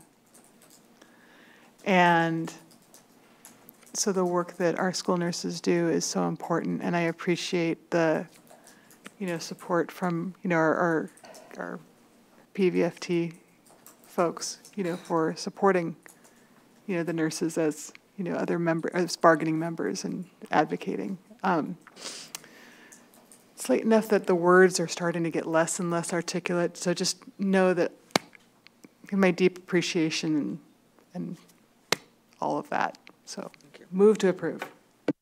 Thank you. I have a motion. Any other discussion, deliberation, or comments from the board? Trustee DeSerpa? We love our nurses. We thank them. We know that they could make a lot more money working in a hospital or at home health or hospice.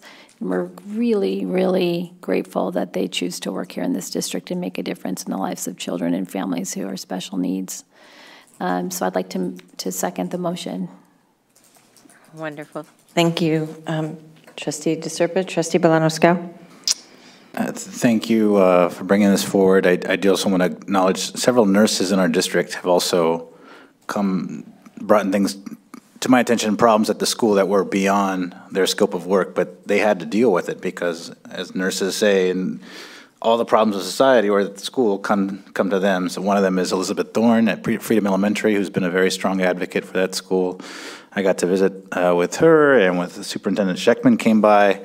Um, and so I just want to give a shout out to her, um, also PVFT, uh, a leader. And, um, and I think we're, we're- are we down a few nurses staffing wise? Are we fully staffed or? We're, we're luckily fully staffed this year, and we had four new nurses, um, yeah, that came in, and they've been excellent, a wonderful addition. Okay, well, that's good news to hear. Um, and thanks to the board for passing that great raise last year. I'm sure that helped too. And, uh, I guess that's a third. So, uh, yeah, thank you. Thank you. So I have a first and second, unless there's any other deliberation or comments, I'll call for a vote. All those in favor? Aye. Any opposed? Any abstaining? Motion carries 7 0. Thank you. Thank you. Um, Moving to item 9.8, resolution number 23-24-41, After School Professionals Appreciation Week, April 22nd through April 26th. This report will be presented by our Director of Expanded Learning, Ms. Littleton Bruno. Thank you. Welcome. Thank you for staying. Um, Good evening again, President Acosta, Board of Trustees, Interim Superintendent Scheckman. This resolution I'm bringing to you tonight is to acknowledge after-school professionals. Again, we have over 600 after-school professionals in PVUSD working with over 6,000 students.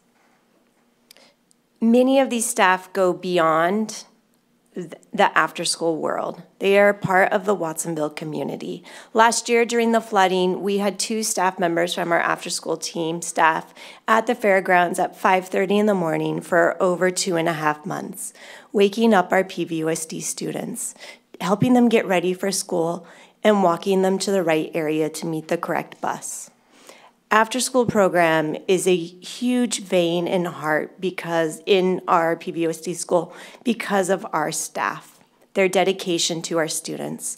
Tomorrow morning at 7 a.m., we, a team of us, are going over to Gilroy where we're going to acknowledge those two staff members, Anna Hernandez and Karina uh, Flores, who are receiving Region 5's Expanded Learning Excellent Awards in the morning.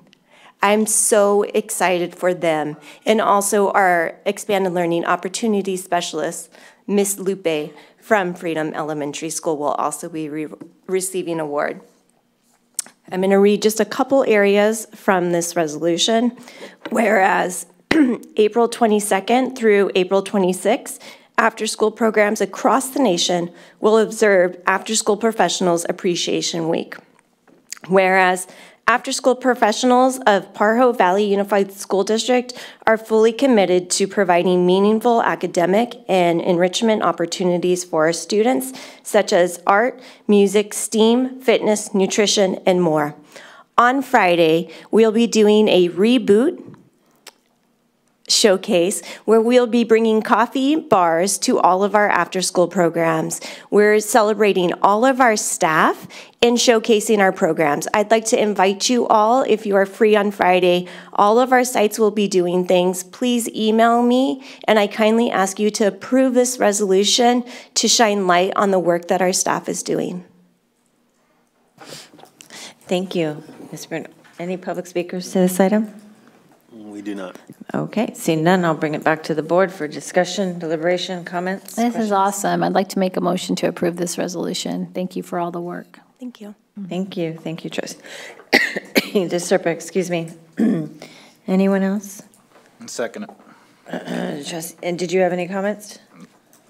Thank you. Yeah. Okay. All right, so I have a first and a second. Unless there's any other deliberation, I'll call for the vote. All those in favor? Any opposed? Any abstaining? That will carry seven zero. Thank you. Thank you. Moving to item 9.9, adopt resolution number 23-24-38, acknowledging May 19th through the 25th, 2024 as Classified School Employee Week. This report will be presented by our Director of Classified Human Resources, Ms. Shanks. Welcome. Thank you. Good evening, President Acosta, Superintendent Scheckman, and board members. Um, as uh, President Acosta said, I am Pam Shanks. I'm the Director of Classified Personnel, and I'd like to introduce Diana Martinez. Um, she is a proud classified employee who's been with the district for 41 years. And this is very common among our classified employees to have long um, longevity with our district. Um, so I do have the honor and privilege of presenting this uh, resolution tonight to the board um, in order to recognize and celebrate Classified School Employee Week, which will be May 19th to the 25th. Classified school employees are being formally recognized for their valuable work. Uh, the, this contribution of our classified employees is critical to supporting the positive instructional environment. There are many important classified employees who work directly with students. Um, school bus drivers are the first person our students see on their way to school. Instructional staff work directly with students in the classroom, making a daily impact. Office staff at the school sites work with students, parents, and staff regularly. Healthcare assistants handle many health concerns of our students. Custodial maintenance and operations help keep our sites and departments clean and safe. The many support and guidance staff help keep students safe, provide career information, and help with translation. Food and nutrition services workers serve our students breakfast and lunch every day. There are many, also many classified staff who work behind the scenes um, to help support the sites, many of which are located at the district office. Human resources recruit and hire uh, the most qualified staff and process new hires so our payroll staff can process their paycheck. Our benefits department makes sure that our employees have the valuable health benefits that the district offers. Accounting fiscal staff keeps track of the finances that come into the district and makes sure that we are being fiscally solvent. The purchasing staff make sure we get the best price on supplies used throughout the district and make sure that they are delivered. And the technology department assists the entire district with our technology needs. As you can see, we have a large variety of classified staff who perform important work that helps supports students, staff, and our community. I want to personally thank them for all their hard work. And I ask the board tonight just to approve this resolution 232438. Thank you. Thank you. Do we have any public speakers to this item? We do not.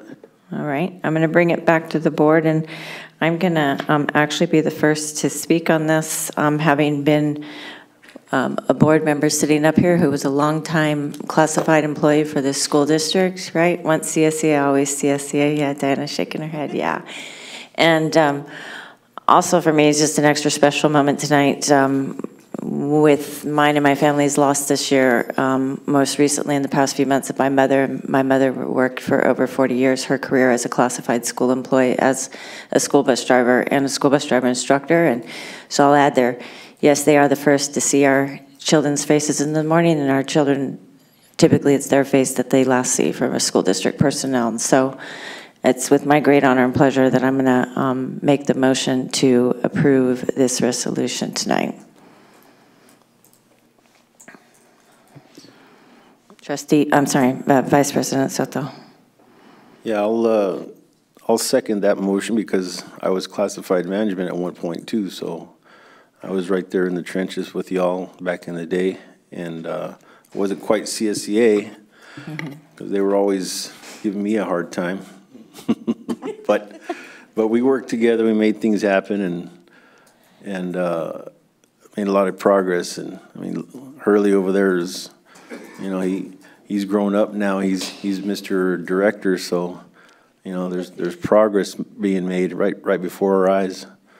So um, yeah, thanks thanks for recognizing everybody, and thank everybody out there for your hard work. I know you you don't get the recognition that you deserve, despite the fact that you're the the oil and the uh, gears behind this whole district to keep it going. So thanks again. So apparently, uh, Hurley was Diana's student back in the day. So that's a very typical thing also for our classified staff that are very much a part of this community and really help support the district, so. Thank you. Um, Trustee DeSerpa. I'll just keep it short. Uh, Classified are the backbone of this district. Um, We recognize it, and we appreciate you guys so much. So thank you for bringing this forward. I think about all the wonderful people who have come up to us at the podium over the years, Bobby, Esther, Robin. I mean, there's scores of other people, but I just so appreciated, and partly it's your um, positive and sunshiny outlook when you come up to the podium. You're very respectful, and um, this board appreciates the work that you do and your wonderful personalities so much. So thank you. Thank you, Trustee DeSerpa. Trustee Bolaños Scow. Thank you, Bo. Thank you, Deanna, for all your, your work for our district. You're a rock for our district, and uh, I want to uh, support all, all the comments from my, uh, the the trustees. uh, And I want to say, we need to find a way to pay our classified workers more, otherwise we're going to lose them. And if we always just give them the same percentage, it's not fair to our lowest paid workers.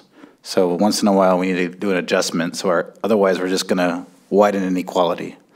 So I hope next year we can find a way to, uh, to do better for our classified workers.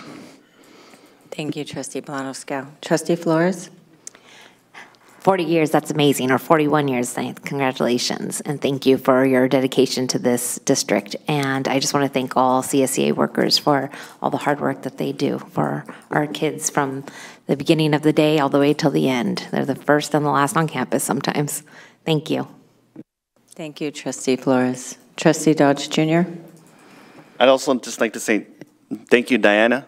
You know, uh, I'm 42, and uh, I, I, I think I remember, you know, meeting you when I, I'm meeting White E Hall. You know, you, Sinaida, Esther, uh, Bobby. He was, you know, important of me being here with CSC, putting me here, I believe. Um, just all the others that are still working that are retiring after 40 years. You know, I don't want to say their names because they're still still working, but they're looking forward to retiring. But you know, the, custo- the, the custodians, the maintenance, um, the people who woke up every day, didn't complain, went to work, you know, emergencies, sickness, and uh, never complained. Still, you know, maybe a little bit, but I mean, they, they hung in there and they're putting in their 40 years. And, you know, um, I just like to say thank you, women, guys. You know, you know who you are. And so I just wanted to say thank you. And uh, I recognize and, and thank you guys. Thank you, Trustee Dodge Jr. Trustee Dr. Holm? a few more than 42 years. But one, of- you know, still that does put things into perspective, right? You know, just the, the length of service is incredible. I mean, it's, a- it's a marker of dedication. And you really have to be dedicated to ride the waves that come through a school district because time, you know, things ebb and flow, right? And, you know, you've got to be dedicated to our students and our community. And our classified workers are. That's one thing that just, when I first ran as a candidate, you know, five and a half some odd years ago, um, you know, I had known our classified workers, but really starting to have those more in-depth conversations and really getting in touch with just what what an incredible gift your work is to this district and community. Um, and I'm speaking to you because you're here as the representative, but I'm speaking to classified workers. I'll leave it with thank you. Thank you, trustee Dr. Holm. Vice President Soto. Yeah, I just want to recap on everybody's comments, and I want to take a moment and take this resolution and honor my sister. My sister was classified for 32 years as well. You- And Diana, you probably know her, Lucy Morales. She was at Mintie White for years and years. Yeah, that's my sister, so she, she's been retired for a little while now. She's a little bit older than me, but she's prettier. But, uh, yeah, I, I don't know if, she never talked about this kind of stuff, if they ever did this during her tenure here. So I want to take a moment and, and honor her with this as well.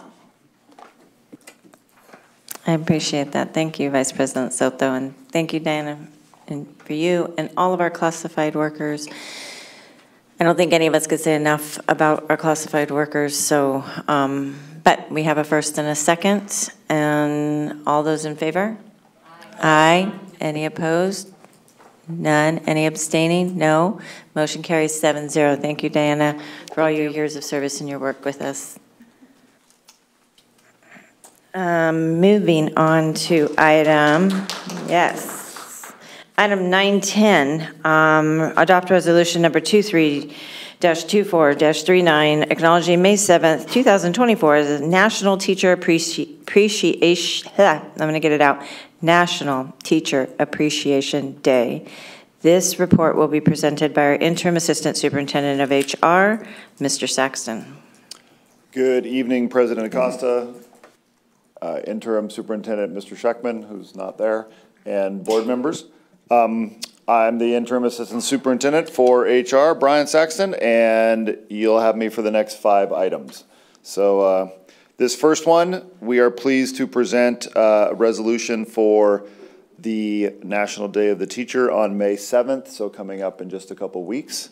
Um, it, it's, I was trying to think of something witty to say or something about teachers, but it's, everyone knows how valuable they are to our students, right? When our students walk in the classroom, um, and teachers are just asked nowadays to do so much. Um, growing up, you know, your teacher, they, they taught you to read and to write and, and all of those various things, but now teachers are, they have so many facets that they must do, right? They're, they're counselors, they're, um, they're, they're at the actual teacher, right? They're dealing with crises that they've never experienced. They're working with families. They're, they do it all. And so, uh, a few words that I've picked out of this resolution um, that just really kind of uh, spoke to me, right? So, uh, the contributions of our teachers, uh, they're crucial.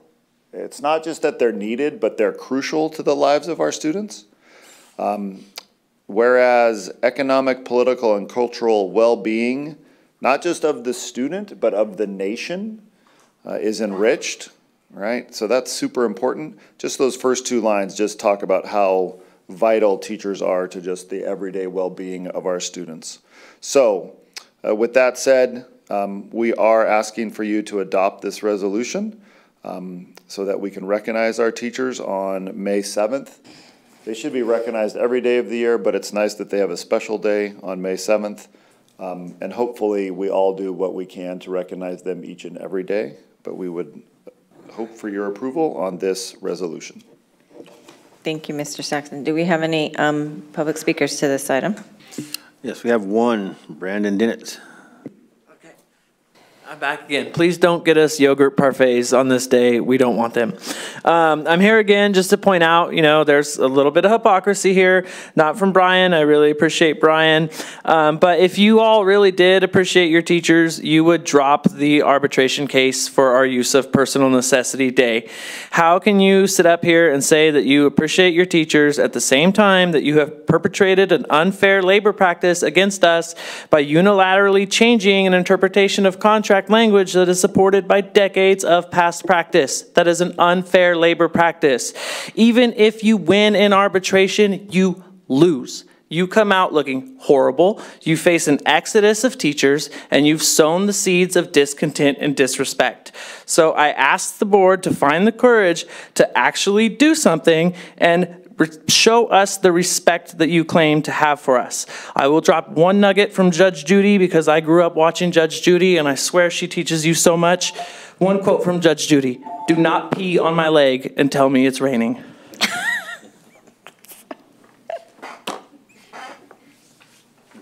Oh my gosh. Okay. okay. Thank you, Brandon. Um, so with that, I'll bring it back to the board for questions, comments, and deliberation. Trustee Bolaños Scow. Thank you for that presentation and the comment. I'll just make a motion and support, and I think it's no secret I'm a big supporter of our teachers, and, and I think uh, our board has been uh, moving in the right direction and is going to continue to move in the right direction with our new superintendent. And I, and I want to think that the climate has, has improved this past year as well. So thank you.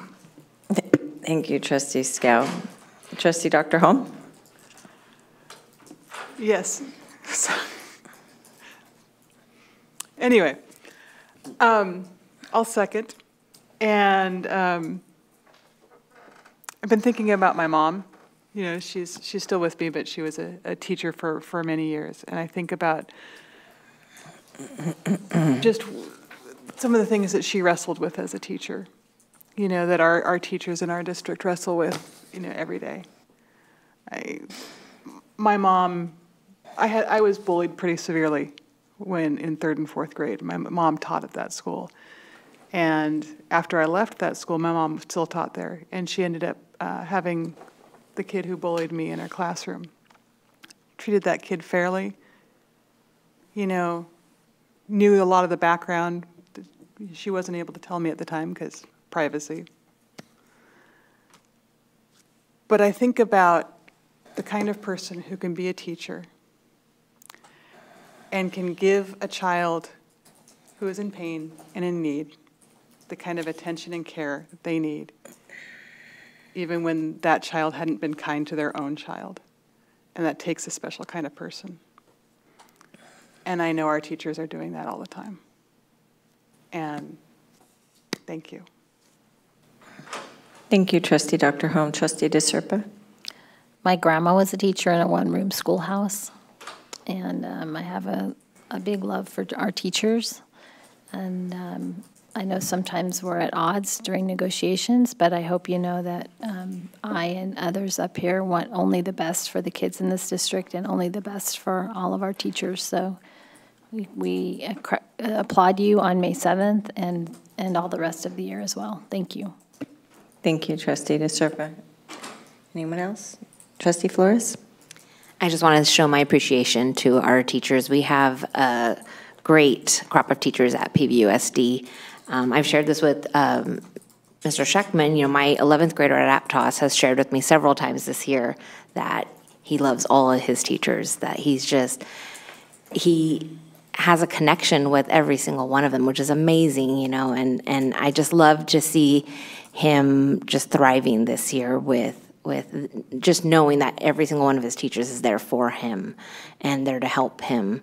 Um, and he, he struggles, you know, he's not a straight A student, but he definitely gives it his all. And um, I just, I love to see that. And so I have such a huge appreciation for what our teachers do every single day with um, our children that we, you know, entrust them to. So thank you to all of our teachers at PVUSD. Thank you, Trustee Flores. Vice President Soto?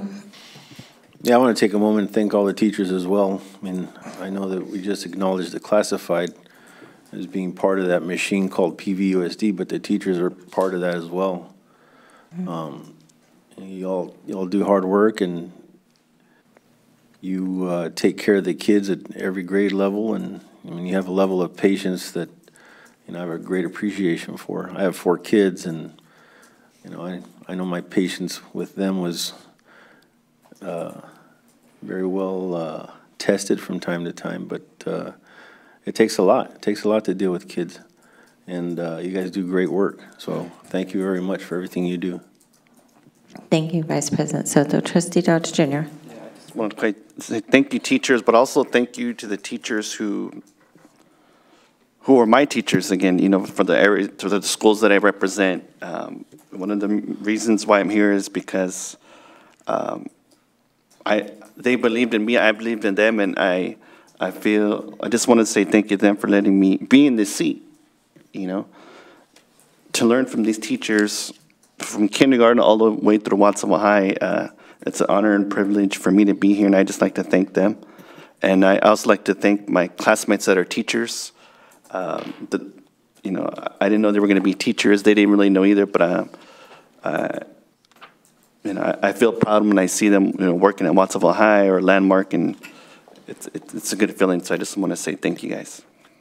Thank you, Trustee Dodge Jr. And I'm just going to um, echo saying um, I want to commend all of our teachers and thank them for all their hard work. Um, As an educator myself, um, I understand the strains and the pressures um, working in education. And there's seven of us that are sitting up here um, on this board, and I don't think any seven of us would be where we are in our personal or professional lives or sitting up here if it weren't for the teachers in our lives. So thanks to all of our teachers and for all their hard work. So I have a first and a second. With that, I'll call for a vote. All those in favor? Aye. Any opposed? Any abstaining? With that, that carries seven zero. Thank you. And moving on. Thank you. Thank you. And moving on to the next item, 9.11, which will also be presented by Interim Assistant Superintendent of HR, Mr. Saxton. This is the approval of the MOU between PVUSD and PVFT for the Migrant Seasonal Head Start and Buena Vista Children's Center. Good evening again, President Acosta, Interim Assistant, Interim Superintendent Mr. Scheckman, and Board of Trustees. I am uh, Brian Saxton, and so I'm here to present um, the MOU of Understanding, Memorandum of Understanding between PVFT and PVUSD uh, for Migrant Seasonal and Buena Vista. These are our two seasonal programs. Um, They are combining support services uh, in order to better serve the students that um, attend these programs. And this is on the recommendation of Stanislaus County. So some of these support services um, are family child care home specialists, um, teacher development, professional development, um, and things such as that. Um, The MOU outlines just seniority, compensation, and then how long things will be going on. Um, Again, this is based on recommendations via Stanislaus County. So we uh, kindly request your approval of this M- MOU. Thank you, Mr. Saxton. Do we have any public speakers on this? We do not. All right, seeing none, I'll bring it back to the board for questions, comments, and deliberation. Any? One? Don't everybody jump. Uh, This is a standard MOU that comes before this board, correct? Correct, yeah. Yeah, so I'll make a motion to approve. Thank you. I'll second. I have a first and a second. Any other deliberation or comments? Seeing none? All right, I'll call for the vote. All those in favor? That will carry six zero one. Yeah. Okay. Moving on to the next item. Um, 9.12 Memorandum of Understanding between PVUSD and PVFT for subbing during prep on a 1-6 period schedule at middle schools. And this report will be presented by Interim Assistant Superintendent of HR, Mr. Saxton.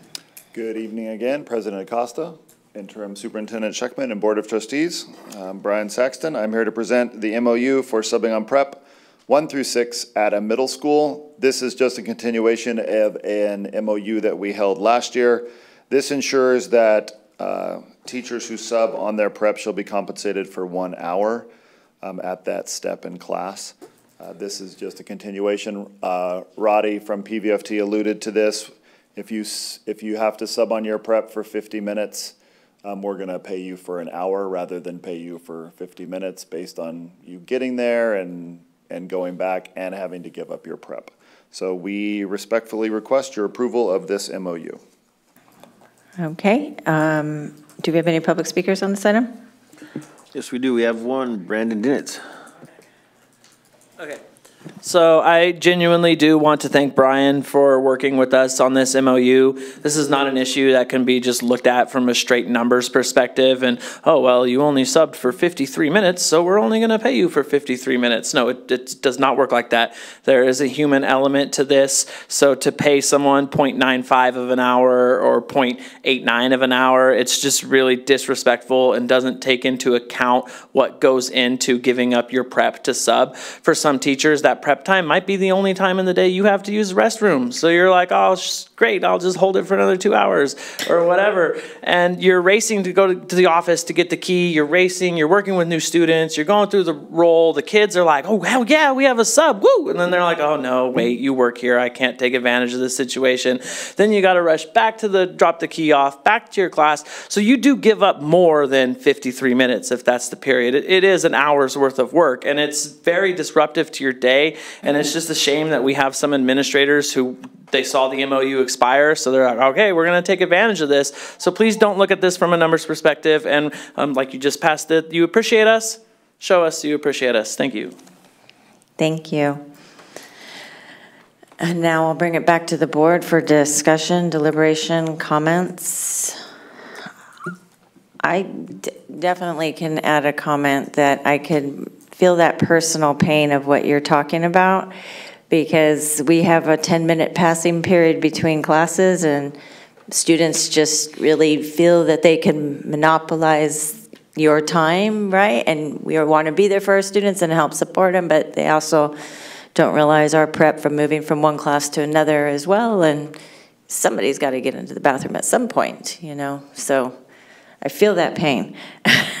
right? And I know trustee Dr. Holm knows what I'm talking about. So um, I'm in full support of this, so I'll make a motion but I, um, to support it, but I want to bring it back to the board, of course. Trustee Bolaños Scow. Yeah, I'll second it. Thank you for your work on it. Thank you for uh, bringing it to our attention. Glad we can make it better. Okay, so I have a first and a second. Any other deliberation from the board?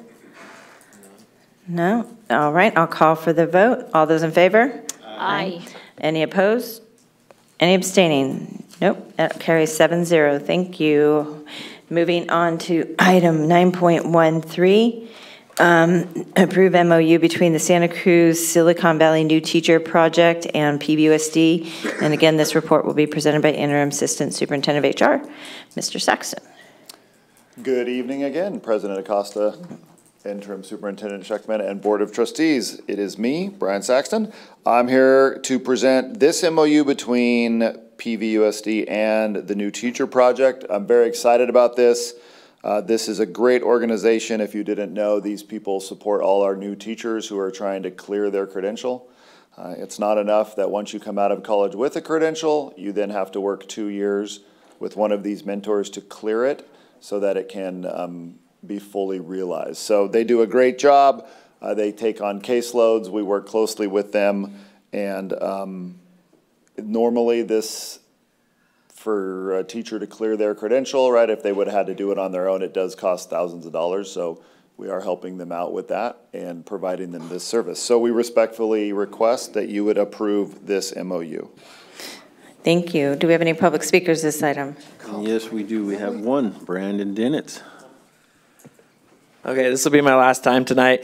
Um, I just wanted to take a second to shout out the mentors that I had through the New Teacher Project. I had uh, Melanie Kuhn was my mentor in my second year. Uh, my mentor in my first year was Michelle Shear. She was an administrator in this district and someone who is absolutely instrumental to my development, not just as a teacher, but as a person. I absolutely loved Michelle Shear to this day, invited her to my wedding. Um, so these people, they do really help our new teachers teachers, and I know we do different things like have the voluntary coaching MOU, but when it's coming from someone whose sole job is to mentor teachers, who has the time to meet with you, to listen to you vent, to listen to you brainstorm strategies, it's just so empowering and important. And like Brian said, to clear your credential without this could cost you up to $3,000. So just to have this level of support is something that our teachers need. Um, we hope to see it extended to teachers who are maybe on a preliminary waiver program program or something like that to get the support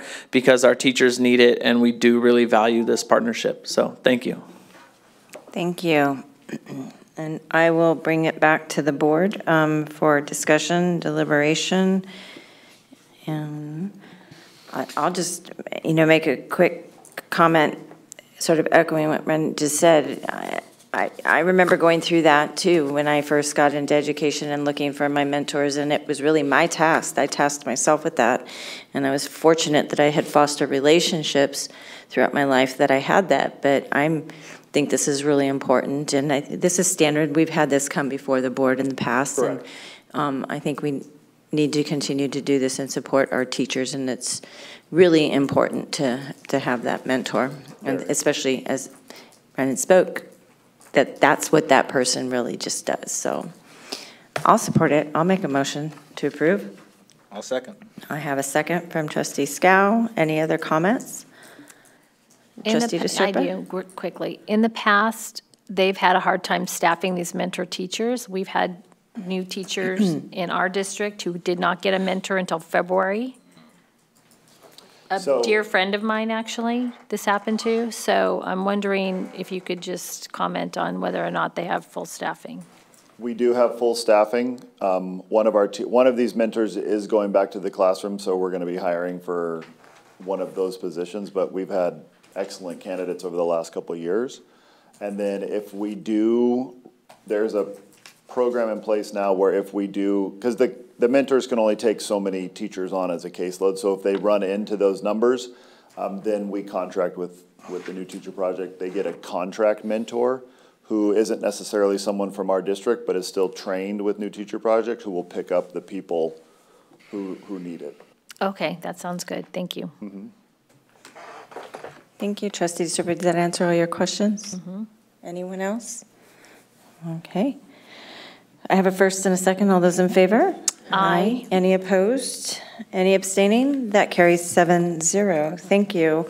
Um, Moving on to item 9.14, the Williams Quarterly Report for January, February, March, the first quarter of 2024. This item will be presented by, again, our interim Assistant Superintendent of HR, Mr. Saxton. They just wanted you to be the wrap-up hitter for the night, I guess. think. Yeah. Yeah, so good evening again, President Acosta, Interim Superintendent Scheckman, and Board of Trustees.